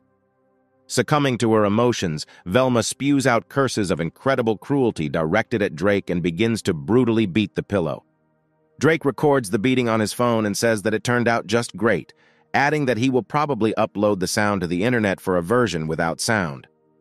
The challenge was a great success, and a huge number of fans took part in it, thereby causing a huge demand for Drake merch. Emma Charlotte, looking at a toy Drake, is approached in a store by her colleague and asks her if she wants to hit him hard. Emma asks in surprise whether this toy really makes her colleague want to beat her, to which she said that she, like her 92-year-old grandmother, just dreams about it. He fiercely squeezes the soft toy and says that as soon as he gets home, he will also take part in the challenge and kick him with all his heart. She asks Emma if she will participate in this challenge, to which she embarrassedly says that she has never even thought about such a thing. A colleague suggests that Emma take advantage of this opportunity while it lasts, to which Emma asks her if she really dislikes the owner that much. Emma examines Drake's toy and mentally admits to herself that in her opinion he is just a cutie. A few days later, the 32nd round of the league ends with a victory for Bolton, which was brought by a well-aimed shot from Owen. Owen put the ball into the goal right at the end of the second half, giving Drake a third win in a row. In total, after lasting six matches, Bolton jumped to 19th place in the league. The news publication Horwich Times writes that since taking over as manager, Drake has brought the team five wins, two draws, and three defeats. Drake says it's disappointing to see the rankings, adding that if they had continued their winning streak, they would have climbed much higher. He also notes with disappointment that after the team's results improved, sales of his merchandise fell sharply, and now what should have been destroyed is kept by fans as a talisman. He sits back and says that even despite his antics in interviews, his reputation is steadily growing, and then wonders why everyone in football is so focused on skill. He reflects that with only five points separating them from 21st place and the relegation zone, now is not the time to relax. He remembers that they had matches where Park Young and Owen had to be sidelined due to injuries, and the team's results suffered more than he expected, after which he realizes that there are only six rounds left, and with a busy schedule they do not have time for that to rest. He also reflects that Nathan is trying to strengthen the team and has found another person who, oddly enough, does not want to come to Bolton. Drake wonders how long this impudent man will continue to run from them, deciding that he himself will convince him to join the team if he continues to evade. He comes to the conclusion that if Nathan calls this player a diamond in the rough, then his insight can be trusted, which means he needs to attract the guy he chose by any means, but first he needs to focus on the upcoming match. After some time, Drake announces the end of the grueling training, giving his team a rest. One of the football players says that before after training he could barely get home, but now he has become much more resilient to which his friend says that he is also used to the stress, and now, even if he has to play the whole match, he will still have strength. They come to the conclusion that they now understand why the coach was so insistent on intense training, because now the whole team remains cheerful even at the end of the match. His friend says that this is all because they are still young, adding that it is still difficult for older players, to which he replies that some of the players here will soon be about 26 years old. They note that Park Young continues to practice and praise his determination before wondering if he ever gets tired. They say that letting him get within striking distance is simply unfair to the opponent because if his speed and determination are added, he will simply tear apart the EFL one. The footballer says that a special trainer came today, which cost a lot of money. They look at the coach and note that they don't recognize his face, wondering if he is a sports scientist. A few minutes later, the scene shifts to the Bolton Wanderers training center, while practicing judo, Pak falls with a swing on his back to the floor, emitting a muffled groan. The coach says that one more round is needed and Puck immediately sends him flying. He lies on the ground as Drake saunters over to him to watch the class progress. He asks Puck if he is practicing his falling technique, to which he calls out to him in surprise. He asks him if training such techniques is too much, to which he says that he improves an incredible number of things in such training. Drake says it will help him develop core strength to cope with pressure, as well as master the technique of falling safely to avoid injury, adding that he carefully prepared everything for him so that Park Young should not turn his nose up. With these words, he turns to the coach and asks him to spin Park Chan even harder than he is now. He reflects that skills must improve every day, and such rigorous training will only contribute to this. After some time, a press conference begins with the coach of the AC Gillingham team, which is the opponents of Bolton Wanderers in the next match, named Steve Bruin. The reporter says that under his leadership, Gillingham has soared from 20th to 13th position in the league, while Bolton, who recently also showed a rapid leap in the rankings, is fueling the interest of football fans in the upcoming match. He asks him if he is going to beat Bolton in the next round of the Football League. Steve Bruin says it's always down to chance, adding that it's hard to predict the outcome before a match starts. Steve says that Drake is an excellent coach who has developed good players from bench athletes in just 10 rounds, adding that he not only trains his players, but also pinpoints the weaknesses of his opponents and counters them with complex and thoughtful strategies that simply cannot be ignored. Nathan, listening to the broadcast, says that Steve is a caring coach who also respects Drake, to which his brother replies that Steve is just a regular bore who only pretends to respect him. He says that Steve is just trying to show off by pretending to be someone weak, adding that this game promises to be tiring. A few seconds later, Emma Charlotte enters the office, saying that preparations for the press conference are over. She tells Drake that she is ready to escort him to the mixed area where the press can interview him. As they walk down the hallway, Emma Charlotte asks Drake if he's going to hit up reporters with his merch sales today. She adds that lately they seem to be defending him, claiming that Drake simply lacks social skills, noting that this does not help sales at all, and then asks him to at least once go to an interview calmly and without any antics. She also adds that, unlike other coaches, Steve Bruin showed him respect, while Drake reflects that even his own mother did not scold him like that. However, he gives Emma credit, mentally thanking her for such concern, admitting that he listened to half of it. He remembers his life in Korea, realizing that now he has nothing to complain about. Lost in thought, he does not notice how they arrive at the right place, and Emma Charlotte shouts to him, saying that they have arrived. She says that she will not repeat it again, and asks him to follow the prepared plan for the upcoming interview. Drake looks at Emma good-naturedly and smiles maliciously, looking away. He tells her that he has understood everything, and now it is time for him to finally hear from her words that he has matured, adding that Emma cannot worry and just wait for him to return soon. Emma blushes a little, mentally ironizing that Drake imagines himself an adult for no reason at all. Drake reflects that Emma's words about the negative impact of his clown behavior on sales are absolutely fair, he decides to accept the rules of the game and sit quietly for once, after which he speaks at a press conference about how he also has mutual respect for Steve Bruin. He begins his speech by saying that Steve has been an outstanding coach from the very beginning. However, without holding out for even one minute, he declares that he has some doubts about him. Drake says he doubts his reputation as a Bruin will last after this match. The reporter asks Drake what he means, to which he replies that they will see everything after tomorrow's match. Emma Charlotte covers her face with her hand in disappointment, after raising her glasses to her forehead and starting to rub her eyes. Drake asks the reporters if Steve can continue to pretend to be tough after impressing him with his tactics, mentally admitting to himself that this image suits him better.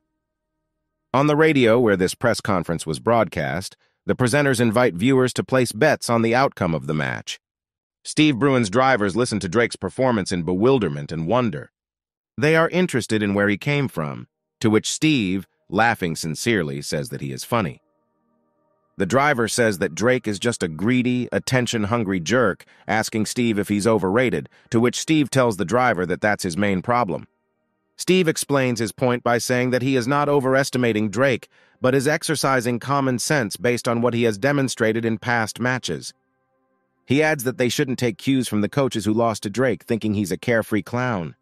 From Steve's point of view, Drake should not be underestimated, adding that Gillingham occupied the same position as Bolton before Steve took over as manager. Steve also says that Bolton was able to succeed only because of the inattention of their opponents, noting that until now all the teams they played with underestimated the coach and did not even think about studying his strategies. Bruin notes that they must have looked like easy prey in Drake's eyes, Steve confidently states that he would like to continue Gillingham's winning streak. He says that at least for this reason they should not treat their opponent with contempt, adding that self-confidence and arrogance are completely different things. He broods, noting that there will be no mistakes on his part, wondering if Drake will be able to snatch victory from them in this case.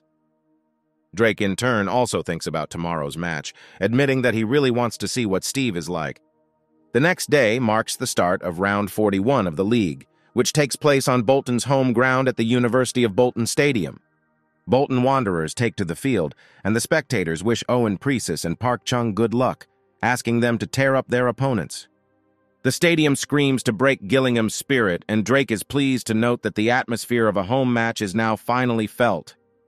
Steve watches the field, calmly analyzing what is happening around him. The commentator says that the match begins with a kickoff from the Bolton team. Owen prepares to receive the pass, and the commentator says that Owen is getting into the game very quickly today. However, Batista cuts Owen off and the announcer says Slow's pass was too carefree. Batista makes a long pass to his teammate, and the commentator notes that Batista is a defender with excellent skills. Drake watches Edgar Batista play and says that he has very outstanding skills. He notices that Edgar is pressing Owen non-stop and is paying a lot of attention to the game as a whole. He reflects that this situation is not a surprise, since Markmen have clung to Owen before, adding that in order to keep the sedentary Owen, one field player must be sacrificed, which is why most teams refuse such men-to-men when it comes to before a foul or free kick. However, Based on Drake's observations, Edgar Batista plays surprisingly cleanly, doesn't commit fouls and makes intelligent passes when given the chance, after which he notices that this guy is greatly hindering Owen from performing his role properly. Owen, guessing Drake's thoughts, admits to himself that he cannot allow the coach to continue to think so. With these words, he falls to the ground, giving a very cunning and unexpected pass to his ally. This maneuver is crowned with success, and the commentator replies that Owen manages to make such accurate passes even from such a difficult position, adding that he is simply speechless from such force of the blow. However, Puck is blocked, not allowing him to confidently accept the received pass. The commentator states that Downs is winning the hard-fought battle for leadership, seizing the initiative. Puck begins to pursue Downs, but he does not give in and also picks up speed. Puck tries to intercept the ball again, but Downs elbows him away every time. Puck falls to the ground trying to pull off a feint, but unfortunately misses, and the commentator notes that it was a very good try. Nathan says that Puck's skills haven't developed much, to which Drake says that you can learn something throughout your life. But if you have bow legs, it won't do much good, so you just have to make the most of every opportunity. Drake irritably notes that the damn Bruin didn't even allow Park Chung to warm up properly and began to block him as soon as he picked up speed. He begins to tremble with anger, wondering how yesterday's candidates for elimination managed to develop such an effective strategy against them, to which Nathan tells him that now is not the time to give up. Drake says that he has everything under control, adding that he has several strategies in his arsenal, after which he asks Nathan not to worry, thereby surprising him. Drake reflects that developing a strategy is like playing rock, paper, scissors, and no matter how many times you have won so far, if your opponent is faster, then defeat is inevitable. He adds that fortunately he has plenty of time to change strategies and can easily change them as the match progresses. Drake recalls that the opposition formation was 4-1-4-1 with a balanced midfield line. From his point of view, Batista is good at timing and always attacks and blocks Owen in time, as well as playing long passes along the first line and short passes between the two central midfielders, thereby taking over the field with a three-way play. The protagonist realizes that his provocation in the interview has clearly ignited the fire in the opponent, and they have carefully analyzed their past matches and prepared a suitable strategy against them. Drake calls them miserable idiots, admitting that their skills and potential are at a very decent level. The commentator reports that there are five minutes left in the first half, and Bolton Wanderers are making their first substitution, noting that Drake uses his substitution card quite early. The commentator says that Quick Floyd, who is a center who can dribble the ball for a long time with his fast feet, comes onto the field instead of Ezekiel, and then questions the decision to bring Floyd out right now. Another commentator says that adding a center right at the end of the half is a very dubious and unreliable idea. He also notes that the main problem for this solution is the struggle of the midfielders, but quickly interrupts his thought, amazed at what is happening on the football field. The commentator reports that Quick is not playing as a center back, but is moving towards the offensive line, adding that putting an athlete who is good at dribbling there was a very unusual strategy. Drake chuckles, saying that everyone forgot that Quick used to be a striker, and asks his opponents if they can block him now that he has awakened his superpower. Steve looks at what is happening, surprised that Drake brought the so-called false nine onto the field. He wonders why they added Quick when they already have one fake striker in Owen. Steve recalls that based on analytical data, Quick never crosses and is not very good in combination with Slow Bulky. He argues that to be more precise, Quick usually doesn't pass passes to anyone. Quick continues his attack by running towards the opposing defender. Instead of trying to make a pass, he makes a feint deceiving the opponent. The commentator states that Quick takes the lead, running towards the opponent's goal area. He delivers a powerful shot, but the ball hits the target and the commentator tries to understand what it was. Quick screams in rage, wondering why Drake brought him onto the field at a time when the team is unable to develop an attack. He concentrates and calms down, telling himself that he must meet the coach's expectations. After some time, Quick returns to the center of the field, and the commentator reports that if Bolton is unable to develop an attack, relying on Precis and Puck, then Quick was brought onto the field, capable of finding a way to attack through dribbling, noting that this decision is worthy of praise. Quick rushes forward, and the commentator praises his ability to dribble with both feet, noting Floyd's great talents.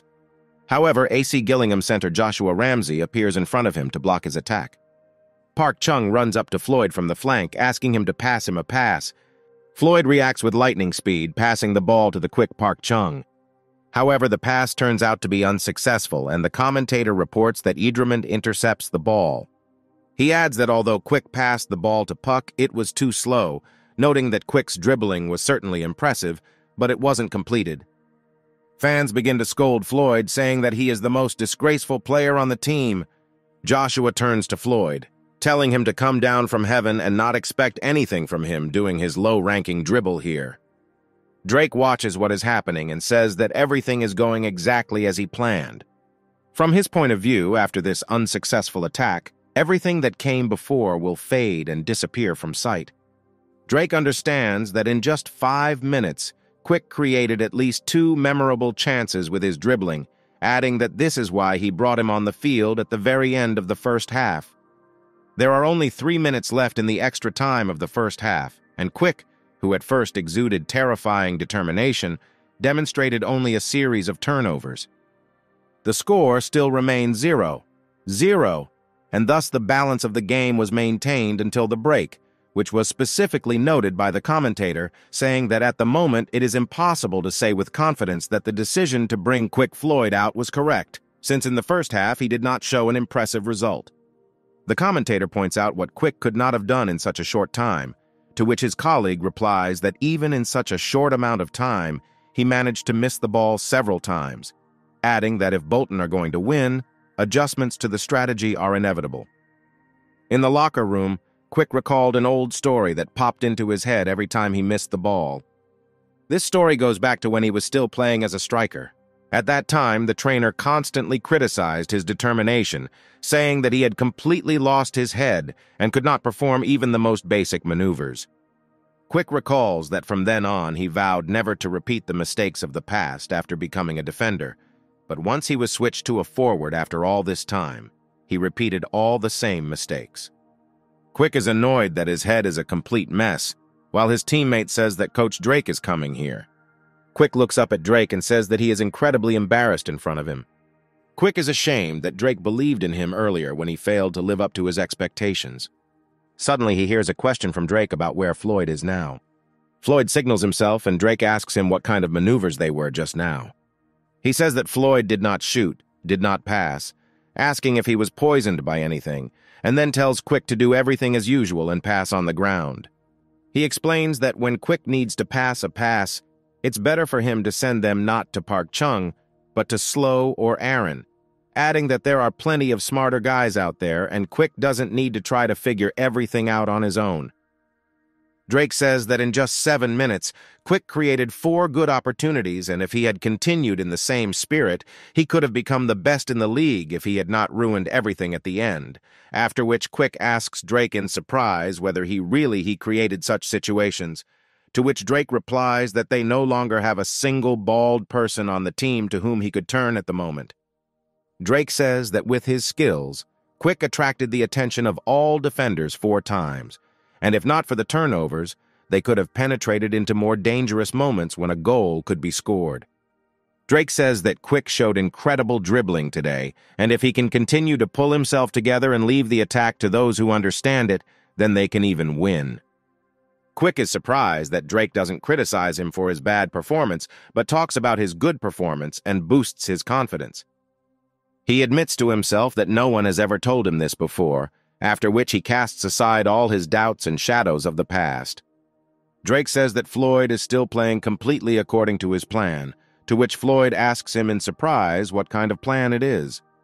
Drake asks Floyd why he thinks he brought him onto the field in the last five minutes of the half, without giving any explanation.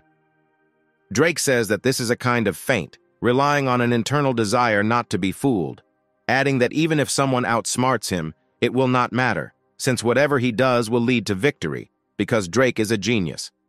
He says that Floyd hasn't figured it out yet, but the point is that he only needs to do what he can do, adding that no one expects him to score points, and feeling pressure even without any expectations placed on him is the last thing the business he should be doing. Drake asks Floyd to get rid of this useless feeling and show them the highest class, noting that being a striker does not mean trying to score a goal. The break ends and the teams return to the field, but Bolton Wanderers are accompanied by a chorus of dissatisfied voices from the stands. The fans are shouting at Floyd to play normally and not try to perform meaningless performances. Steve Bruin's assistant says the atmosphere in the Bolton team is as if they are fighting for an inheritance, adding that they don't look much like cautious and carefully prepared opponents. Steve reflects that Drake and his team really aren't anything special, contrary to his expectations. He argues that the essence of the attack against Bolton is from man-to-man, man-to-man marking for precise, and ends with zonal defending of fast forwards, but their teamwork and getting the most out of their individual skills is a big answer to their strategy. Steve also understands that Quick Floyd was not brought onto the field by chance, since he created several significant moments, after which he expresses confidence that Floyd, without knowing it, lost his vigilance while listening to Drake's instructions. Steve looks at Drake's pleased face and thinks that he feels a strange sense of defeat when he looks at that sickening smile. The commentator reports that the team quickly took a free kick, but Quick Floyd skillfully intercepted the ball, but it was immediately blocked from both sides. Drake grinningly asks Nathan if he knows why they are so attached to Quick, to which he suggests that the reason for this is that he attracted attention in the last half, although he screwed up at the end. Drake says that it was indeed a dangerous attack, and he was even worried that Floyd's thoughts would be fixated on a bad ending. Drake says that Bruin has very difficult guys, so he prepared in advance to meet them.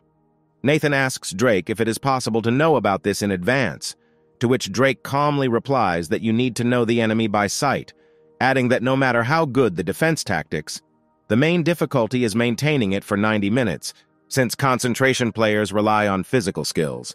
Drake continues his speech, saying that from the play of their opponents it is clear that they were practicing tactics to contain the attention of Owen and Park Chung. But suddenly their concentration is broken by the appearance of a guy who has not even spent 10 minutes on the field and received strategic instruction in just 15 minutes break. From Drake's point of view, the opponents were blinded by Quick's appearance and ended up making a mistake in blocking the two, noting that the guy named Ramsey was especially happy to keep stealing the ball from Floyd. Drake says Floyd needs to hold on a little longer and since Ramsey, Gillingham's defense, has started to falter. The ball hits Owen and he makes a powerful shot at the goal. However, Gillingham goalkeeper Ryan Moses taps the ball with his fingertips, and the commentator praises him for his skill. The commentator says that Bolton have never been so close to scoring as they are now, adding that Precis, who struggled with pressure throughout the first half, makes spectacular passes, never missing a single opportunity to continue Gillingham's pressure. Quick Floyd looks at Owen and notes that his punch was so strong that he almost shit himself. Ramsey reflects on his coach telling him to be extra careful with Floyd. He wonders if there's really any point in trying to stop him while leaving Precis alone, admitting to himself that he thinks the endgame strategy sucks since it's easier to not give them any passing opportunities at all. The commentator reports that due to the previous shot on goal, the pressure on Precis is again increasing. Nathan says that the enemy's attention is turned back to Owen, worrying that this calls into question their plan with Quick. Drake asks Nathan to stop looking at the tree and see the forest, asking him what happened to those who flocked to Owen. At the same moment, Quick Floyd runs up to Ewan Precis to help him. He shouts at him to pass him, preparing to receive the ball. Owen immediately passes the ball to Quick, and the commentator says that Quick is now moving freely to the second line without encountering resistance, which signals that Gillingham's defense is definitely losing a little bit. The commentator says that the defenders who stuck to Owen have returned to Quick again, and Drake says that now they themselves are confused about who they need to focus on. Drake says Gillingham's monolithic defense is unable to focus attention and has suffered multiple leaks. The commentator says that Quick Floyd is breaking through the defensive line again. Quick reflects that now the pressure on him has eased a little, and in the second half, for some reason, it increased, and it was difficult to get to the ball. Quick recalls Drake's words that he showed excellent dribbling today, and he should leave the attack to those who understand it better, noting that after the coach's words, he felt much easier. He notes that he has even begun to see movements from players that he had not noticed before, while the commentator states that Quick calmly makes his way to the top of the box as if on a walk. Steve mentally tells Floyd that he created many memorable moments in the first half, but now Ramsey is standing in front of him, and this is the end of his next attempt. The sudden change in the situation on the football field causes Steve to fall silent and stare at Floyd in shock. The commentator reports that Ramsey and Forsyth appear in front of Quick to block his attack, Floyd reflects that he will still have to look through them, adding that there is nothing to grab onto since they installed a protective block. Suddenly, he hears Steve shout, ordering them to stop fooling around and pay attention to Owen Precis, who is approaching them from behind. He orders them to quickly block him, but Quick manages to pass the ball to Owen so that he can continue to develop his attack. Owen thanks Quick for the excellent pass and continues to run forward with the ball. Quick tells himself that Gillingham's defense failed for only a moment in which he was able to successfully reach the box. He notes that this gave the slow Owen extra time to attack the opponent's goal. Drake recalls that Bolton Wanderers' first-team squad was largely made up of athletes who were unable to play on their own. He says that even if individually this team is pure chaos, when they come together they become the new Messi, Donald, and Neymar. Owen Precis, who has ranked first in average shots on goal over the last 10 matches, runs to within striking distance of the goal. Owen takes advantage of the opportunity and delivers a devastating blow, knocking the ball into the goal. After some time, a press conference begins for AC Gillingham coaches, where they are told that the match with Bolton ended with a score of 1-0. The reporter says that the loss ended their five-match winning streak and asks him if he feels bad about it. Steve Bruin honestly admits that, of course, it is unpleasant for him to lose in such a match. He says that they put a lot of effort into preparing for this match, and their athletes used all their skills and strictly followed the strategy. The reporter asks Steve what is the reason for their defeat, to which he replies that this answer is obvious to anyone who closely followed the match.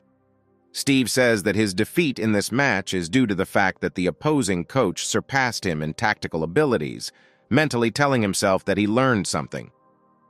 He tells himself that he will learn his lessons, and next time he will not be such an easy target. That evening, Drake sits down in his office and brews a pot of delicious ramen. Drake inhales the aroma of the noodles and calls Nathan a damn traitor. He picks up the noodles with chopsticks and says that they were going to drink and sing songs today, lamenting that Nathan dared to leave, saying that they were waiting for him at home. Drake pours himself a soju, saying that this is why marriage is complete nonsense, since a man is doomed to sit as if in a dark cage and not be able to even drink with a friend whenever he wants. However, Drake notes that there are positives to family life, saying that Nathan is probably having a great time with his wife and daughter, noting that he is a happy bastard. Drake decides to check out the league statistics and opens the league table on his tablet.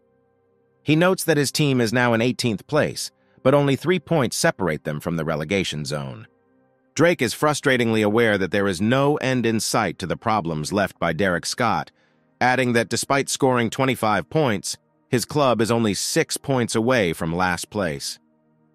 He becomes lost in thought, reasoning that there are only five matches left until the end of the league, noting that even one failure would mean the road to hell for him. He remembers his last match and what happened in it around the 41st minute. The commentator says that one of the Bolton team athletes fell and the referee stopped the game. He says that the fallen player is Park Young-ah, noting that he can't seem to get up. The commentator says that they see a signal that he cannot go to the bench and the medical team enters the field. Drake reflects that he did a great job of training Park to be a real star, admitting that even he himself then thought that something terrible had happened on the field, although it turned out that it was just two microfractures. He also understands that all his players are very exhausted due to the peculiarity of their current composition, which is covering the inactive Owen with other athletes, which requires increased expenditure of energy. From Drake's point of view, the less force, the greater the likelihood of injury. He irritably notes that even alcohol does not get down his throat and decides to continue working. He spends some time searching, after which he finds the person he needs, starting to study his profile. The main character says that now it's finally time to meet the guy Nathan was talking about. The footballer Nathan recommended to pay attention to turns out to be a young athlete named Aidan Sensuos Roof, born in Wigan County, Manchester. He spent his youth playing for Wigan Football Club and was one of their up-and-coming players. However, a little more than 10 years have passed since then.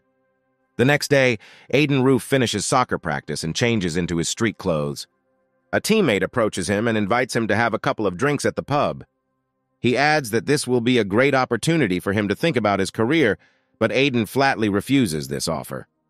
He indifferently replies that he has a lot to do, and tomorrow he will need to go to work to which his friend replies with sad understanding. His partner keeps trying and offers him a drink on the weekend, but Aidan leaves silently, thinking that this guy is extremely lucky. He remembers that now he belongs to an unremarkable team from the 8th League. Aidan barely makes ends meet, juggling football and a factory job, earning a measly 39 pounds a week. Funding for teams in such a league is initially low, and after today's defeat the team was completely disbanded. Aidan arrives at his home, opening the entrance door. He tells his girlfriend that he's back when he notices an unexpected guest in his kitchen. He stares at Drake in surprise, asking his lover who this man is. His girlfriend says that this man introduced himself as the owner of the Bolton Wanderers football team, and Drake politely greets Aidan. He hands Aidan his business card, smiling widely. Aidan looks at the business card while Drake remembers that according to Nathan's report, Aidan has been wearing an electric bracelet for almost a year. Drake also recalls that the reason was an incident during which Aidan beat up a guy who was bullying his friend with a disability. However, then, Aidan did not calculate the force and his blows were so strong that they left the bully himself disabled. After this incident, Roof was expelled from the youth team, since a player under house arrest cannot participate in away matches or attend night games and a team like Wigan, which is full of players, had no reason to keep him in the squad. Drake reflects that other clubs would be unlikely to want to take on a guy with such a troubled past, and finding a new team must have cost him a lot of effort. Drake says that he has found out a little about Aidan, and adds that his basic skills are quite unusual, suggesting that this may be due to a year off from his youth and training on his own. Drake says he particularly noticed the unpredictability of his line break movements and his catchy, perfectly timed shot, noting that it was very impressive. Drake also says that the way he calmly stays in the box is worthy of a major league player, mentally noting that when compared to Park Chung, the latter is decisively inferior to Aidan. Drake thinks about the prospects for tactical opportunities if he signs a contract with Aidan. He admits that his mouth is watering at how promising this player can be. Aidan tells Drake that he is incredibly grateful for the appreciation of his abilities, but adds that there is one thing. Aidan says that he will not transfer to Bolton under any conditions, adding that if Drake studied his file well, he should have known about it. Drake doesn't appreciate such pretentious speeches and makes a displeased face. Drake says that he is interested in this just in case, and asks Aidan whether the root cause of the feud between Wigan and Bolton, to which Aidan says that he heard that the owner has changed, which means Drake may not be aware of all the nuances.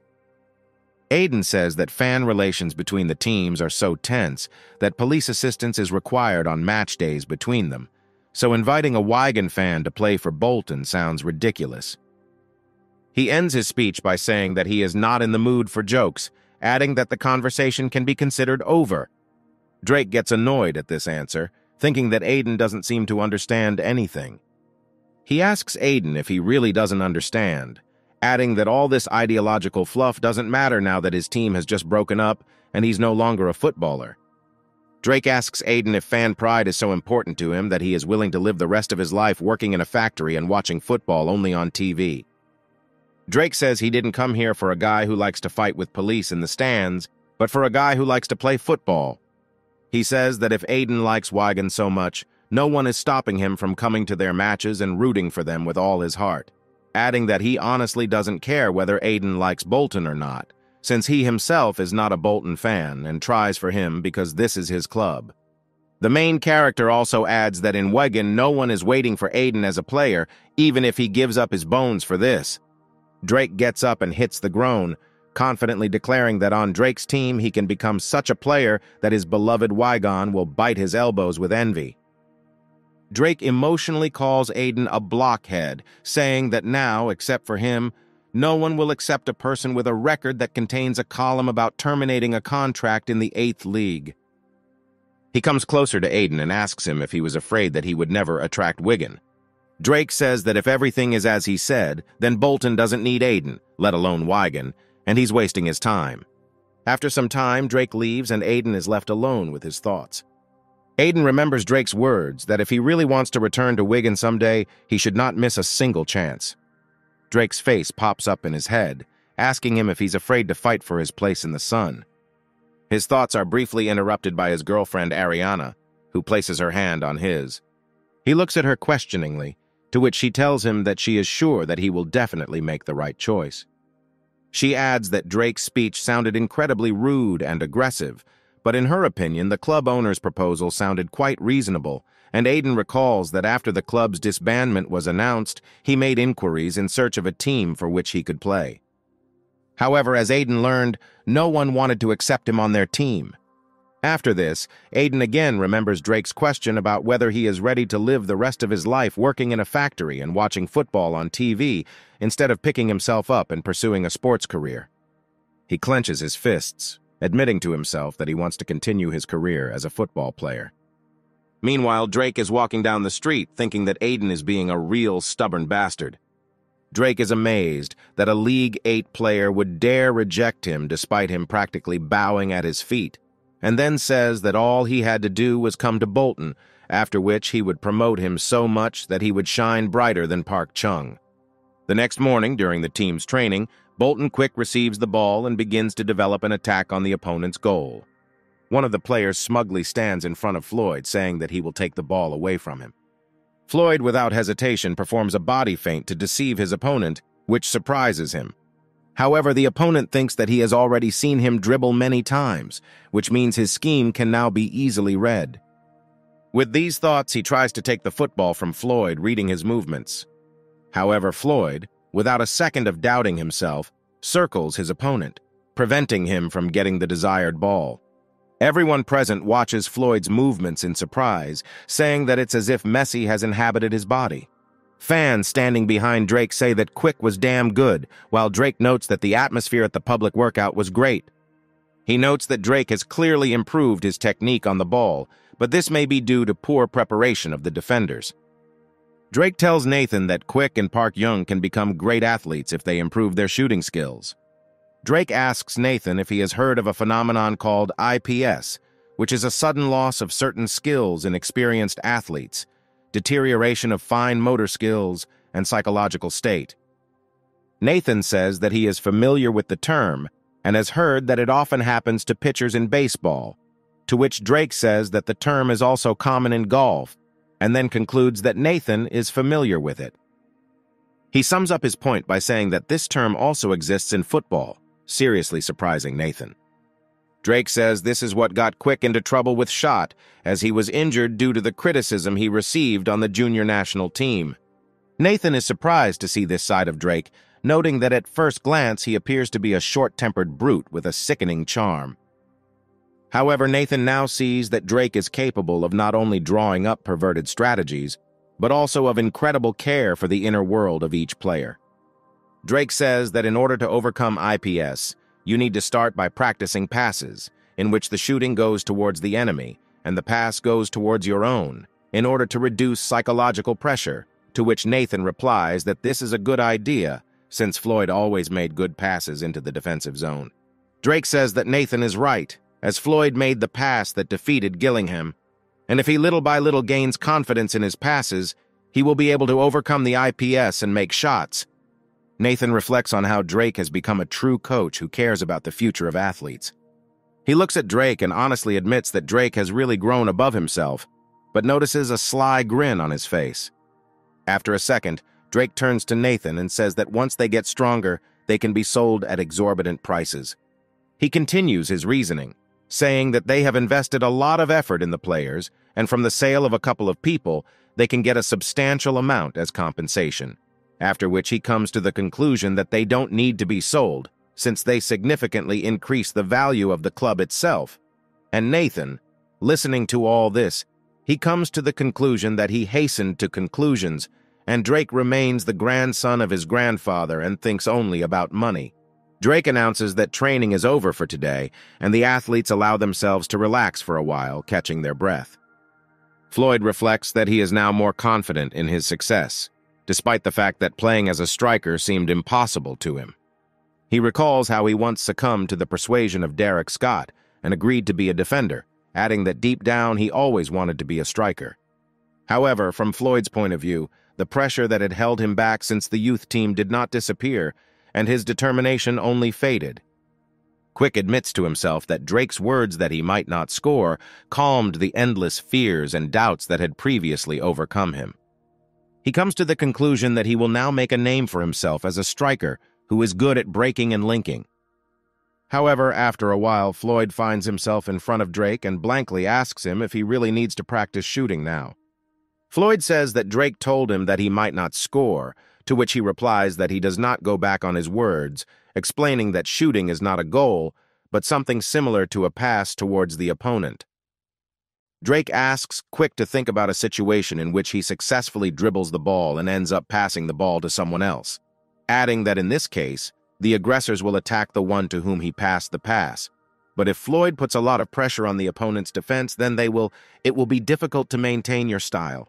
Drake explains his point by telling Floyd that the point is not to try to score goals, but to simply put more effort into the ball, then adds that if he has a question about goals, then let him aim at people.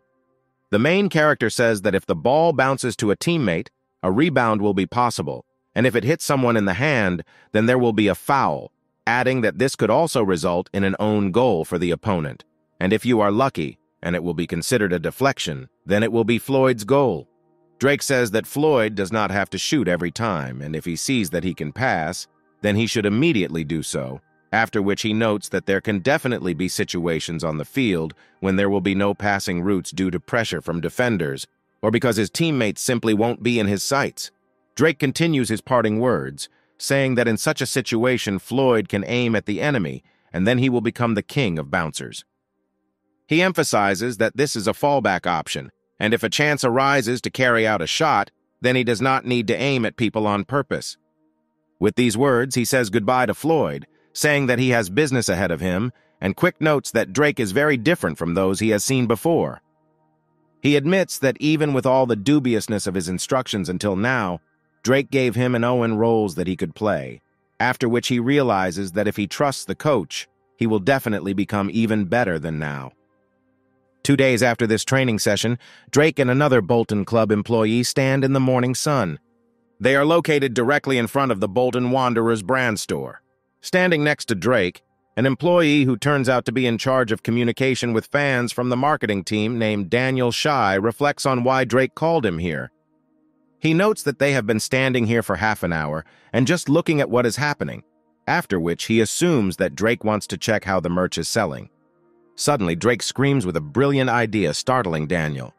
He points to a small child asking his father to enter the lottery and asks him how he feels, to which he replies that he has many younger brothers and sisters and only feels PTSD. Drake excitedly tells Daniel that they need to start planning a huge project. He says the project will be called Bolton Wanderers Young Worker, adding that they will be expanding the scope of the workers' work to include children. Daniel asks Drake if there is a need to ask the children to participate in this experiment, adding that although they are having trouble finding workers, the children are unlikely to be of much help to them. But Drake says that Daniel should listen to him before make comments. He says he doesn't need child labor and just wants to raise them into loyal Bolton Wanderers fans. He points again to the capricious child and says that he is impressed by the ardor of this little boy, who stubbornly resists the grown man, trying to play one more time. Drake encourages Daniel to tell this budding bully the history of their club. He adds that they will instill in him a sense of belonging to the team, and while he is still small and pliable, they will be able to mold him into a Wanderers with a strong character. Drake shows a couple of tickets, saying that he has prepared a nice gift to lure children. He says that he will give away tickets to the match to those who take part in this, and Daniel says that now he understands his motives, after which he asks if they will suffer losses if they give out free tickets. Drake asks Daniel if he really thinks the kids will come to the match alone. Drake says that they will go with adults for whom it will no longer be free, adding that the ticket is just a bait for children. After some time, Daniel invites the children who were lured in this way, asking them to follow him. He opens the doors of the museum and turns on the lights, and a whole bunch of exhibits and cups appear in front of the kids. The children's eyes immediately light up with delight, and they begin to explore the room. Daniel says that this is where they keep the uniform of the 1905 06 Player of the Year, Alfred Stafford, before pointing to the boots worn by the 1955 to 56 Player of the Year, Nathan Loftus. After this, Daniel presents the club's trophies, saying that in the 1909 to 1910 and 77, 78 seasons they won the second division, and in 96, 97 the first division. He adds that each of the leagues is now a second division league on par with the EFL. Daniel tells the children that they have 10 minutes to look around, but if they touch anything, they will receive a 50-point penalty, after which the children happily run around the hall. The children, with a fascinated look, examine everything in the hall, sticking to the glass. Daniel takes photographs of the children, remembering Drake's order that the children be sure to have memorable photographs. From Drake's point of view, in this case, the children will definitely want to show their parents what they did and what they saw, and then the parents, of course, will be happy and agree to take a look. And then they will hear that the photographs are hanging at Bolton Stadium. Drake expands on his idea by saying that once they think they have to go there to see a photo of their child, they will be hooked, and if they don't then buy their child a ticket to the game, they will become bad parents. After some time, photographs of children appear on the board with photographs of young employees and children with their parents gather around it. Daniel says that Drake used children as bait, admitting that it is the craziest thing he has ever seen. He pins another photo on the board, noting that the decision has nevertheless borne fruit. Also, after some time, the children are having fun in Drake's tent, located in his office. They ask Drake why there is a large tent in his office, to which he replies that he eats, strategizes, and sleeps in it. The child asks Drake if he can sleep in it, to which Drake politely replies that the tent is narrow enough and he is so tall that the child would not fit in it even if he wanted to. The child says that in this case, he will be able to sleep sitting up, to which Drake says that if he sleeps like this, he will not grow up, so it would be better for him to bring his own tent and sleep in it. The child says that it sounds very exciting, to which Nathan reflects that children amuse him a lot. Nathan points out that children can want whatever they want, but they can never become like him. After some time, the 42nd round of the league begins, in which the Bolton Wanderers team compete against Lincoln Austrian at the University of Bolton Stadium. The child asks the adult how many tickets they need, to which the adult asks him in surprise why he helps sell tickets. He smiles brightly at the child asking him to sell him two tickets at once. Nathan says there's a lot of people watching today, asking Drake if his project with the kids really made it all happen. He adds that Drake is definitely the best of the best when it comes to sucking money out of people, to which he says that it is too early to admire him, and this is just the initial profit. Drake says these kids will grow up to be loyal wanderers thanks to today, adding that if they successfully lay the foundations for nurturing such fandom, the club's value will increase significantly. Drake reflects that these long-term prospects are not his goal. He understands that after his participation in EFL 1 is confirmed, the number of spectators will increase and he will be able to sell the club at an exorbitant price. Meanwhile, the silhouette of a tall man appears among the crowd of spectators. The man turns out to be Aiden Roof, who mingles with the crowd and goes into the stands to watch the match. After some time in the game, the commentator reports that the ball is lost, and a Lincoln player named David Brown has a chance to attack. He passes the ball to Maurice to continue the development of the attack on the opponent's goal. However, they lose the ball, and the commentator reports that Dominic Saldo takes the ball back with exquisite precision. The commentator notes that Maurice and Brown have scored 20 goals together this season, but today they were unable to break through as Bolton defenders stopped all their attacks.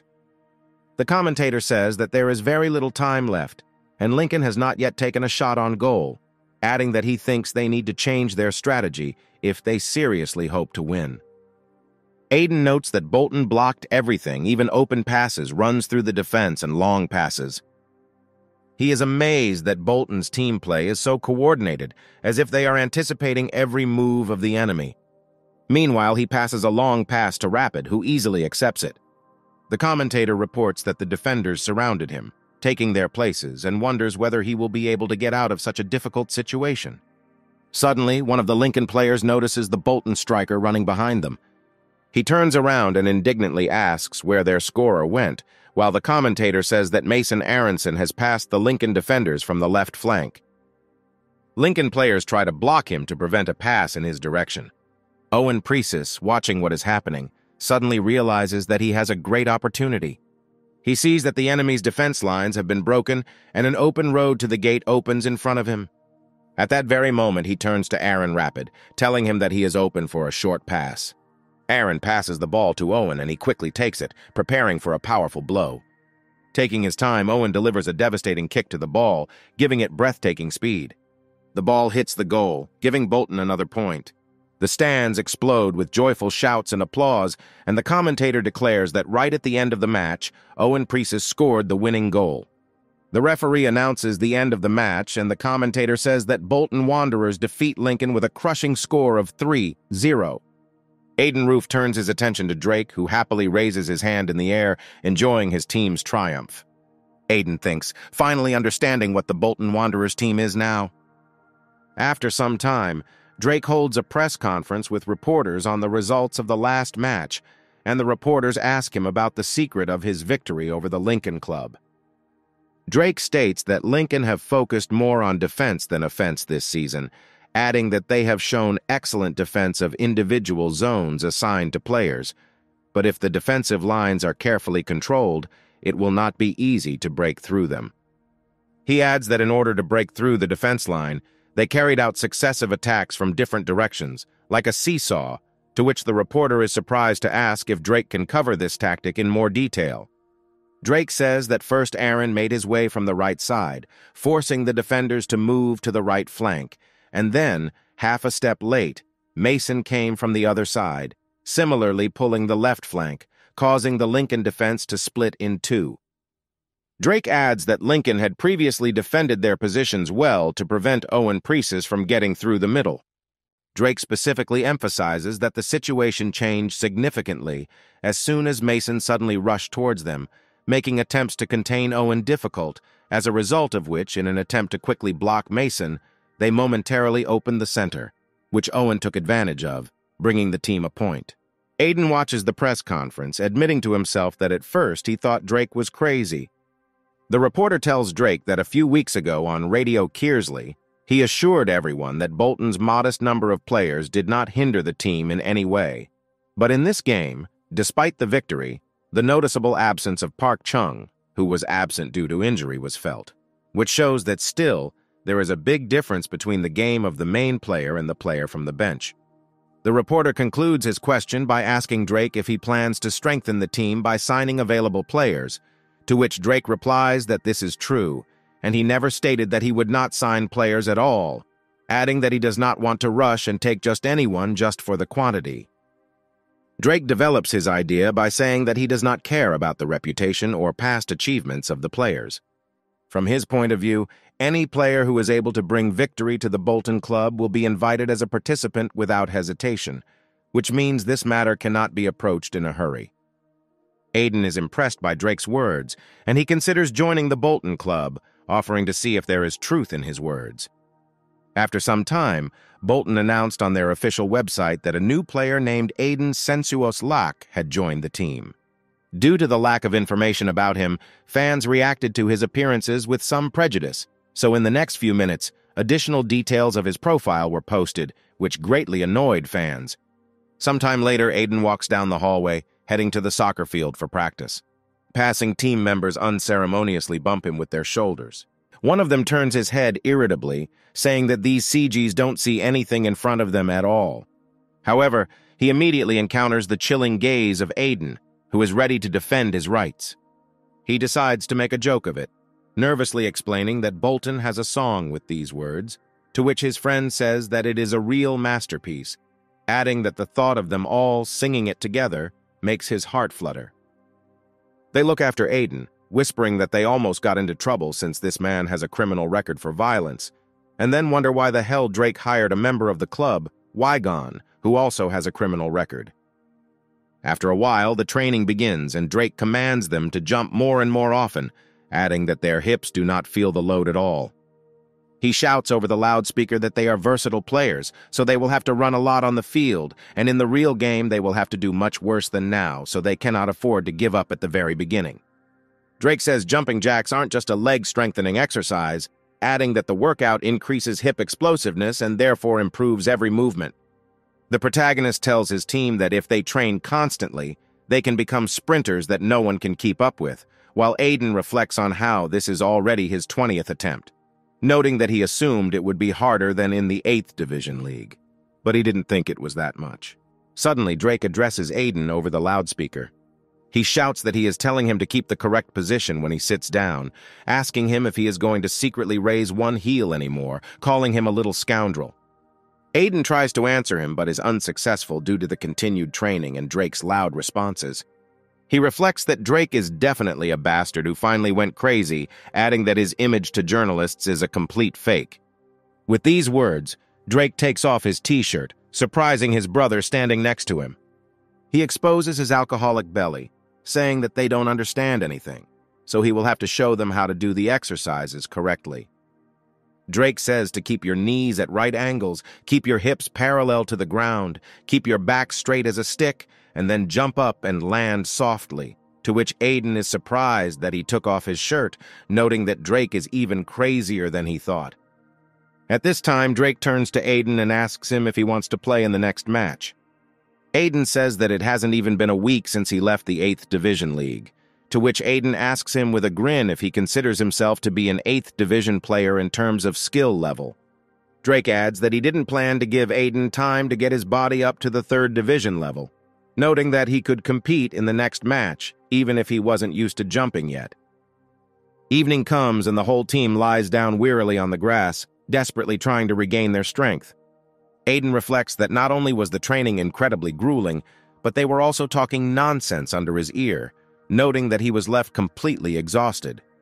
One of the players approaches him and mockingly asks if he was really put on the same team with a guy who doesn't even know the basics. He expresses the hope that Aiden forced himself to hold out until the end of the exercise not because he believed this joke about the next match, adding that even though the chairman is crazy, it will be too much even for him. Suddenly, Quick Floyd turns around and looks ahead in surprise. He sees that Park Chung has returned to the team and happily greets him.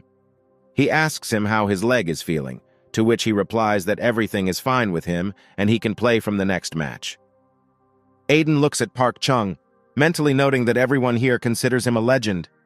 He recalls that the player initially came under fire for his promotion to the communications team.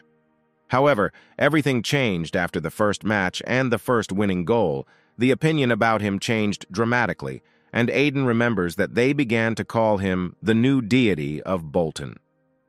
He turns his head to the side, noticing some gossip between the players. He recognizes one of the players as a 19-year-old striker named Slow Bulky, who, despite his age, copes well with the role of wild card, excellent control of the ball in the air, after which he turns his gaze to Aaron Larid standing next to him, who is a left winger, and has gained fame for his game in the semifinals. Aiden questions why he wants to field him even though he has such outstanding players, adding that he wasted his energy on jumping. One of the football players approaches Aiden, saying that the offender's name is Victor Jones, who always bullies new players. He says that if you listen to him, you get the impression that he cares most about the team, adding that they should not pay attention to his words, since he himself sits on the bench, after which Aiden recognizes this player team captain named Dignity. Dignity tells Aiden that he is right, adding that he would like to talk about their next opponents, to which Aiden replies that he knows about them. Dignity says that it is precisely because of this that Aiden is unlikely to be taken to the battlefield unless Drake completely goes crazy. Aiden realizes that Bolton's next opponent will be Wigan Football Club and is lost in thought. Aiden comes into the showers thinking that he accepted Drake's offer to come to Bolton, train here and wear a Bolton uniform. But this does not change the fact that this does not make him a true Wanderers. He understands that he has lived as an Asiji for more than 20 years, and this is almost his entire life. And after that, he cannot so easily rebuild and change his feelings. He leaves the shower with heavy thoughts that this decision was not easy for him, and he is even more pressured by the fact that his first opponent here will be Wigan. Aiden argues that Drake is not a fool and understands this perfectly well, which means that if he really wants Bolton to win, then he will not allow him to play on the field. He passes the news board, realizing that if he returns to Wigan, it will not be until he has significantly improved his skills. Seeing the writing on the news board, he drops his bag and looks at it in shock. He sees himself included in the first team squad for the upcoming match against Wigan. Aiden tries to understand what motivated Drake, noting that this is an absolutely crazy and illogical act. He recalls that Wigan and Bolton fiercely compete with each other, but if judged only by points, then Bolton is not their competitor at all, since Wigan is now in third place in the top EFL 1 and is a fairly strong team. Aiden points out that he had only been on the team for four days, so putting him against such a strong team was a mistake. Meanwhile, Drake holds a meeting with Richard Gears about tactics for the upcoming match. Drake says the majority of their profits come from viewership. Richard asks Drake if he deliberately put Aiden in the lineup to cause a stir among the fans, to which Drake replies that this is indeed true, adding that it was all for profit. Drake says it's Bolton versus Wigan, so they should exploit this mutual animosity between them, he suggests recalling the derby between the two Manchester teams, thanks to which their matches always become the subject of heated discussions, and not only for fans of these teams, but for all football fans in general. Drake says that they will also organize a small derby, similar to the Manchester one. He continues his thought by saying that they should add fuel to the war between Bolton and Wigan by releasing Aiden as a Bolton player, adding that they could also watch their own fan play against Wigan. Richard Gears thinks about this plan, falling silent for a moment. He says that the fans always react strongly to matches between them, adding that they have not yet had a player from Wigan, adding that it may indeed increase ticket sales. But more importantly, Aiden's abilities are still not up to the level of EFL 1. Richard adds that they can put him on the field if Drake is willing to turn a blind eye to these factors. Richard says that Drake, besides profit, must have another reason to put him on the team. Drake says that this is exactly what was expected of the manager, adding that Richard knows him even better than Nathan, with whom he has lived side by side for 20 years. He states that Richard is absolutely right, and he will be able to see this second reason personally during the match. After some time, the day of the match comes, which takes place at the stadium of the Wigan Football Club called Yggdrasil Arena. One of the Bolton fans decides to start celebrating early and greedily drinks from a can of beer. In a drunken stupor, he stands up and shouts for Bolton to beat Wigan, who are pathetic weaklings. His neighbor from the opposite team of fans says that the Bolton fan is just as crazy and backward as his team. A drunken Bolton fan looks at his neighbor, asking him if he has lost his head from impudence. The Wigan fan stands up and delivers a quick and brutal punch to the face of the man harassing him. The victim is picked up by another Bolton fan and tells his comrades that they should take these vile effigies and not sit idly by. Nathan watches the fans fight and tells Drake that they urgently need to do something about it. However, turning to Drake, he watches how his brother passionately supports the fans of his team. Nathan says that this is all because of his interview yesterday, asking him why he said this nonsense and put them in this position, to which he responds that Nathan only does what he finds fault with his decisions, the day before the match, Drake said that Wigan are a strong team, so they do not expect the match against them to be easy. Drake added that Aiden Sensuous Roof will take to the field tomorrow, but not as an Asiji, but as one of the Wanderers. He adds that everyone can criticize him as much as they want for being Esigi, but after he scores a goal against Wigan tomorrow, all this hatred will be replaced by endless joy. From Drake's point of view, Putting Aiden in the squad will inevitably distract the Wigan players while Bolton remain ready. Back in the present, Drake asks Nathan if he's heard anything about the show, adding that everyone came just for it. Drake adds that this situation will only happen in the stadium, emphasizing that a huge number of spectators will watch the live broadcast, which means they cannot be disappointed. However, at the same second, a compressed soda can flies into the back of his head. One of the fans shouts to Drake that if Bolton loses today, he will send him to his forefathers, to which he replies that he will most likely send him to a short address. He urges him down, clenching his fists as Nathan tries to hold him down while Wigan's trainer, Percival Gardner, looks on haughtily. He stares at Drake, surprised that he was able to gain his master's approval, adding that he would never acknowledge him. He muses that he will personally prove to Coach Steve that Drake was unworthy of his praise. From Percival Gardner's point of view, Drake is only disgracing all coaches with his behavior. After some time, the commentator announces the start of the 43rd round of the league, during which the teams Wigan and Bolton Wanderers will compete in a duel, after which he immediately notes that Deckard rushes deep into the enemy's formation from the very beginning, demonstrating his serious attitude. He weaves past several Bolton defenders, passing to his teammate Strong. Drake reflects that Raheem Strong is a very scary guy who sits top on points in EFL 1. The commentator soon notices that Quick Floyd is quickly blocking him, and despite the significant difference in strength, they maintain excellent balance. Floyd manages to outwit Raheem Strong, and with his pressure, he returns the ball to his team, passing it to Dignity to the delight of the commentator. Without hesitating for a second, Dignity decides to pass the ball to Park Chung, delivering a confident kick. The commentator admires such a skillful long pass, while Percival Gardner mentally notes that everything is going as he predicted. From his point of view, this is a typical pass used by a weak team that fights with a strong one, since the risk of losing the ball is minimal, and there is an excellent chance that this will turn into a successful development of the attack. However, this time this trick does not work, and a Wigan team defender rushes towards Park Chung. He jumps into the air, hitting the ball with his head, to which the commentator states that Verba has no problem parrying Bolton's attack. Percival gloats that Bolton probably didn't see this coming, adding that they will always defend their right to be in EFL 1.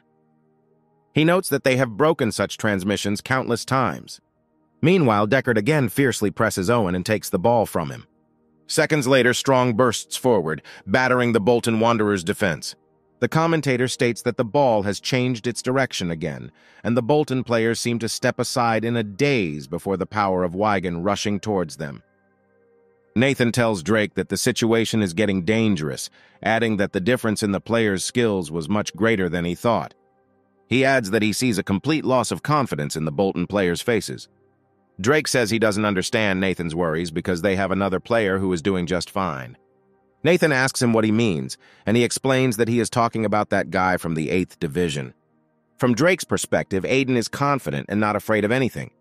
Drake proudly states that Aiden doesn't care that this is a strong team, just like he didn't care that he played for them in the past. Aiden, meanwhile, muses that he has no idea what Drake was thinking, adding that he'll play along if that's what he wants.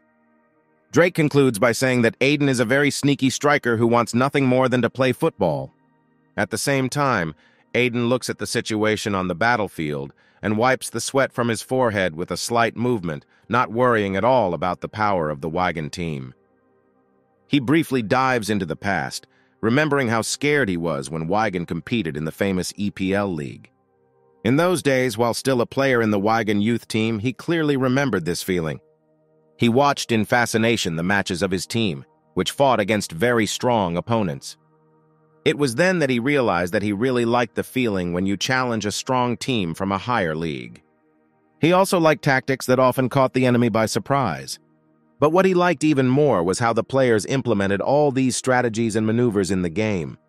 Aiden admits to himself that in his mind back then, Wigan was invincible, and even many years later he was always afraid to fight his desired opponent.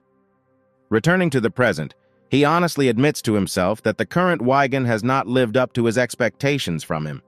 Will Deckard receives the ball and the commentator reports that he is rushing straight towards the opponent's goal. Will remembers that the coach was worried before this match and admits to himself that he himself thought that there was a reason for this. But in his opinion, Bolton turned out to be a simple low-grade team. Lost in the victorious thoughts that if he passes to Strong, then the point will be in their pocket he loses sight of Aiden approaching him. Will, without having time to react, immediately loses the ball, not noticing Aiden, rushing like a hurricane across the football field. Aiden continues to develop the direction of attack, facing Wigan defenders named Sergei Verba. He looks arrogantly at Aiden and wonders if he really decided to try to dribble him, after which he decides to answer the challenge and test his opponent's worth. However, Aiden decides to use a little trick and feints his body, stopping abruptly in place. Sergei falls into a stupor from such a strange movement and stares at Aiden with incomprehension.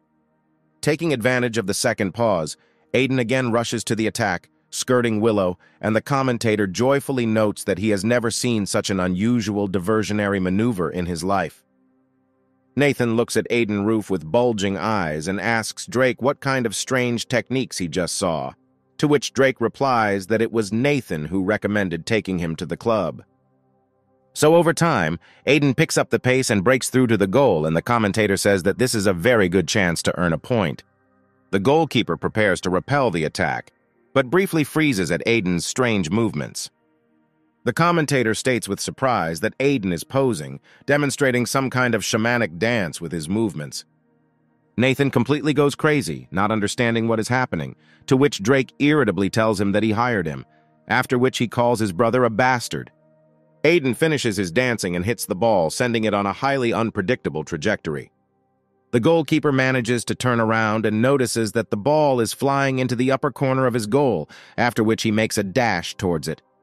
Wigan goalkeeper Samuel Jackson catches the ball, and the commentator reports that no one could believe that he would miss even such a difficult shot. Percival looks at Aiden, who is upset about his failure. However, he does not share his pessimism, starting to nervously bite the fingers of his palm. He looks on excitedly at Aiden's antics and wonders what the hell he just saw. He rubs his eye and mentally admits that this blow was very good, despite a hundred unsuccessful ones. He wonders why Aiden is behaving so obscenely, suggesting that by doing this, he wants to show that all people from the Wigan youth teams behave this way. He angrily wonders why everyone still considers Drake a strategic genius if he decided such a player deserved to be on his team. He remembers the same pre-match press conference where Drake announced Aiden's participation in his team. At the time, he called the performance sheer stupidity, but Steve Bruin warned him not to underestimate it. Steve then said that although Drake grinds out whatever comes into his head, in fact, he is an outstanding genius who uses extremely unpredictable tactics that can easily prove effective if Percival is careless. Percival hesitantly asked Steve if he thought Drake was a more talented trainer than him. Steve thought for a moment, not daring to give an answer to this provocative question. Having gathered his resolve, he says that it is difficult for him to admit this, but everything goes to the fact that he is more talented than even himself. He remembers that Steve suggested that he look at the results of the match, to which Percival, concentrating on the current game, says that the result of this game is a foregone conclusion, and there will be nothing to look at. He looks at Drake with contempt and states that he is definitely a more talented trainer than Drake. Drake, meanwhile, comes to his senses and reflects that Aiden's maneuvers could benefit them. Meanwhile, the commentator announces that the first half of the match ended with a score of 0 0. During halftime, Drake comes into the locker room saying that the whole team did a really good job. He adds that despite the lag in the number of shots and the percentage of ball possession, the result speaks for itself, adding that Wigan were unable to earn a single point. Drake says they can finally move on to the next strategy, after a while, Park Chung-ah lets out a loud cry, filled with pain and despair. The commentator says that only 20 minutes have passed since the second half began, adding that Bolton seemed to have decided that the Yggdrasil Arena is a place for camping, since in those 20 minutes they have already fallen to the ground six times. He continues his tirade, saying that it seems to him that Bolton did not come to fight, but to stall for time so that the ball would in no way hit their goal. The Wigan striker shouts at the pack, calling him a bastard and telling him to get up and not be a fool, to which he dramatically shouts that all opponents are bandits. Percival says he can't believe what he's seeing, wondering if Bolton thinks he can win like this. He calms down and says that even if Bolton get a draw, their position in the table will not be lower, but for Wigan this match is extremely important because if they draw, they will no longer be able to reach second place this season. He assumes that this is the reason for this behavior and again becomes irritated, saying that Drake's pride exceeds all limits. Suddenly, he remembers the words of his mentor that he would remember one very important thing. Steve said that Drake's advantage is not only that he has a good understanding of players and builds unpredictable tactics. From Steve's point of view, the reason he is so wary of him is somewhat different. Steve was convinced that Drake would do anything to win the match. At this moment, Drake glances at Percival and he notices that he is full of enthusiasm and cunning. The scene moves a few days before the match to Bolton's training ground. At that time, Owen, exhausted from grueling training, asks to simply finish him off and end his suffering. Aiden, sitting on the grass and watching his entire team feign serious injuries, wonders what the point of this training is. Suddenly, his bewilderment is interrupted by Drake, quietly approaching him closer. He asks Aiden if he is going to do this drill properly to have a chance to take the field. Aiden tries to repeat the exercise, and Drake says that he has absolutely no faith in his acting, adding that if he takes it so lightly, then they won't get that far. With these words, he sits on Victor Jones and asks him to remember, to which Aiden shouts that now he should actually be in pain. Drake says that King Victor can't be hurt, so Aiden shouldn't devalue his acting skills like that, adding that he's now hurting a follower of Derek Scott himself, which is an unforgivable offense. Drake says that Aiden still doesn't understand all the intricacies of the craft, adding that now Sergeant Park will seem like a masterclass to him, Drake says that now we need to perform simulation number 17 called Aggressive Stopping the Striker. Park Chung begins to pretend and Aiden notes his outstanding skills. Puck crashes to the ground and Aiden admits that it looks incredibly realistic, as if all this is really happening. He looks at Park Chung, who is crumpled in agony, and seriously wonders whether he was really hurt. Park continues his performance, making pitiful cries of imaginary agony. Aiden looks at the next take of this drill and reflects that he is so impressed that it is as if he is seeing the player who injured him. Aiden says that with such skills he can even fool VR, to which Drake says that this is the highest level of skill. Drake proudly states that this all happened thanks to his special training, mentally noting that after it his skills could not help but improve. He then says that Park Young is good at more than just that, adding that his ability to judge distance and get the ball right where Owen can shoot from is incredible. Drake states that all of these, of course, are tricks and cannot be called real football, but in the confrontation with Aiden's former team, he will have to use all options and put his pride far away. Drake states that all this acting is not for the purpose of winning a draw, adding that he is going to defeat Wigan. Aiden muses that they're not here for fun, adding that he can clearly see that even with this kind of acting, Wigan will beat them. Aiden looks at Park Chung and says that if they are really going to beat Wigan, they have to give it their all. The judge, meanwhile, talks to Dignity, saying that this is no longer serious, demanding that he do something, adding that if this continues, he will have to add 15 minutes to the total game time. Suddenly, their conversation is interrupted by Aiden, who runs towards Park Chung lying on the ground with a dramatic scream. He despairingly asks Park Chung if he can breathe and how he feels, surprising his teammate. He sheds a stingy, manly tear, saying that Park Chung gave him a promise to make it to the EPL. He says that Park Chung should hold on and remember his mother, who is waiting for him at home, and the members of Team Whedon get into the drama of the situation, also shedding a few tears.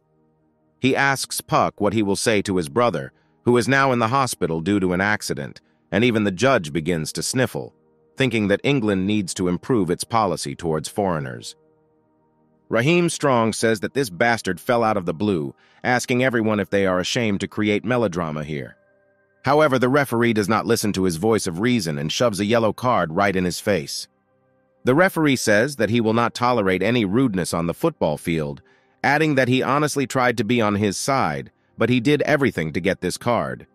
The judge recommends that Raheem put it in his name and not show off. The commentator states that Bolton have been given another chance for a penalty, adding that the player is preparing to take the shot alone. He adds that the goal is 40 yards away, but Wigan are not complacent and have built a strong defensive wall, adding that Bolton Wanderers' play has become increasingly threatening of late, as if they are trying to intimidate their opponents. Percival shouts to his team, telling them not to wander back and forth and to do everything at their pace, calmly and confidently defending the goal, after which he reflects on how the tactic of pretending on the field is a typical choice of a weak team playing against a strong one, adding that they, of course, expected this course of action and worked out special countermeasures. He reflects that, after all, his honor and the opportunity to gain the recognition of teacher Gardner are at stake, noting that this is why he carefully developed tactics for playing not only against Owen and Park Chung, but also against the rest of the players. Percival comes to the conclusion that they only need to remove two variables to win. After this, he yells at Raheem Strong to respond to their pretense as they discussed. Drake at the same time realizes that they have achieved the destruction of the mental state of their opponents due to a game that is devoid of common sense. Little by little, all of Raheem's thoughts focused on only one man, who came out as a flanker after the break and deceived everyone with his inimitable play. He stands behind Puck and watches him closely, asking him if he is going to fall again, adding that he is now right under the VR. Meanwhile, Owen Precis concentrates on the upcoming penalty, gathering his will into a fist. With concentration and proper aim, he delivers a crushing blow to the ball, sending it far towards the goal. The goalkeeper watching the ball frantically tries to understand whether this is a deceptive maneuver or a tricky pass.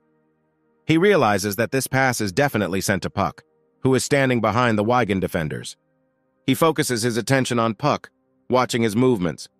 He notices that the Wigan team's defenders are completely blocking him, which means he can only take the ball. However, another Bolton striker intervenes and decides to take matters into his own hands. Drake notes that the final step of their strategy is to find a chance to break through the defense of the ever-vigilant Raheem Strong. Taking advantage of Raheem's mistake, Aiden slips through them, continuing to gain enormous speed. Raheem looks back in amazement and notices the satisfied face of Pak, who had anticipated such a maneuver in advance. Percival is horrified by the danger of the situation and shouts at Raheem not to count the crows and catch the impudent Aiden. Raheem rushes after Aiden trying to grab onto his shirt with his hand. However, Aiden easily escapes his grip and rushes towards the enemy goal. Strong can only look after Aiden in shock, not understanding how he was fooled. Drake notes that Raheem Strong's focus on defense helped them disguise their movements, which became a huge screen for the enemy. Meanwhile, Aiden breaks ahead, realizing that his finest hour has come.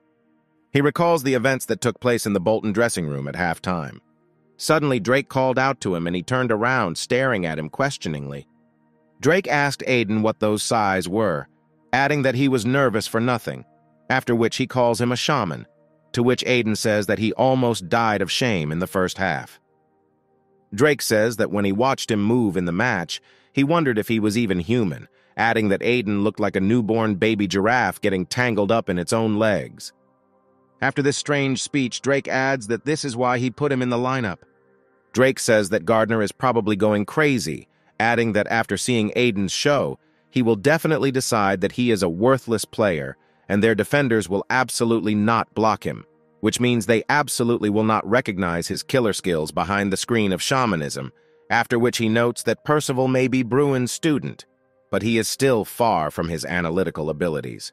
Drake tells Aiden that he will definitely get his chance in the second half, and when that happens, Percival Gardner will pay dearly for counting him out.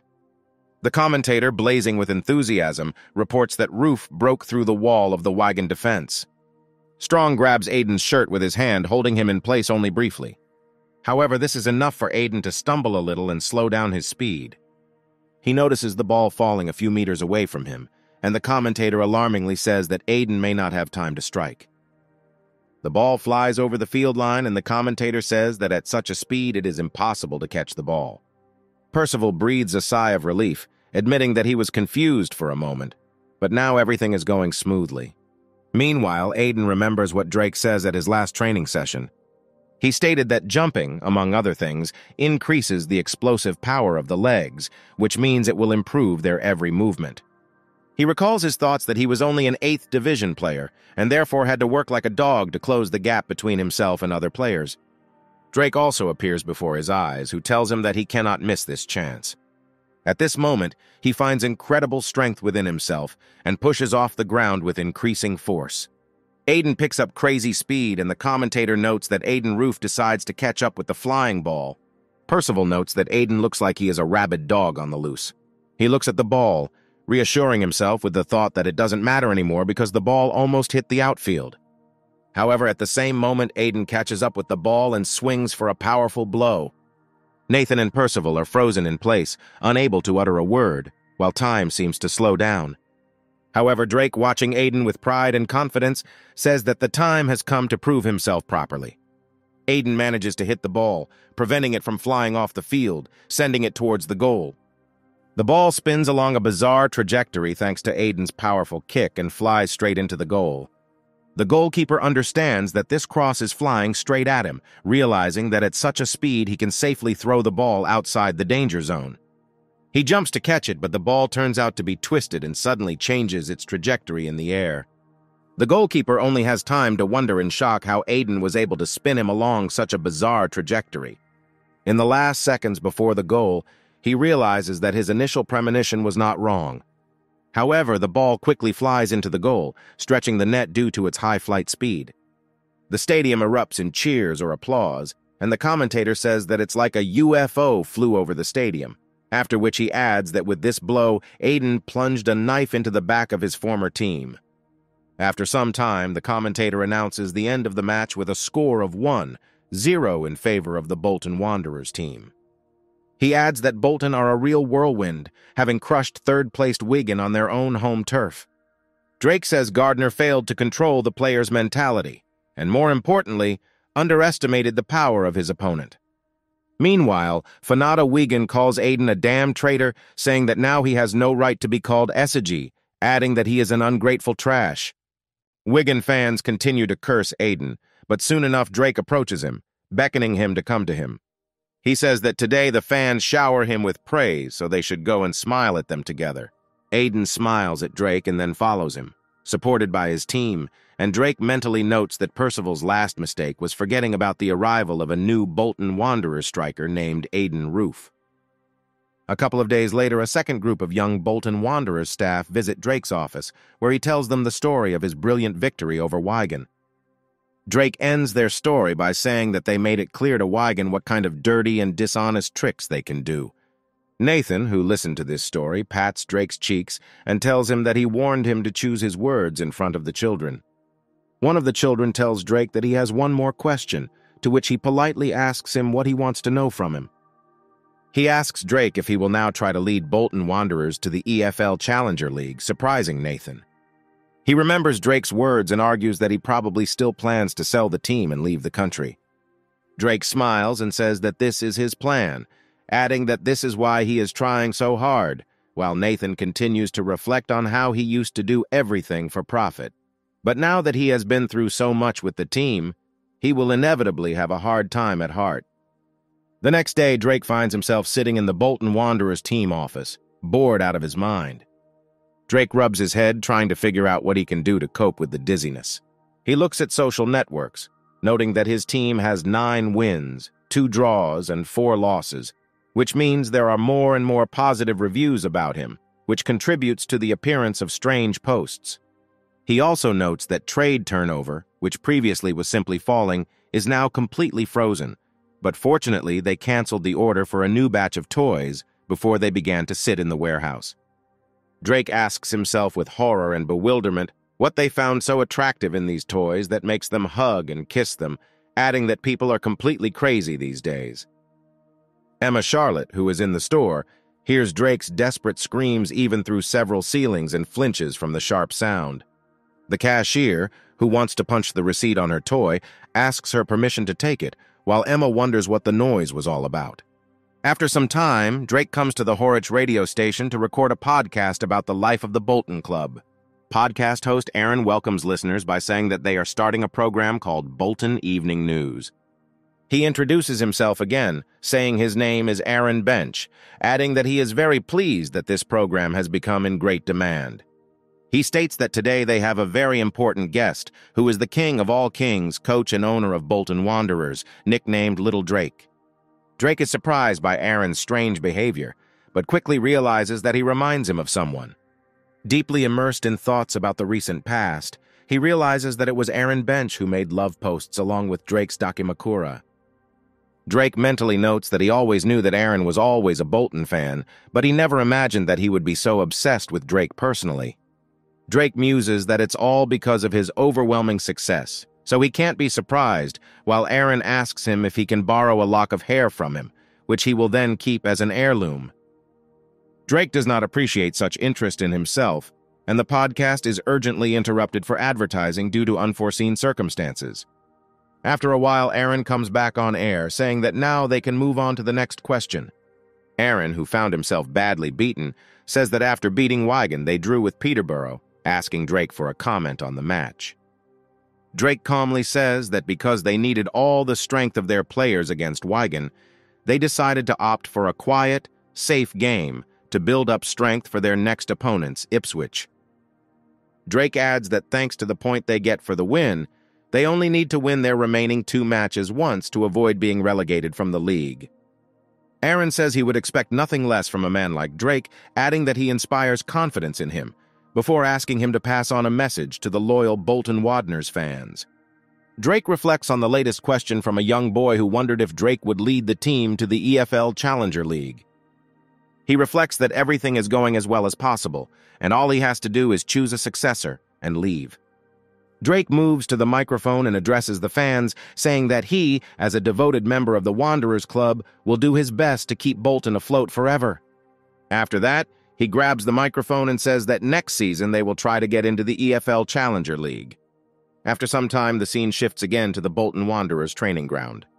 Nathan says that after the warm-up, they will begin endurance training, but suddenly he is distracted by a strange sight.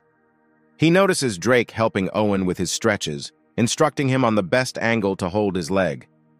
Drake sincerely and politely tells Owen that he is a very valuable player for their team, adding that when he strengthens his thigh muscles, he can become an even stronger player. He tells Owen that he will help him, suggesting that they work together to improve their skills. Nathan mentally notes that he never thought Drake would be capable of such speeches, adding that he has matured a lot. He turns back and remembers that today reporters will come to shoot a documentary.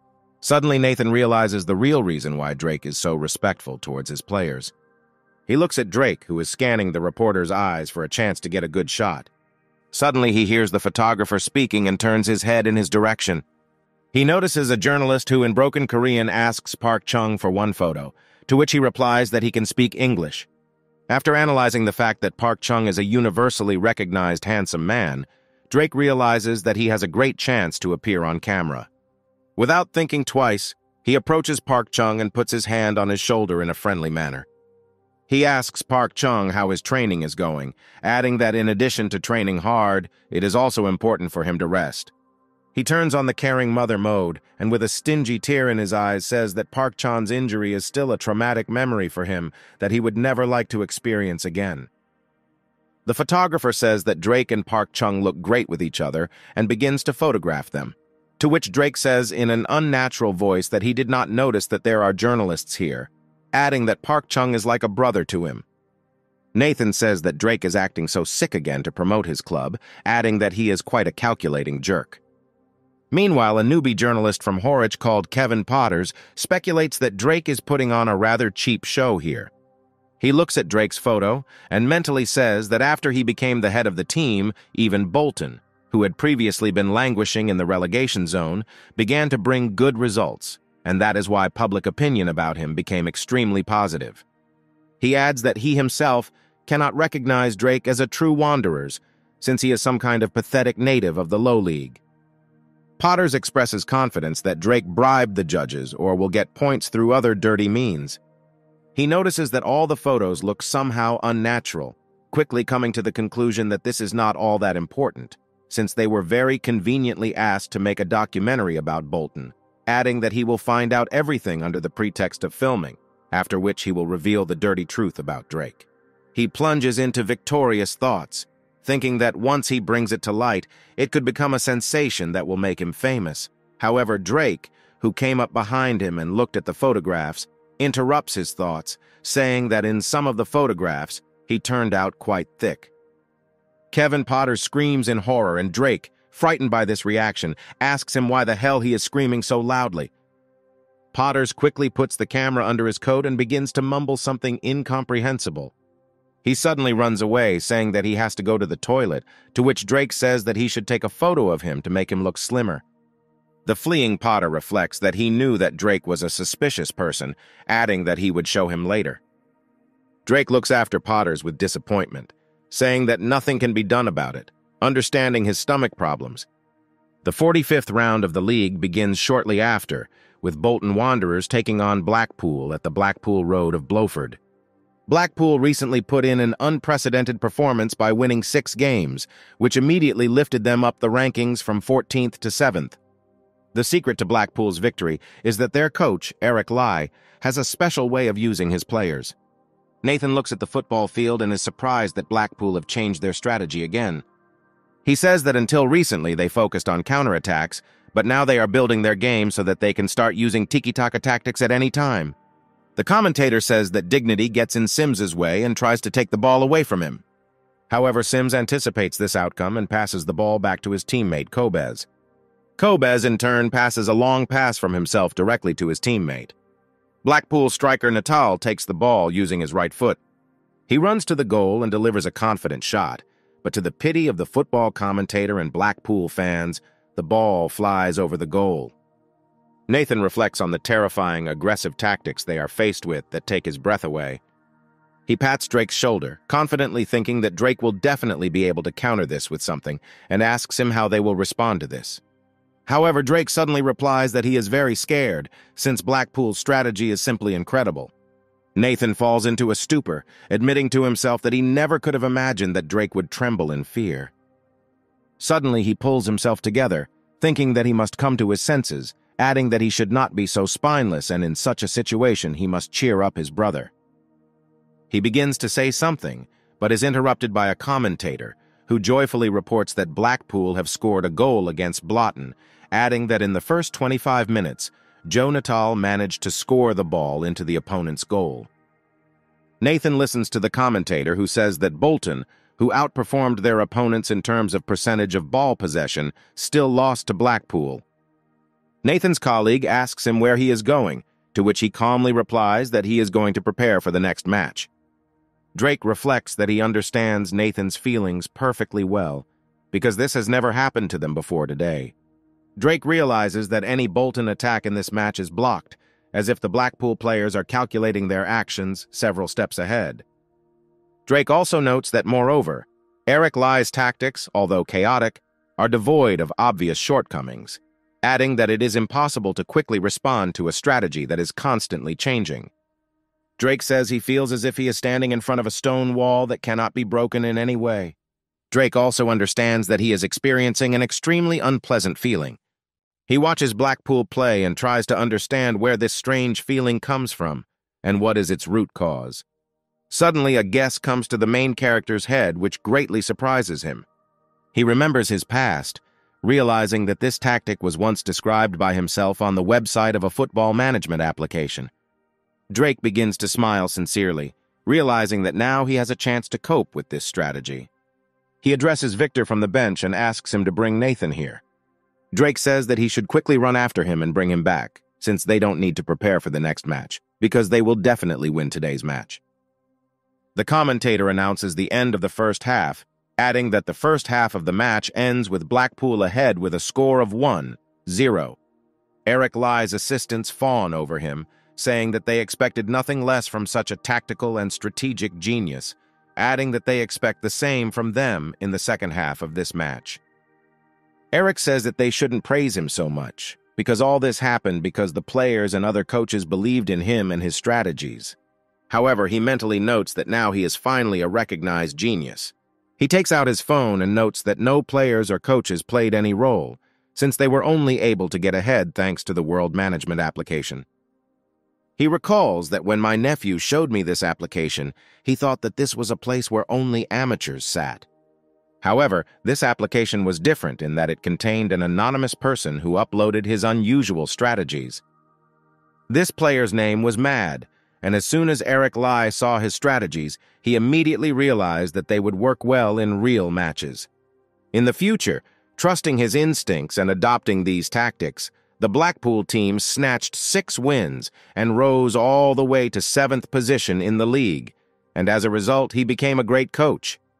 Eric realizes they now only have a couple of games left to play, and if they win bottom, they will go through to the playoffs, and if things continue like this, he will become a star coach in the EFL. He understands that they will definitely beat the Boltonians, who are barely crawling across the field using the strategies of the mad user. However, suddenly his victorious thoughts are interrupted by the joyful cry of the commentator, who reports that Bolton Wanderers is scoring a goal against the enemy. The commentator says that in just the first five minutes of the second half, Aiden Roof suddenly scored a beautiful goal. The commentator says that Bolton have leveled the score and now the game is in their hands, while Eric wonders in surprise how the invincible Mad's tactics could have failed. He turns towards Drake to see what kind of man is standing in front of him. Looking up, he sees Drake looking at him disdainfully, saying that he is trash that there is no point in looking at anymore. Nathan says that he believed in Drake, adding that he was confident that Drake could bring them victory. Afterwards, Nathan, tied up and wearing a sign apologizing for doubting Drake, asks to untie him, adding that he has been good from the start. Drake says that Nathan still hasn't come to his senses and orders Victor to tie a rag over his mouth. However, after some time, Drake forgives Nathan and ties him up, after which he asks him how he was able to win. Drake says that Eric used strategies that he uploaded to the internet while he was a user named Mad, adding that all of his strategies were authored by Drake who of course knows how to get around them. He adds that all the strategies he downloaded were not at the EFL 1 level of the 3rd Division, but tactics for EPL teams of the 1st Division. From Drake's point of view, if Eric wanted to use these strategies, then he had to remake them according to the abilities of his players, because if a titmouse follows a stork, it will simply break its wings. Eric reflects that he has no reason to doubt, since he apparently made a mistake somewhere, and that is why the MAD strategy did not work. He rereads the strategy again, hoping to find a detail he missed. He approaches his assistant in fascination, informing him that they should try the gegenpressing strategy, to which he fearfully replies that all his commands will be carried out. From Eric's point of view, if it works, they can take the game back into their own hands and save the day.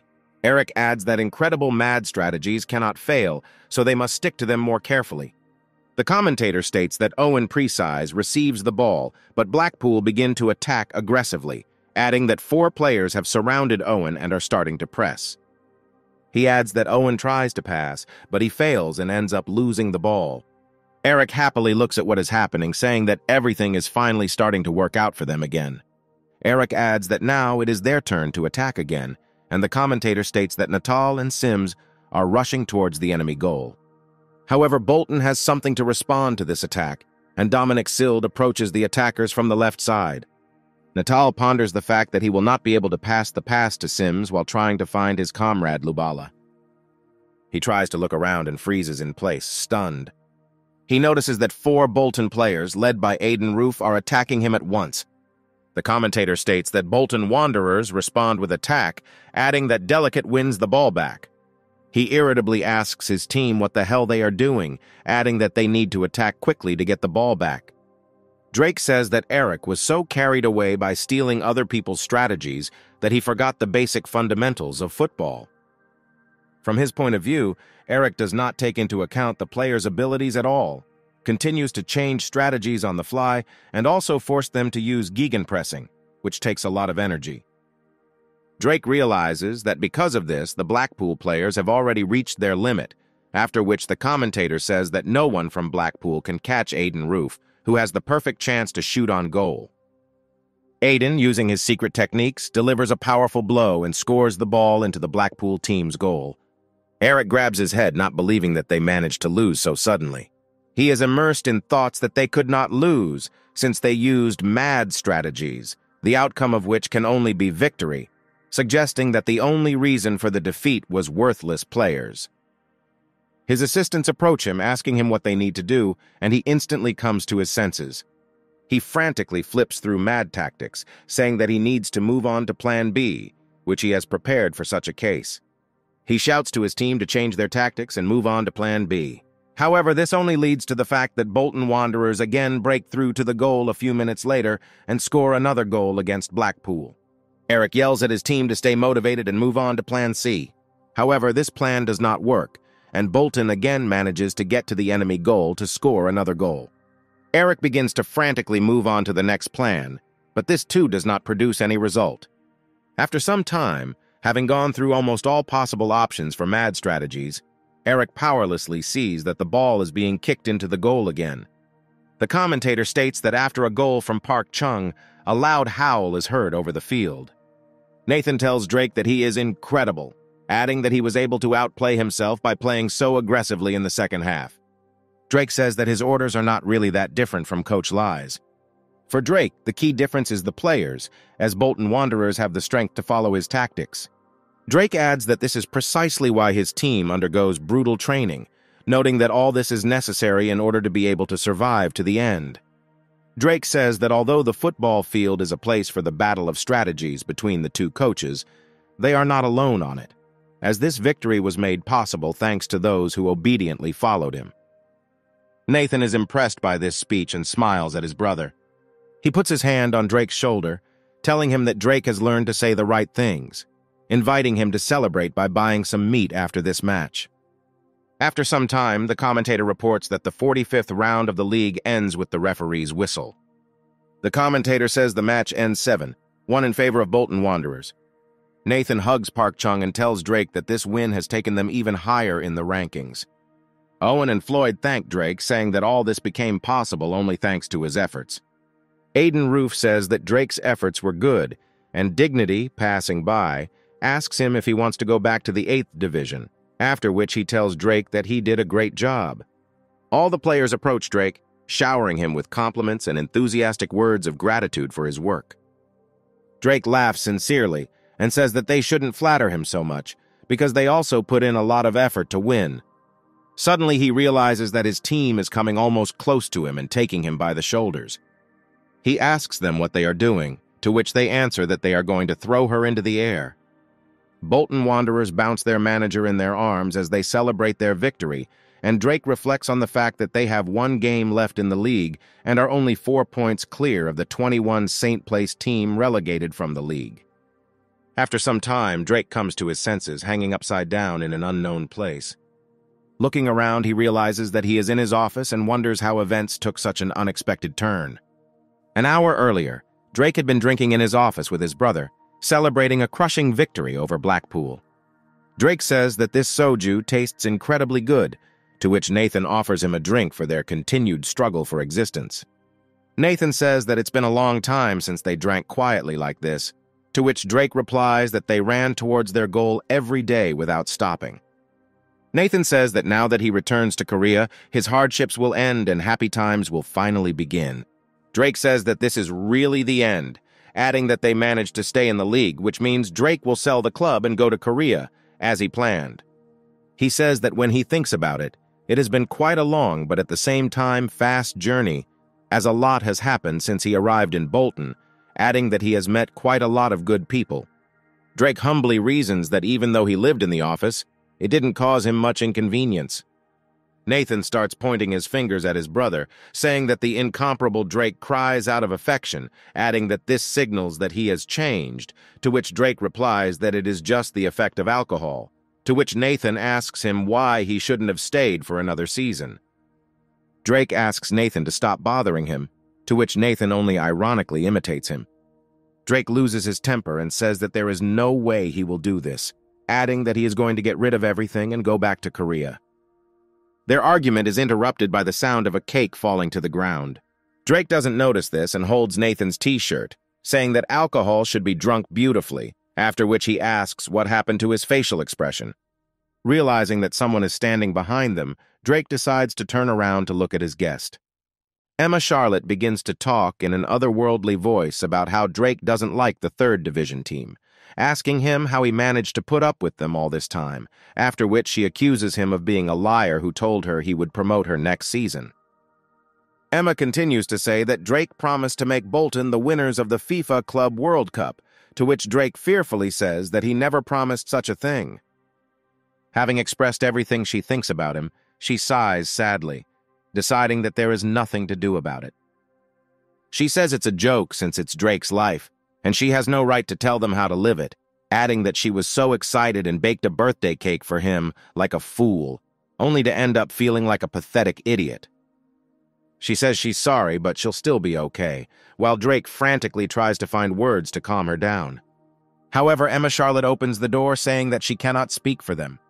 She asks Drake to reassure her comrades, adding that if he does not want to reassure some third division workers, then they too will be able to understand this. The department heads look at Drake with an angry look and say that they trusted him for a second, after which they unanimously call him a dirty liar. Richard Gears invites everyone to calm down, saying that Drake is not to blame for anything, to which the main character radiantly says that he is as rational as always. However, Richard immediately says that Drake's mouth is to blame for everything, which needs to be torn out. Drake turns to Nathan, asking him for salvation from these deranged people. However, Nathan is suddenly not in his original place, and Drake casts his desperate gaze into the void. He accepts his fate and mentally calls Nathan a damn bastard. After some time, Drake, already hanging upside down, reflects on how much time he has already spent in this position. A few minutes later, the door to Drake's office opens and he hears soft footsteps. The main character is blinded by the light of a chandelier and he closes his eyes. He sees Emma Charlotte's legs approaching him and hears her say that he looks much better than she thought. She sits down next to him, asking him for a few minutes of his time. Drake looks at her questioningly, and she tells him not to take all this too personally. Emma Charlotte says everyone was upset by the news, adding that if Drake hadn't been loved by the club's staff, none of this would have happened. She adds that no one will keep a person they don't like if he decides to leave. Emma says that after Drake arrived, the atmosphere in the club changed 180 degrees, as the owner of the team, who gave them hope that they could become champions, could not help but like them. She admits that there were many times when she hated him, since every time he did something his way, she was irritated by her domineering nature, unkempt, protruding belly and sticky hair, which has tons of wax on it. Emma says that now that he is leaving like this, she is very sad and adds that she will miss him very much. She admits that she wishes they had a little more time to spend together. Drake, impressed by Emma's speech, looks at her in surprise, realizing that he has to confess something to her. He turns to Emma, saying that there is something he needs to tell her. He says that this is very important, asking her to listen carefully. Drake admits that he is about to vomit, and Emma begins to frantically say that now she will untie him and lower him to the ground. However, Emma isn't fast enough and Drake empties his stomach onto the floor of his office, causing Emma to scream in fear. A few hours pass and the afternoon sun begins to shine over Bolton Stadium. Nathan enters Drake's office and asks him if he can talk to him. Drake asks Nathan what the traitor needed in this office, to which Nathan says that he does not understand all these accusations, since he suddenly had urgent business at home yesterday. Drake says that it doesn't matter anymore, asking him if he's seen the sports news today regarding Azazel Derby, who recently returned to the EFL Challenger, to which Nathan is surprised that Drake is already aware of this. Nathan says Derby Azazel were sold after being relegated to EFL 1 two seasons ago, but this time the club's value has more than doubled thanks to a successful return to the EFL Challenger. Nathan wonders about Drake's intentions and asks him if he has changed his mind. Drake turns to Nathan, saying that twice that amount is 100 million pounds, to which Nathan says that Drake is a crazy bastard. Nathan sits down in his chair and, with a sigh, asks Drake if he has decided to stay another season and move to another league. Drake tells him that if you look at Bolton's achievements since he took over, Bolton's promotion to the EFL Challenger doesn't seem so absurd. Drake says it's just his wish, adding that Nathan can return to Korea if he wants. Nathan tells Drake that they will definitely do this. Drake looks questioningly at Nathan and he tells him that they should definitely try to get into the next league. He happily asks Drake what he will do without such a brilliant coach like him, adding that he will happily work with him next season. Nathan says that they won the last game, which means the team atmosphere is pretty good, adding that staying for another season isn't such a bad idea. He stands up and tells Drake to be more honest with himself and not talk nonsense about 100 million pounds. With these words, he leaves the office, saying that it is time for him to go to work. Drake mimics Nathan, distorting the last words he said to him. He takes out his tablet and wonders why Nathan is suddenly acting like his mom. He adds that 100 million pounds won't come from just digging in the ground, so they have a huge amount of work ahead of them. After this, he decides to check Bolton's social networks and account. He sees that the official account has posted a photo from the so-called corporate party, in which Drake participated as decoration, and says that these people cannot be stopped. He protests why they took a photo of him without permission, then says that because his hand slipped, He put the photo on his wallpaper. He opens a bottle of tonic and says it's time to get to work. The protagonist concludes that his next goal will be to raise the value of his club to 100 million pounds. However, after a while, Drake sits down on the sofa after intensive work on documents. He desperately tells himself that he should have stopped showing off and sold this damn club right away. The season is over and English football has come, for some a long and for others a short break, but not everyone was able to rest and relax. Drake reflects on the fact that, under the influence of the atmosphere, he made such a serious decision, missing the most important thing. According to Drake, the biggest problem remained that Bolton remained an incredibly poor club.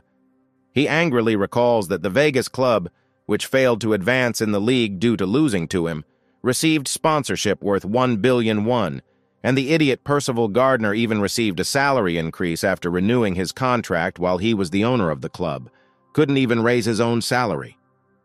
Drake says he's been thinking so hard about the club's future that his head is spinning, so the reward is an hour of watching a YouTube video. After five hours of watching nonsense, Drake indignantly says that these days guinea pigs have better goal-scoring abilities than Park Chung. After spending some more time watching the video, he stumbles upon a football blogger's channel and watches it with interest.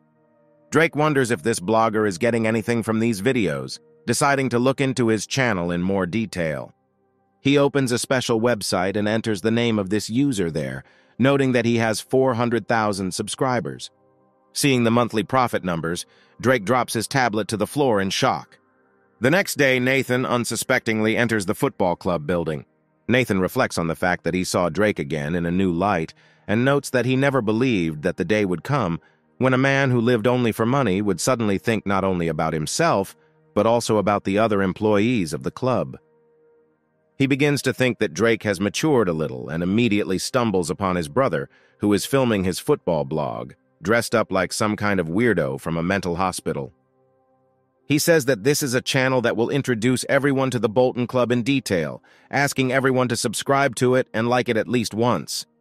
Nathan decides not to say anything and simply walks away while Drake thanks Killer Tank Juan Maiden for his 15,001 donation.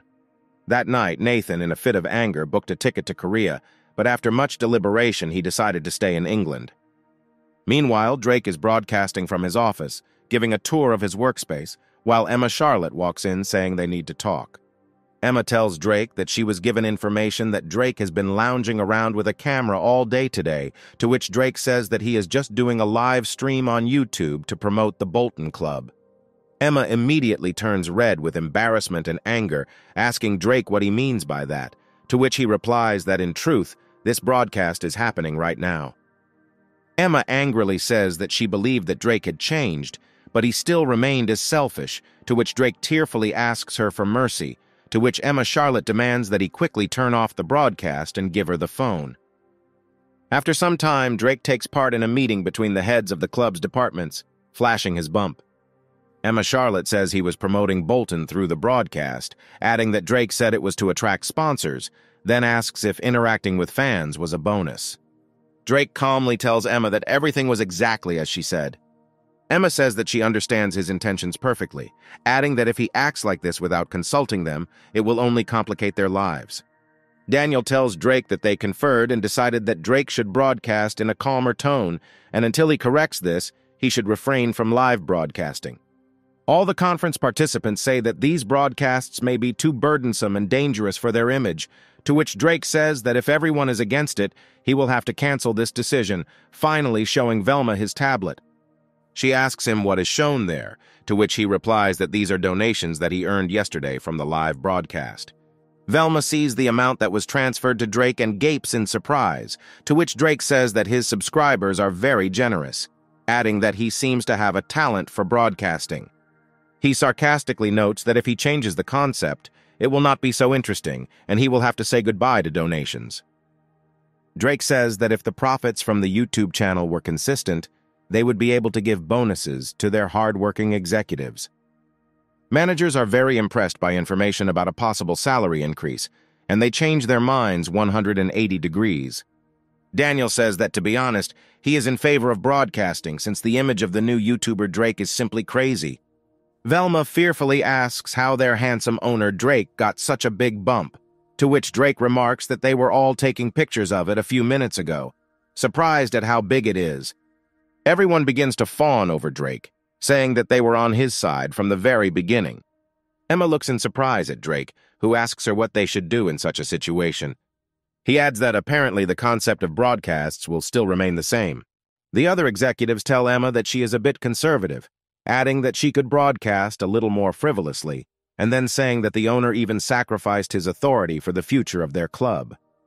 Emma angrily invites everyone to listen to her, but Richard Gears intervenes in the conversation, having first asked her forgiveness. He says that he has nothing against this way of raising the morale of the employees, but there is another reason why they are here today, to which Drake says that Richard is right and it is time to move on to the main topic of today's meeting. Richard says it's time to talk about the upcoming new season and promotion to another league. Velma, Emma, and Daniel listen to Richard in shock, not believing that they swung so high. Emma says it's natural for the club to fight for this, but setting goals beyond its realistic capabilities will have a negative impact on the team's morale, adding that other players will definitely be needed to resolve the issue. Velma says that Emma Charlotte is right, since the club's finances are not enough to recruit players suitable for their purpose, adding that Drake also promised them bonuses, to which the main character politely remarks that because Velma continues to talk behind his back, his head begins to hurt, after which he invites her to return to her place. Richard says they really need to take into account the team's thin squad as they use tactics that require a heavy workload, adding that with this approach, the team can start to struggle in the second half of the match. Richard asks Drake what he thinks about focusing on stabilizing the roster this season with the goal of reaching the mid-tier rankings and aiming for another league next season, to which Drake replies that their opinions are valid. Drake says their dire financial situation is a serious problem that income from the YouTube channel is unlikely to correct. However, according to Drake, he set this goal for the upcoming season for a reason. He says that they need something else that can be the key to their advancement. After some time, the scene shifts to Manchester Blue Moon's home stadium and its office site. The head of a sports team management team named Francis Carson's phone rings, and he picks it up, saying he's listening attentively. He hears that his interlocutor wants to know about the loan of players and asks him what club he is from, after which he is surprised that his interlocutor is a representative of the Bolton Club, which, in his opinion, barely managed to stay in the third league. Meanwhile, Drake, on the other end of the line, politely communicates with Francis, after which he says goodbye, and Nathan, standing next to him, asks him about the results of the business negotiations. Drake says Francis told him he would kill him if he tried to prank him again. Nathan finds out who Drake called and chastises him, asking him why he decided that such a club would loan out players to third division weaklings like them, adding that Drake was playing it cool again, saying something about the key to victory, although his plan once again turned out to be nothing.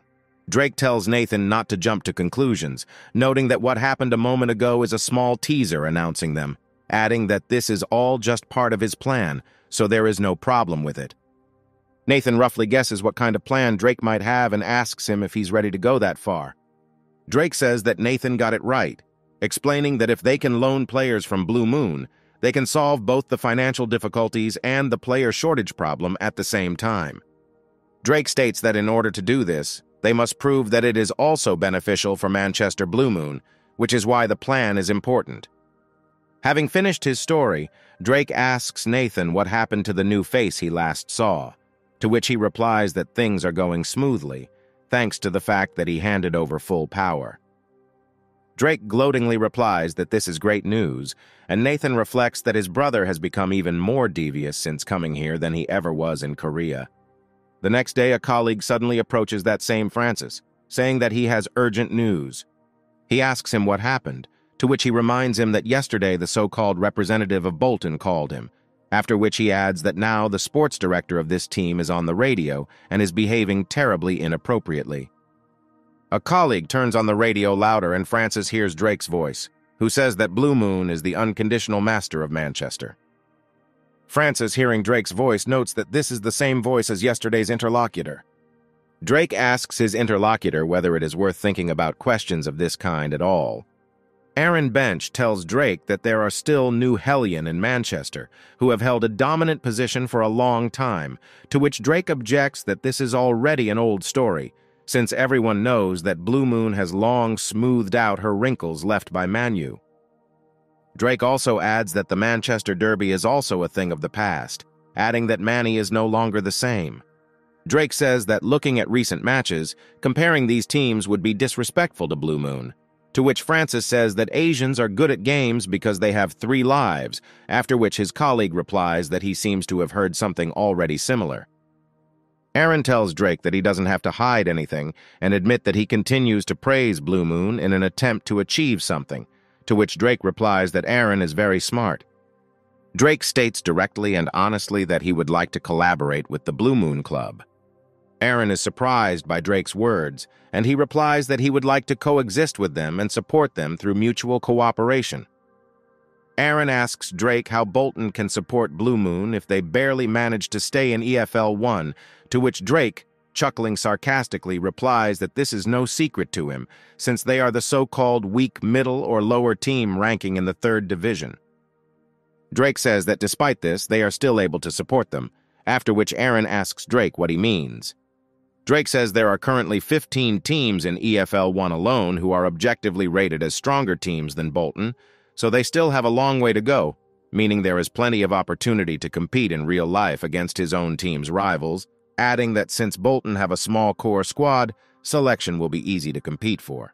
Drake says even players who don't have the physical attributes of an adult, or players who grew up at home but failed repeatedly in the arena, will be a good fit, as it can take them to at least EFL Challenger competitive levels and beyond. Francis says that in another time he would have thought Drake was a crazy athletic director of some third-rate team who was overstepping his bounds. The fact that Bolton had achieved such success under his leadership in less than half a season was not something Francis could ignore. He asks his colleague if the director of the club is familiar with this situation, to which he replies that he has probably already been notified about this because of the hype created. They both wonder what the director's reaction will be while he listens to Drake's performance while sitting in his office. Aaron tells Drake that he would like to ask him a question about why he chose Blue Moon. Aaron says that Manu's players are probably as good as Blue Moon's, even though Drake has already listed them as enemies, and asks him if he really thinks Blue Moon are the masters of Manchester. Drake says that this is not the case at all, adding that a few days ago he challenged Manu to a friendly match in order to learn something, but they continued to refuse him, and that is why he harbored such thoughts. He gloatingly suggests that Manny must simply have chickened out since they failed last season, and it seems they don't really want to lose to a third division team, which means they and Bolton are at about the same level. Aaron can't find the strength to say anything, and so he just freezes in place, looking at Drake dumbfounded. The employees of the Blue Moon Club react in exactly the same way, not expecting such bold words. Nathan, stuck to the glass, looks at Drake just as dumbfounded. Drake and Aaron look at him in confusion while he quietly says that Drake is a crazy idiot. After the podcast ends, Nathan takes Drake to the club and asks him if he was crazy for coming up with such a strange plan. He says that he will soon die with him, adding that Drake promised him not to go that far, to which Drake just chuckles insidiously. Nathan grabs Drake by the shirt and calls him an idiot, adding that they are now the targets of all the hooligan Manu fans, to which Drake loudly interrupts him, ordering him to watch the road. Nathan is surprised that Drake is not worried at all, adding that he himself knows how radical the fans of Manu's club, nicknamed the Devils, can be. Drake says that he knows that to succeed, they will have to sell their lives to the devil, adding that in order to attract Blue Moon, they will have to attack their old enemy, which is Manu. He states that among other things, if they show a good game in this friendly match with Manu, then the possibility of partnering with Blue Moon will increase, to which Nathan reminds Drake that Manu abandoned him. Drake says it was a ploy that worked brilliantly, then shows him the phone, adding that after the radio broadcast ended, they immediately accepted his offer for a friendly match. Nathan, filled with enthusiasm, asks Drake to show him the message, to which he fearfully says that he will show him everything he needs, but after they arrive where they need to go. Drake reflects that all the necessary conditions for the plan have been met, adding that they clearly impressed Blue Moon and even managed to knock out a friendly match with Manu. Drake understands that they only have to prove everything in a friendly match. However, further, from Drake's point of view, everything will depend only on the decision of sports director Blue Moon. Meanwhile, Francis receives a call from the director, saying that he also heard the interview. He talks with the director, receiving valuable instructions from him, after which he says that he understood everything. He replies that in this case he will take every action to contact Drake as quickly as possible to set up a meeting with him. Drake, meanwhile, falls asleep and is awakened by Nathan's voice, ordering him not to sleep in the passenger seat. After some time, Emma Charlotte enters Drake's office, asking for forgiveness in advance for distracting him from his business with her visit. She says that she has important news regarding a meeting with the sports director of the Blue Moon Football Club. Seeing what Drake and Nathan are doing in his office, she freezes in place and there is deathly silence in the office for a minute. Emma Charlotte, with incredible difficulty trying to comprehend what is happening, squeezes out a laugh full of reproach and anger. A few minutes later, after listening to the explanations of Nathan and Drake, she asks the protagonist in surprise whether he was really threatened by the Manu Devils.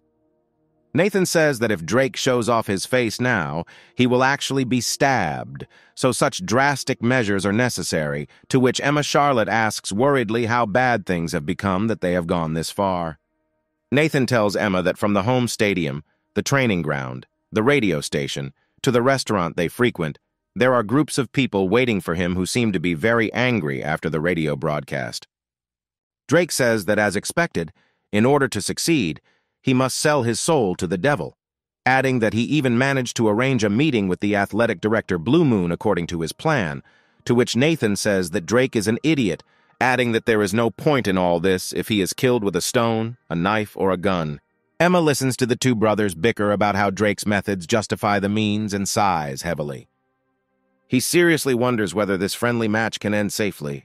Meanwhile, the head coach of Manchester New Hellion, named Marco Panther, comes to the club director and asks for a few minutes of his attention.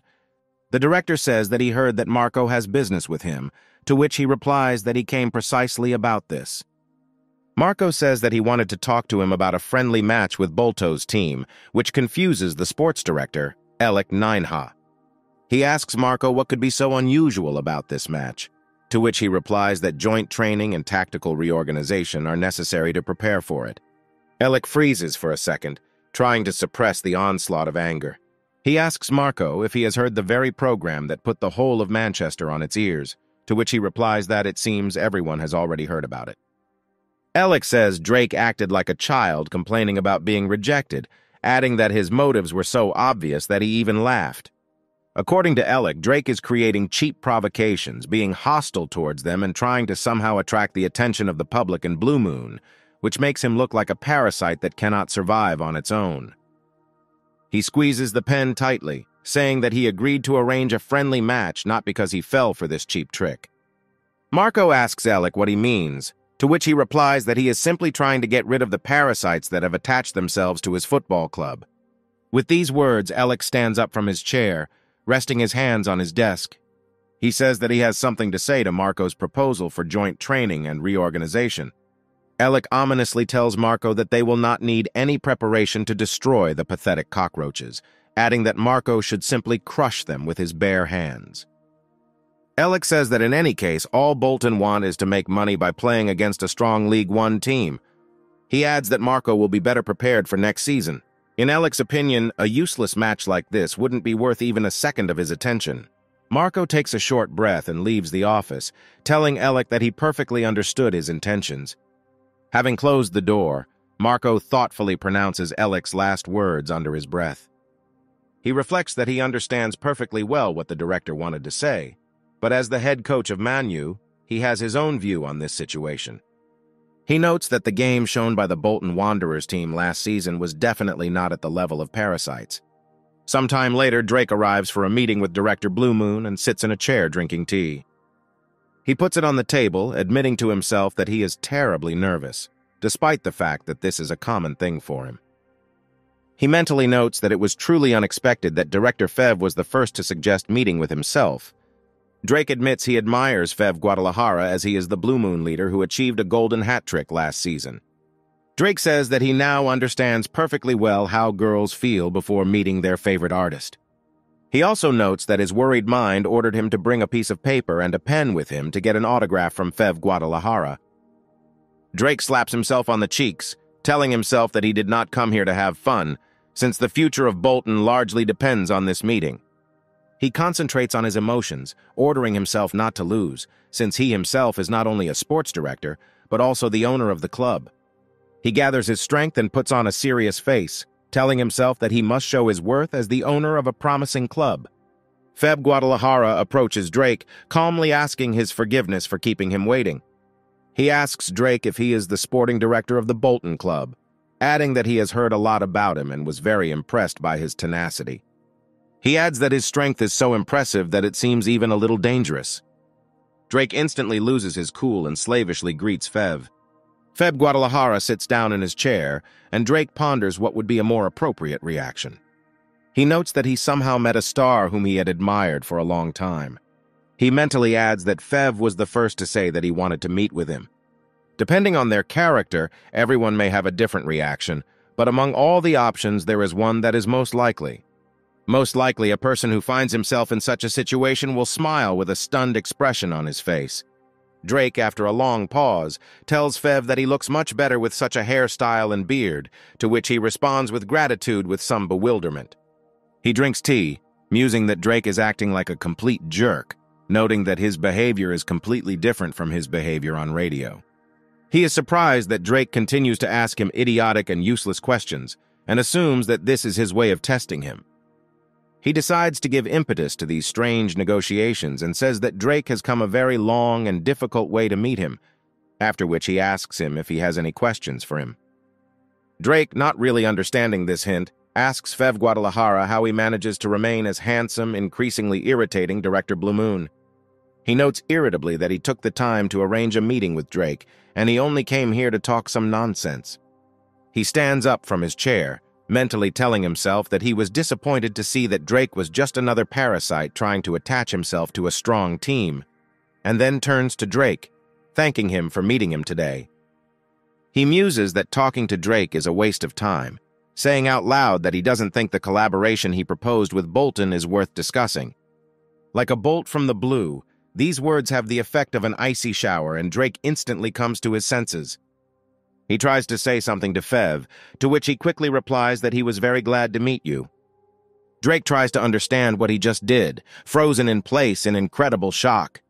Drake realizes that he just acted like a complete idiot in front of the athletic director who is his idol, even without considering the fact that the collaboration hasn't even been confirmed yet. Drake realizes that he has again acted hastily and made a grave mistake, as if nothing has changed since he was in Korea. He bows, hitting his forehead on the tea table, and Fev fearfully asks him what he is doing. Drake briefly tells him that he will definitely win, to which Fev looks at him questioningly. Drake asks Fev to reconsider his decision to cooperate with Bolton Wanderers if Bolton wins the friendly match against Manu. The meeting ends and Drake sits alone, lost in his thoughts about the recent past. He remembers telling Fev just a few minutes ago that he would definitely win the friendly between Manu and Bolton Wanderers. Fev replied to Drake that he accepted it, but would be forced to change the terms a little, to which Drake asked him in surprise what he meant. Fev says a Manu win is not necessary, adding that even if Drake is the most competent sporting director in the world, with the current Bolton squad, it is almost impossible. He adds that instead he has another equally important condition. Fev says that Drake needs to put a stain on Manu's reputation, adding that this is a condition for cooperation. He ends his speech by saying that this should show him that Bolton Wanderers is a good choice. After some time, the scene moves to the Bolton Wanderers training ground. Owen passes the ball to Park Chung, sending the ball home with a cross. Nathan watches the football team practice, completely lost in his own thoughts. He wonders what Drake might have said at the meeting, noting that he never told him anything. He looks at Drake, remembering that since his return, the intensity of his training has increased significantly. He looks at the piece of paper on which the upcoming tactics are written and is surprised at what he sees. He looks at Drake and wonders if Drake really decided to die at the hands of the devils. Victor, completely exhausted from training, falls to the ground and loudly says that he can't stand it anymore and won't do anything. He declares that this training is truly hellish, adding that this has been going on for several days, even though they only have a preseason friendly match. Dignity turns to Quick Floyd, who groans and says that you can die like this. Dignity looks at Park Chung, who is also sweating, trying to catch his breath. Dignity notes that based on how his team is feeling, they are at the limit. He reflects that it is actually quite hard, noting that he does not understand why such rigorous training is needed before a friendly match. Drake orders his team to get ready, adding that he is also running around the field with them, after which he says that no one should dare to get tired because of such trifles. With these words, he takes the position necessary for the next training and asks the others if it has become clearer to them. His team notices that Drake is shaking like an autumn leaf from fatigue, but he still gets to his feet. Drake says that he himself knows what his team is thinking, saying that they are probably wondering why they need such rigorous training before a friendly match and are not motivated by it. He adds that all this grueling training is for their sake, even if they don't understand it right now. Drake says that he can guarantee one thing for sure, adding that if they trust and follow him, their price will definitely increase. With these words, he takes off and tells everyone that they need to run five more laps. Dignity looks after Drake, thinking that he is a truly unique person. Suddenly, he sees Aiden running next to him, who says that he will no longer fall for Drake's damn tricks. He asks Aiden if everything is okay with him, to which he points to Drake and says that even if this pig can train for so long, then he himself is quite capable of coping with it. Quick Floyd follows Aiden's example and gives chase. A few seconds later, he is joined by Puck, who cheerfully points out that Aiden did indeed call Drake a pig. Dignity also decides to follow his comrades, rushing after them. He turns back briefly, asking Victor why the hell he lay down. Thus, Drake raised the morale of his team and they endured a hellish training session of unprecedented intensity. There were two weeks left until the friendly match and Bolton Wanderers were holding one training session after another. With the continuous honing of skills, time flew by much faster than usual. After a while, the long-awaited day of the match between Bolton and Manchester New Hellion, taking place at Bolton's home stadium, arrives. Drake comes into his team's locker room before kickoff to give them a pep talk. The whole team looks at him carefully, sitting on the benches. He says that he will not prevaricate or lie, and asks his team how many people outside they think are pinning their hopes on them. He says that their opponent will be Manchester New Hellion, and the third league team will look like a bug crawling across the field. Drake asks his team why they put all this effort into it, and then asks if his guys are confident that they can defeat New Hellion. He adds that this is all complete nonsense and they do not need any victory. He says all they're interested in is dragging the proud face of New Hellion through the mud to make their mark on the top teams in the EPL. He asks his team if they are willing to raise their price, to which they loudly shout yes.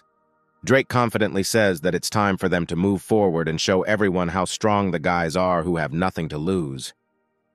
The commentator states that he is starting a match in which Manchester New Hellion will face Bolton Wanderers, adding that this match promises to be extremely exciting. The commentator reports that Manu's squad is close to the second squad and includes mainly reserve players, adding that Manu probably wanted to say with their decision that pride does not allow them to bring their main squad against Bolton Wanderers.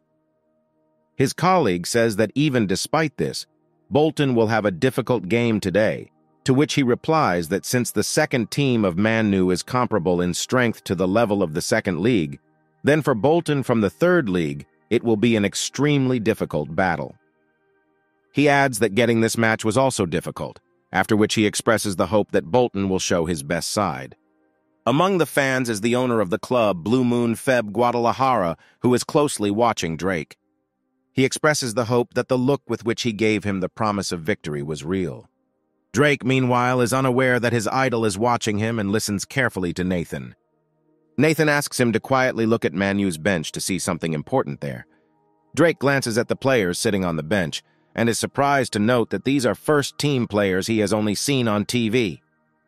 He admits to himself that he has heard that the level of each of them is equivalent to the whole Bolton club, adding that seeing them live, he feels a slight jitter.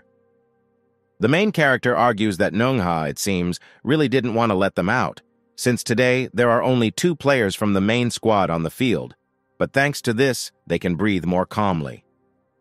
Drake and Nathan exchange angry glances with their opponents, scrutinizing each other. Alec argues that Drake is just a little brat capable only of idle chatter. The referee's whistle blows on the football field and the match finally begins.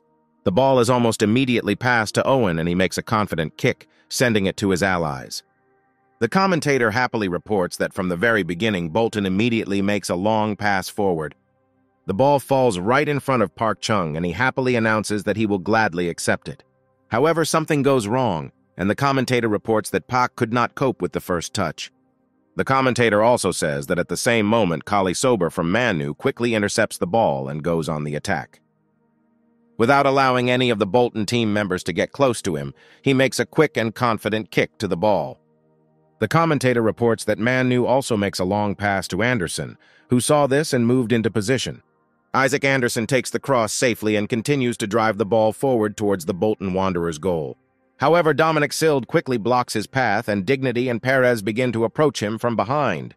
Sild looks at Isaac insidiously and asks him where he is going to run now. Isaac stands at a loss for some time, after which he smiles, letting everyone know that he is not at all embarrassed by the current situation. He starts running forward again, carrying the ball next to him. Realizing that he has only one way out, Isaac Anderson delivers a powerful long-range strike. Unfortunately, however, the ball, which gained such good speed, hits the goalpost straight. The commentator states that it was an extremely threatening mid-range shot from the second-string ace playing as a central midfielder. Ellick says Bolton Wanderers don't even hold a candle to his second-team squad and only cause laughter with their performances. He notes that Park performs worst of all, whose skills in reality turned out to be worse than ever. Ellick says Park couldn't handle his first touch and his goal-scoring ability is also low. From his point of view, the speed of the pack is really good, but everything else sags. He is surprised that a team with such a player as an ace dares to provoke him with such cheap tricks, after which he looks at Drake and admits to himself that the more he looks at him, the angrier he gets. Meanwhile, the ball goes back to Manu's side, and Jalal Amar dribbles the ball across the halfway line, going deep into the field. Delicate rushes to intercept him and tries to interrupt the development of Manu's attack. Amar looks around, trying to find a way out of the current difficult situation. He notices Isaac Anderson, who is next to him, and passes to him, kicking the ball quickly and confidently. The passage to the Bolton Wanderers goal is open and Anderson realizes that he will have to try again to kick the ball into the goal. Taking proper aim, he delivers a powerful blow to the ball, sending it flying quickly. The ball begins to fly along a difficult trajectory and the goalkeeper has difficulty reacting to this blow. Isaac Anderson begins to rejoice that the ball will definitely end up in the goal, but his joy does not last very long. Dominic Silda manages to reach the goal and makes an incredibly high-quality save, hitting the ball with his head. After that, he falls to the ground and the commentator says that it was a very gambling game that saved the team from the risk of missing another goal. Isaac Anderson wonders what the hell his opponents are doing, noting that they are trying so hard in a friendly match, knowing that they are no match for them. Meanwhile, Dominique Silda rises to her feet, glancing at Isaac. Looking indifferently at Isaac and grinning, he shakes off the dirt from his uniform and pretends that what happened is a pure trifle for him. Isaac Isaac stares at Dominic, mentally admitting that he is beginning to annoy him. Marco indifferently says that for some reason they still can't score, to which Alec says that if they continue to break through in this spirit, they will definitely succeed. A second later, one of Manu's players, Ryan Benedict, throws a long pass across the entire football field, the commentator reports that Manu made a pass to the first line, and Dominic Silda again starts chasing the ball, saying that he will intercept it. However, suddenly Isaac Anderson rushes in at the speed of light, accelerating faster and faster. He manages to get to the ball first and swings to deliver a crushing blow. He hits the ball, concentrating all his strength and all the hatred that has accumulated towards Dominic and the Bolton team on this blow. The shot turns out to be extremely successful and the ball flies into the Bolton Wanderers' goal, stretching the net from its crazy speed. Drake looks on in surprise while Ellick cheerfully encourages his team, telling them not to slow down. The commentator happily reports the goal, adding that 30 minutes of the first half have passed, and Manu, who continued to attack the Bolton goal, takes the lead. Isaac Isaac smugly reflects that if they play seriously, then Bolton is no match for them, and then wonders how they dare to organize this whole circus in front of him. However, he suddenly turns around and sees Dominic Sild suddenly standing in the pose of the Statue of Liberty. The commentator falls silent for a while, after which he guesses Dominic's intentions and says that looking at those sparkling and imperturbable eyes, everything became clear to him. He reports that Dominic Sild confidently appeals for offside with his hand proudly outstretched. The commentator notes that this is such a decisive appeal that even the arbitrator was taken aback by Dominic's determination. The commentator says that the assistant referee did not raise the flag, suggesting that this was just a routine appeal for a missed goal. However, he is captivated by Sild's gaze, which does not contain a drop of lies which dispels any doubts of the judge. Under pressure from Dominic Silda's unforgiving gaze, the referee decides to call for a VAR review. Ellick says the players behave just like their athletic director, adding that they simply can't admit they missed a goal and act like pathetic children. Meanwhile, a video replay appears on the screen and Ellick looks at the big screen in surprise. A commentator observing the scene says that Anderson was definitely ahead of Delicate, adding that Sild noticed everything with filigree precision. At that time, Sild, shouting that he will take over the match, mentally notes that Anderson can run as much as he wants, since it will still be offside. Isaac Anderson is mentally destroyed looking at what VAR shows. Ellick turns with a creak towards Drake and Nathan, having difficulty thinking about the fact that they are real bastards. He realizes that the two have set an offside trap, and after all their attacks will be looking to drain their team's stamina. Drake looks contentedly at the VAR results and hears the referee's decision, admitting that they were very lucky. He looks at Zeke, noting that he has been wandering around all this time and his position was undefined, adding that thanks to him they were offside. He also notes that Dominic really angered Anderson, which also helped a lot, since the young guy had already lost his temper. With these thoughts, he looks at Ellick and Marco, and smiling slightly, admits that everything is turning out extremely funny. Ellick, filled with anger, looks at Drake, mentally burning him in the fires of the underworld. Subsequently, Anderson hits the ball again, but Dominic Silda is not far behind him, and again interferes with him, hitting the ball. The commentator reports that in 30 minutes, Manu fired 17 shots into the goalpost, but the Bolton defenders blocked the shots very well, adding that the court, however, still seemed tilted to one side. From a commentator's perspective, it's only a matter of time before Man Manu scores, while Nathan admits that the pace of the game is incredibly fast, and there is chaos everywhere. Nathan says that Isaac Anderson is doing very well, adding that within a year or two, he could already be promoted to the main roster, to which Drake replies that he is willing to bet that he will rise to it this winter, at that Nathan asks about the point of betting on the fate of this player. Nathan notes that their team is nevertheless much more organized, to which Drake says that Manu has a mix of first team and reserve team players, adding that the tactics of Nengha and the director of the reserve team are significantly different, which is why their teams lose to Bolton in terms of tactical coherence. Nathan says that Alessi Pedro Carmacho is the only first-team player playing today who also played for the reserve team until recently, adding that since he is still very young, he makes decisions too quickly and has probably already forgotten the feeling of playing in the reserve team. Nathan says that Carmacho, among other things, is playing particularly poorly today, barely holding the ball, to which Drake replies that he doesn't know if he's feeling good. He adds that perhaps the arrogant Ellick Nangha told him to play half-heartedly, to which Nathan asks him if he would really tell him to play half-heartedly. Drake loudly states that Nengha doesn't think this match is important at all, adding that if this guy, who is currently the only reliable striker in Manu's first team, suddenly gets injured while playing here, then it will be a really serious problem, which is quite likely be. Nathan asks Drake if it would be dangerous for the guy to play at full strength, noting that he is fast as a bullet, and the other players may only become more united in the second half of the game. Drake, turning to the stands with the fans, says that this is true, and that is why they cannot be allowed to do this. Meanwhile, the Bolton Wanderers fans are showing their strong and enthusiastic support, and even though their team has only been defending so far, their fervor and passion has been truly incredible. Even young fans also provide strong support for their team, in no way inferior in their enthusiasm to adults.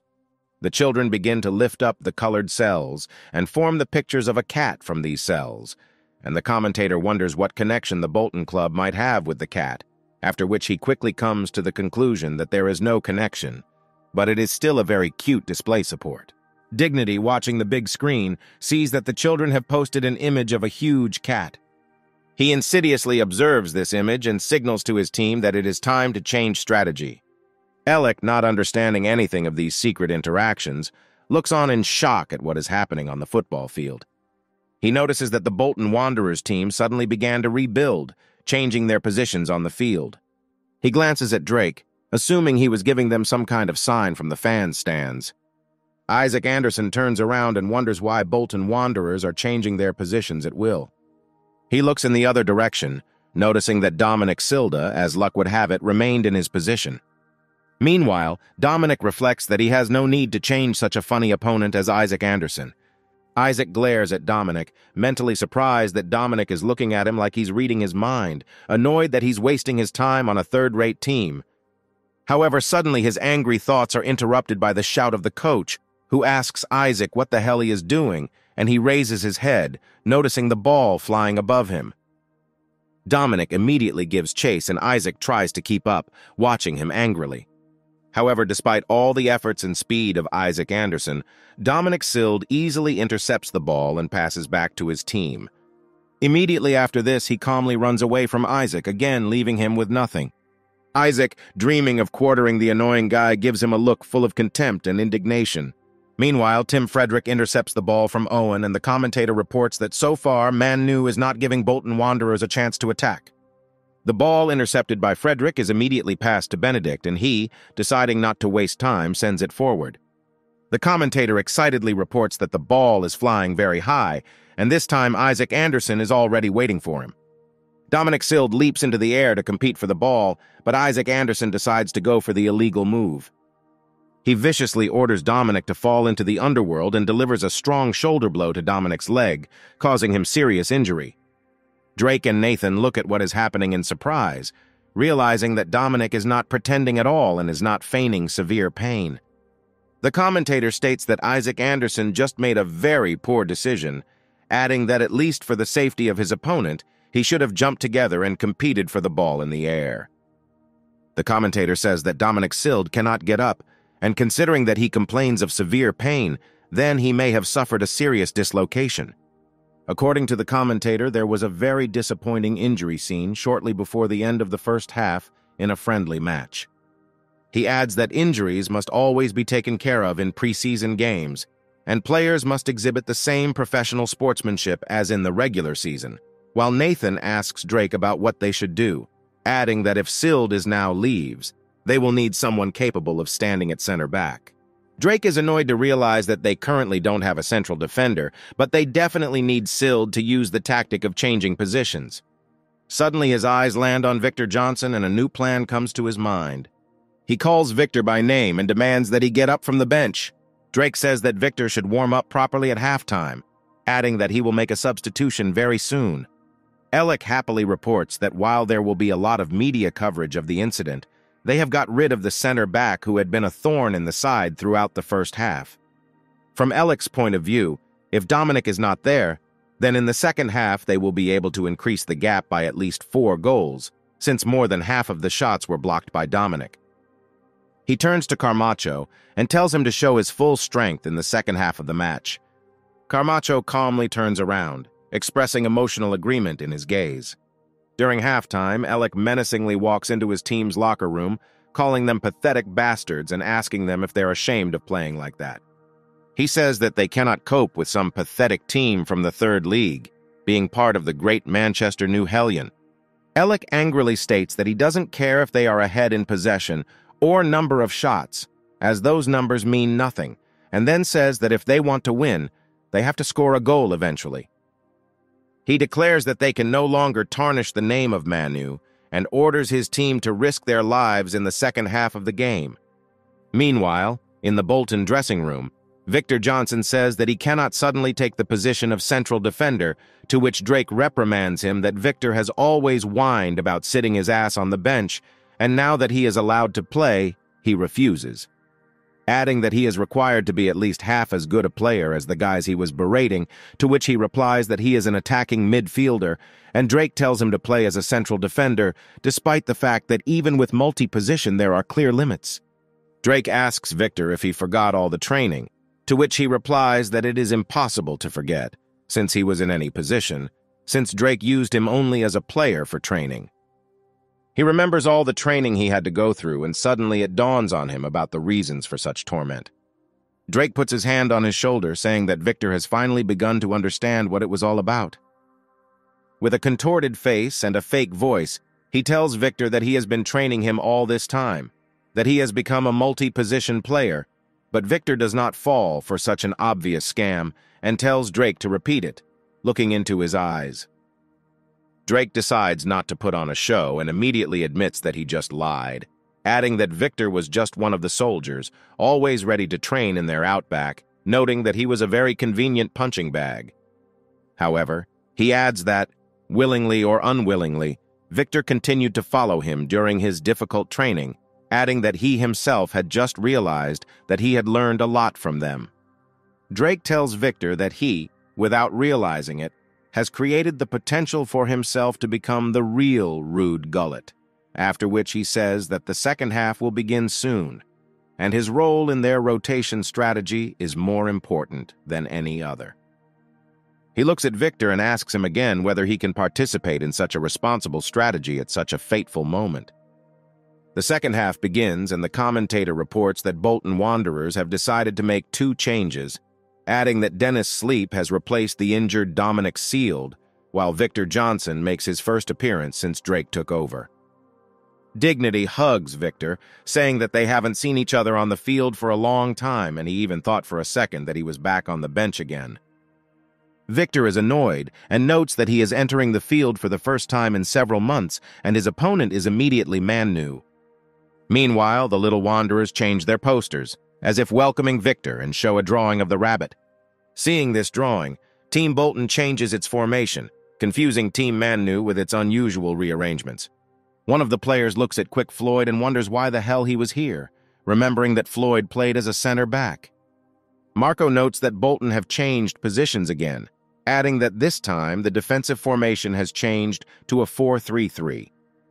He points out that Victor Johnson suddenly became the center back, pushing Quick Floyd into the attack zone, who calmly handled his position. Ellick says Quick Floyd has been assigned as a striker at times throughout the season, adding that he is still at the level of a minor league dribbler, meaning Drake is simply trying to create confusion and hide the difference in ability between the starting center back and the player who came on. Replacement, after which he tells Marco not to fall for such tricks. However, Ellick mentally notes that although he said not to worry so as not to spoil the atmosphere, Bolton's well-coordinated teamwork cannot be ignored, after which he notices that this time there were no signs from the bench either. He looks at the hair and assumes that it might be him, but quickly gets rid of these thoughts, deciding that he is simply beginning to see tricks in simple children's pranks. Ellick notes with alarm that he has slowly begun to fall under the influence of these guys and decides to urgently come to his senses. He consoles himself with the thought that they are leading in this game anyway, while the commentator reports that Carmacho is moving into the center with lightning speed, reflecting that in the first half, he only accumulated strength. However, Bolton does not stand still and Dennis quickly blocks the passage for Carmacho rushing forward. Carmacho sees Isaac Anderson running to help him and realizes that he has an excellent opportunity to pass the ball. The commentator notes that Carmacho made an unexpected cutback towards the quickly running up Anderson. Anderson happily reflects that now he will definitely score a goal, since Dominic is no longer in the game. He once again concentrates all his strength and strikes the Bolton Wanderers goal, sending the ball along a highly unpredictable trajectory. The goalkeeper rushes after the ball, but his speed and reaction are not enough to return the ball, launched from such a short distance. However, Isaac's plans are not destined to come true, as Victor Johnson comes to the rescue, who makes a divine sowing, reminiscent of what Dominic did in the first half. The fans burst into enthusiastic shouts, applauding Victor, who had just entered the field and showed his worth in the first minutes of the second half. The commentator notes that since Drake took over, Victor has rarely appeared in games, while the Bolton goalkeeper is helping him get to his feet. The commentator reports that today, Victor Johnson came on as a substitute for the first time in a long time and is already demonstrating his incredible performance. Drake and Nathan put on special glasses and shout words of encouragement to Victor Johnson, saying that he is the English Ruud Gullit. Marco says that he doesn't understand the amount of fuss that comes from one successful block, noting that if someone looks at them from the outside, they will think that they scored a goal, and then asks where such funny glasses are sold. However, Alec does not share Marco's composure and angrily groans that their opponents are pathetic little parasites. A bloody veil of anger clouds his eyes and he shouts to his team to raise the line to the top, adding that they definitely need to score. Marco asks him what he is saying, to which he orders him to shut up, shouting that he is no longer going to be influenced by the third league team. He states that if they score quickly, it will all be over, and the commentator reports that the Manu players are raising their line, trying to strengthen their game. A striker named Ryan Benedict receives the ball and attacking rights again pass to Manu. Marco thinks that the director is right, since there is no way that they will not be able to score against some third-rate team, so they cannot delay their attack any longer and they need to score immediately.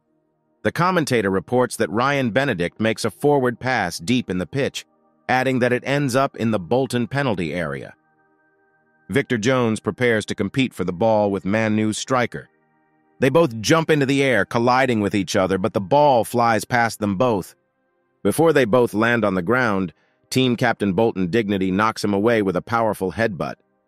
The loose ball conveniently ends up right next to Owen Precis, who decides to take advantage of the opportunity. He turns towards the enemy to see if there are any obstacles to a direct strike. Having quickly looked around, he realizes that the path to the gate is completely open, since Manu have put everything on the attack. He shouts at Park Young to run forward as quickly as possible and prepares to strike. Owen yells at Puck that it's time to start and kicks the ball, sending it flying. Puck begins to pick up speed, breaking away from his pursuers with every step. Alec yells at Carmacho, ordering him to grab Park Young and intercept the ball. Alec says that Pack can be as fast as he wants, but he is just a third-league player who poses no threat to Carmacho, who is one of the best and fastest players in the first league. Carmacho, rushing in pursuit of Park Chan, thinks that Alec is right. He recalls that after he joined the first team, it was he who drove many opposing defenders to despair. However, despite all his efforts, Carmacho notices that the distance between them is not closing in any way. After a while, he begins to lose steam, noticing how Park Chung is rapidly approaching the gate. Park Chung runs up to the goal almost closely and prepares to strike a distracting blow. The goalkeeper of the Manu team jumps on Park Chung, trying to intercept the ball, and Park makes a tricky shot to the ball. Time stops for a second, and Drake, along with Alec, look at the ball in fascination. Puck's kick turns out to be successful, and the ball goes straight into the goal of the Manchester New Halley team. The fans begin to shout joyfully, praising Bolton Wanderers, not hiding their tears of joy. The commentator with the same enthusiasm says that Park Chung-ah, being a young player from Asia, scores the first goal against Man Nu. Park Chung happily runs towards Drake and Nathan, while the commentator repeats that Park scored a goal against Man Nu at Bolton's home stadium. He adds that the most important thing about this goal scene was that Park literally destroyed Carmacho, who is considered one of the fastest players in the EPL, thereby proving that he is not only fast among EFL 1 players. Alec admits to himself that he let his guard down too much, adding that no one could even think that this Asian would be faster than Carmacho. He recalls that even in the EPL, there are only a few players who can surpass Carmacho in speed, and now someone from a third-rate team has managed it. Marco says that the time has come for them to make a replacement, to which Alec asks in bewilderment about what he just said. Marco points out that Puck is too fast, and if they raise the line and open up space at the back, something even worse could happen. Alec tells Marco not to bullshit, adding that they just need to release Rafael Saran to increase the speed and stability of the defense. Alec says that even if the third league team is leading, they should not be so hasty in replacing players with the main squad, adding that Marco has clearly gone crazy and wants to be treated like a complete fool and a loser. He adds that this preseason tour is almost over, and this replacement can tell on the stamina of the main team, after which he disappointedly and angrily asks Marco why he is still unable to adequately assess the situation. Alec tells Marco that they are still far ahead statistically, and if you control the defensive line well, then there should be no problems. Meanwhile, one of Manu's attackers, trying to keep up with Puck, notes that he is damn fast. In an attempt to stop him, he forcefully grabs his shoulder to slow him down. However, Park, taught by long training and acting skills, performs a dramatic somersault with a coup. After such a stunt, she falls down onto the grass and begins to pretend to be seriously injured. The referee, impressed by such acting, immediately runs onto the field and shows a yellow card. Drake, without hiding the tears in his eyes, shouts at the medic so that they would rather save Park Chan, while Nathan calls Manu devilish bastards and asks them if Dominic was not enough for them. Stopping this spectacle, Nathan informs Drake that Ningha is one step away from killing him, adding that he is unlikely to be able to prevent it, to which Drake responds that the back of his head was tingling a while ago, believing that it was a gaze attack. He turns to the stands, saying that if he wants to kill him, then he better attack as soon as possible. He notices Fev on the podium, adding that the picture in this case would be simply ideal. Fev takes off his glasses, revealing his appearance to Drake and smirks slightly, approving of the results of today's match. Director Fev's order was not to beat Manu in the upcoming soccer ball. For him, the most important thing was to leave a stain on the reputation of the Manchester Newhalley team.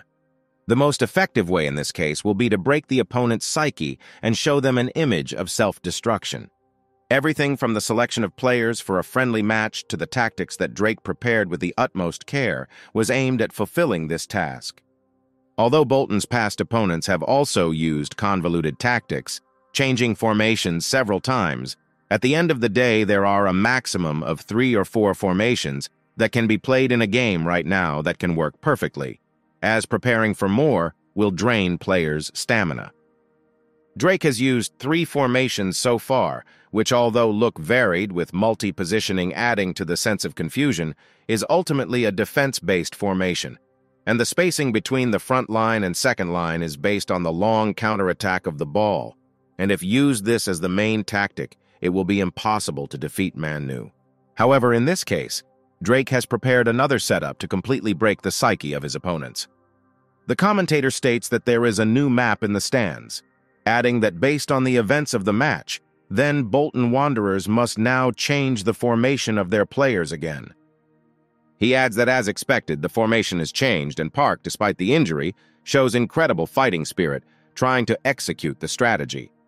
The commentator states that Bolton have now decided to create a two-line defense in front of the penalty area. He is surprised to note that Pak, meanwhile, takes a position in front to catch the enemy by surprise, since among Manu's defenders there is no player capable of matching him in speed, so it will not be easy to block him. Alec loses his composure, annoyingly wondering if they are really going to sit out in such a defense. Alec shouts to his team that everyone except Benedict and Menzies should go up and apply pressure from the front, adding that they must score a goal at all costs. Drake gloatingly says that Alec is making a mistake if he thinks that he can play beautiful football by rushing players who are already at a loss. Isaac Anderson takes the ball from Dignity, pushing it away with his hand due to his inability to control his emotions. Dignity falls to the ground because of this, and the referee calls a foul on Isaac, to which he expresses a clear protest, but the referee says that in the last half, Isaac also crippled one player. The referee says that this is no good, and he is not going to turn a blind eye to it, giving Isaac a yellow card. Jalal Amar runs up to the referee and asks him in an insulting tone what the hell is going on here, to which the referee calmly replies that for inappropriate words he also receives a warning and a yellow card. Alec raises his hand, saying that the judge is acting as if he was bribed, but Drake comes to the judge's defense, saying that Jalal really used obscene language.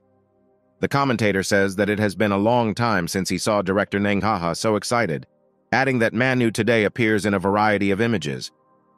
He adds that fortunately it seems that director Ninghak was not given a card, noting that his pride has already suffered enough, and that in order to make up for lost time, they will have to gather their courage. The match continues, and the commentator notes that Bolton seems determined to finish the job, adding that all athletes have a high level of immersion. He adds that after the match with Wigan, Bolton is catching strong teams by the ankles with Middle Eastern-style football, to which Fev notes in surprise that this sounds quite absurd. He notes that Bolton is taking a smarter and more evil approach, since Manu is no longer able to recover morally. Fev looks at Drake and notes that he understands and exploits not only his players, but also the characteristics of the opposing team, adding that he is a much more capable director than he thought.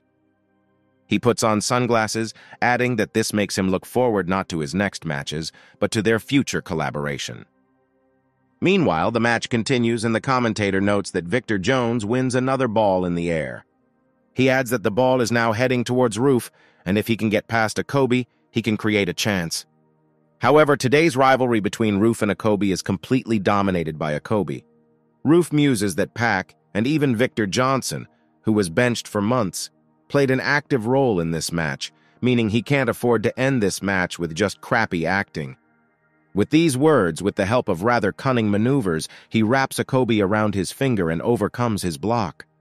He rushes forward on all fours as Akobe tries to catch him, screaming about Aiden being a crazy idiot. Taking the lead, Roof manages to throw a rough acrobatic pass to Park Chung. Akobe says that he missed the ball, ordering his ally not to give Puck space. Team defender Manu muses that with his speed, all he can do is just hold it. Park Chung and Benedict fall to the ground with a bang. The commentator says that for his gross violations, Ryan Benedict receives a red card, which means he is removed from the game. Alec begins to shout at the goalkeeper, calling him the most unflattering names. The commentator tells everyone that Alec Ninka vehemently protests, noting that this is unnecessary given the obvious scene of violation. He also notes that the referee is inexorably approaching Alec, as he is no longer willing to just watch. With a stern face, the referee hands over another card, signaling the competitor's removal. Alec looks at the referee and understands that for his rude and unsportsmanlike behavior, he is also removed from the football field. Stardom is what it takes to be called a star player, but it consists of several aspects. The first component of stardom is, of course, skill, since if you have a unique playstyle, then that is the icing on the cake. In addition, an important factor is the special history leading a person to success and the positive impact on society. Among all this, there is the most important condition that cannot be achieved through skills, but can only be obtained at birth. This criterion is appearance, and a footballer named Shearer Kane can be considered as having great star qualities. Even though he plays in the fifth league, he has the skills to become the top scorer this season, as the flexibility and strength of his ankle allows him to shoot even in a prone or awkward position.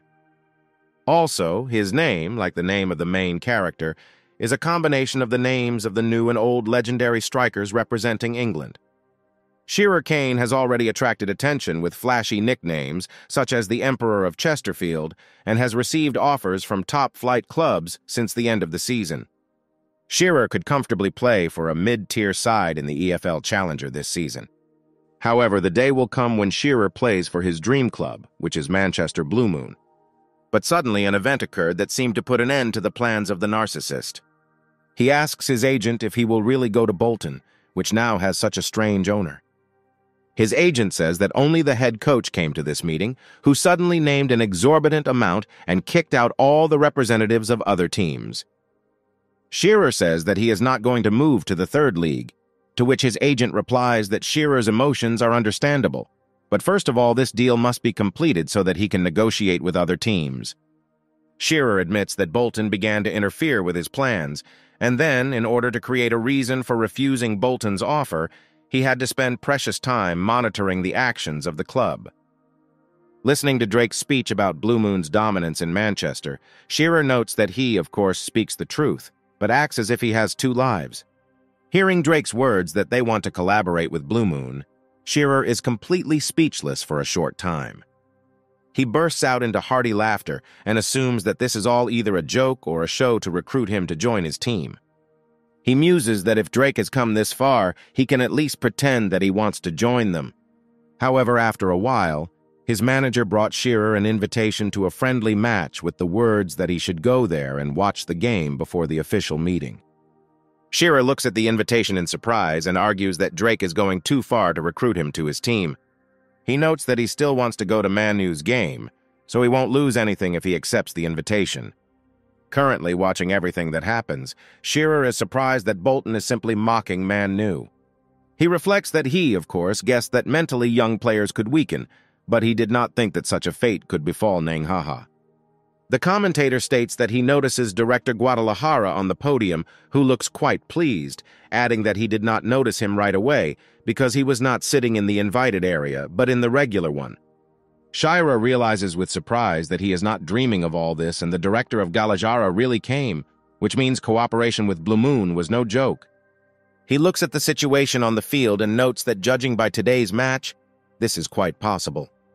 The commentator reports that Owen Precis is preparing for a free kick, adding that due to the fact that Benedict immediately fouled, the kick will be taken quite far from the goal. He adds that Bolton can win even if they just maintain a one-goal difference, so the team is not particularly involved in the attack, and only the strikers stand inside and prepare. The commentator says that Precis moved quite far away to approach the ball, which means that most likely he will hit it himself.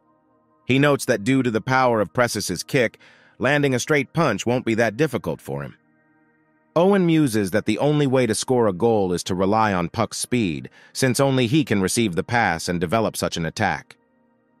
However, seeing that now there will be no opportunity to pass the ball, he mentally asks for forgiveness from him. He adds that this time he himself wants to be the center of attention. With these words, he runs up properly, calculating the force of his blow and the possible trajectory of the ball. Having reached it, he delivers a powerful blow to the ball, sending it flying. The ball flies at great speed past Isaac Isaac's head, heading straight into the opponent's goal. Also, neither Roof nor Park Chung have time to receive the ball, since it was initially launched at a different target.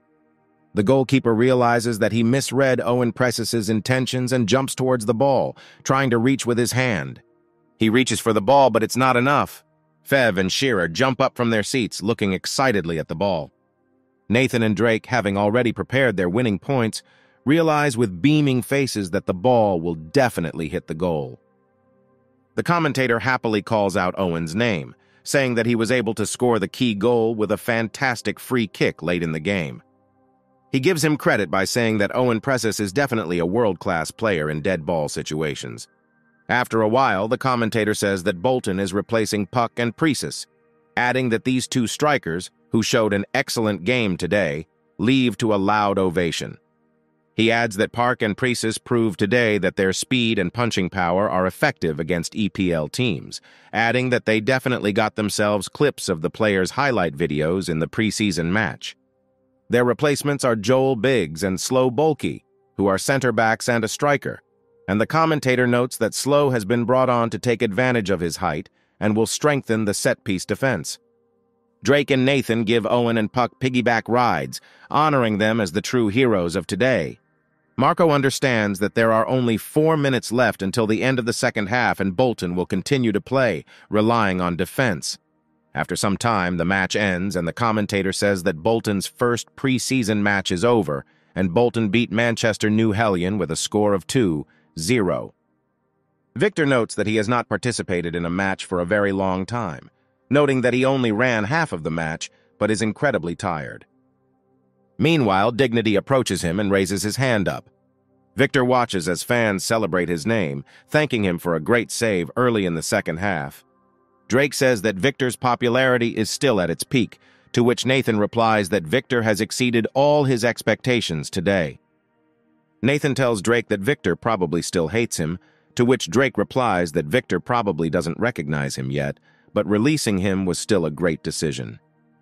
Drake says that since Derek Scott, Victor has been the undisputed starter alongside Owen Doyle and Falcon Jones. He adds that among other things, Johnson's number is 10, and this number symbolizes the team's ace. Drake confidently states that the guy who got a lot of love from the Wanderers couldn't play it safe no matter how much he hated him. Meanwhile, Manu leaves the field with a heavy mood and heart. Marco hugs Carmacho, telling him he did a great job today.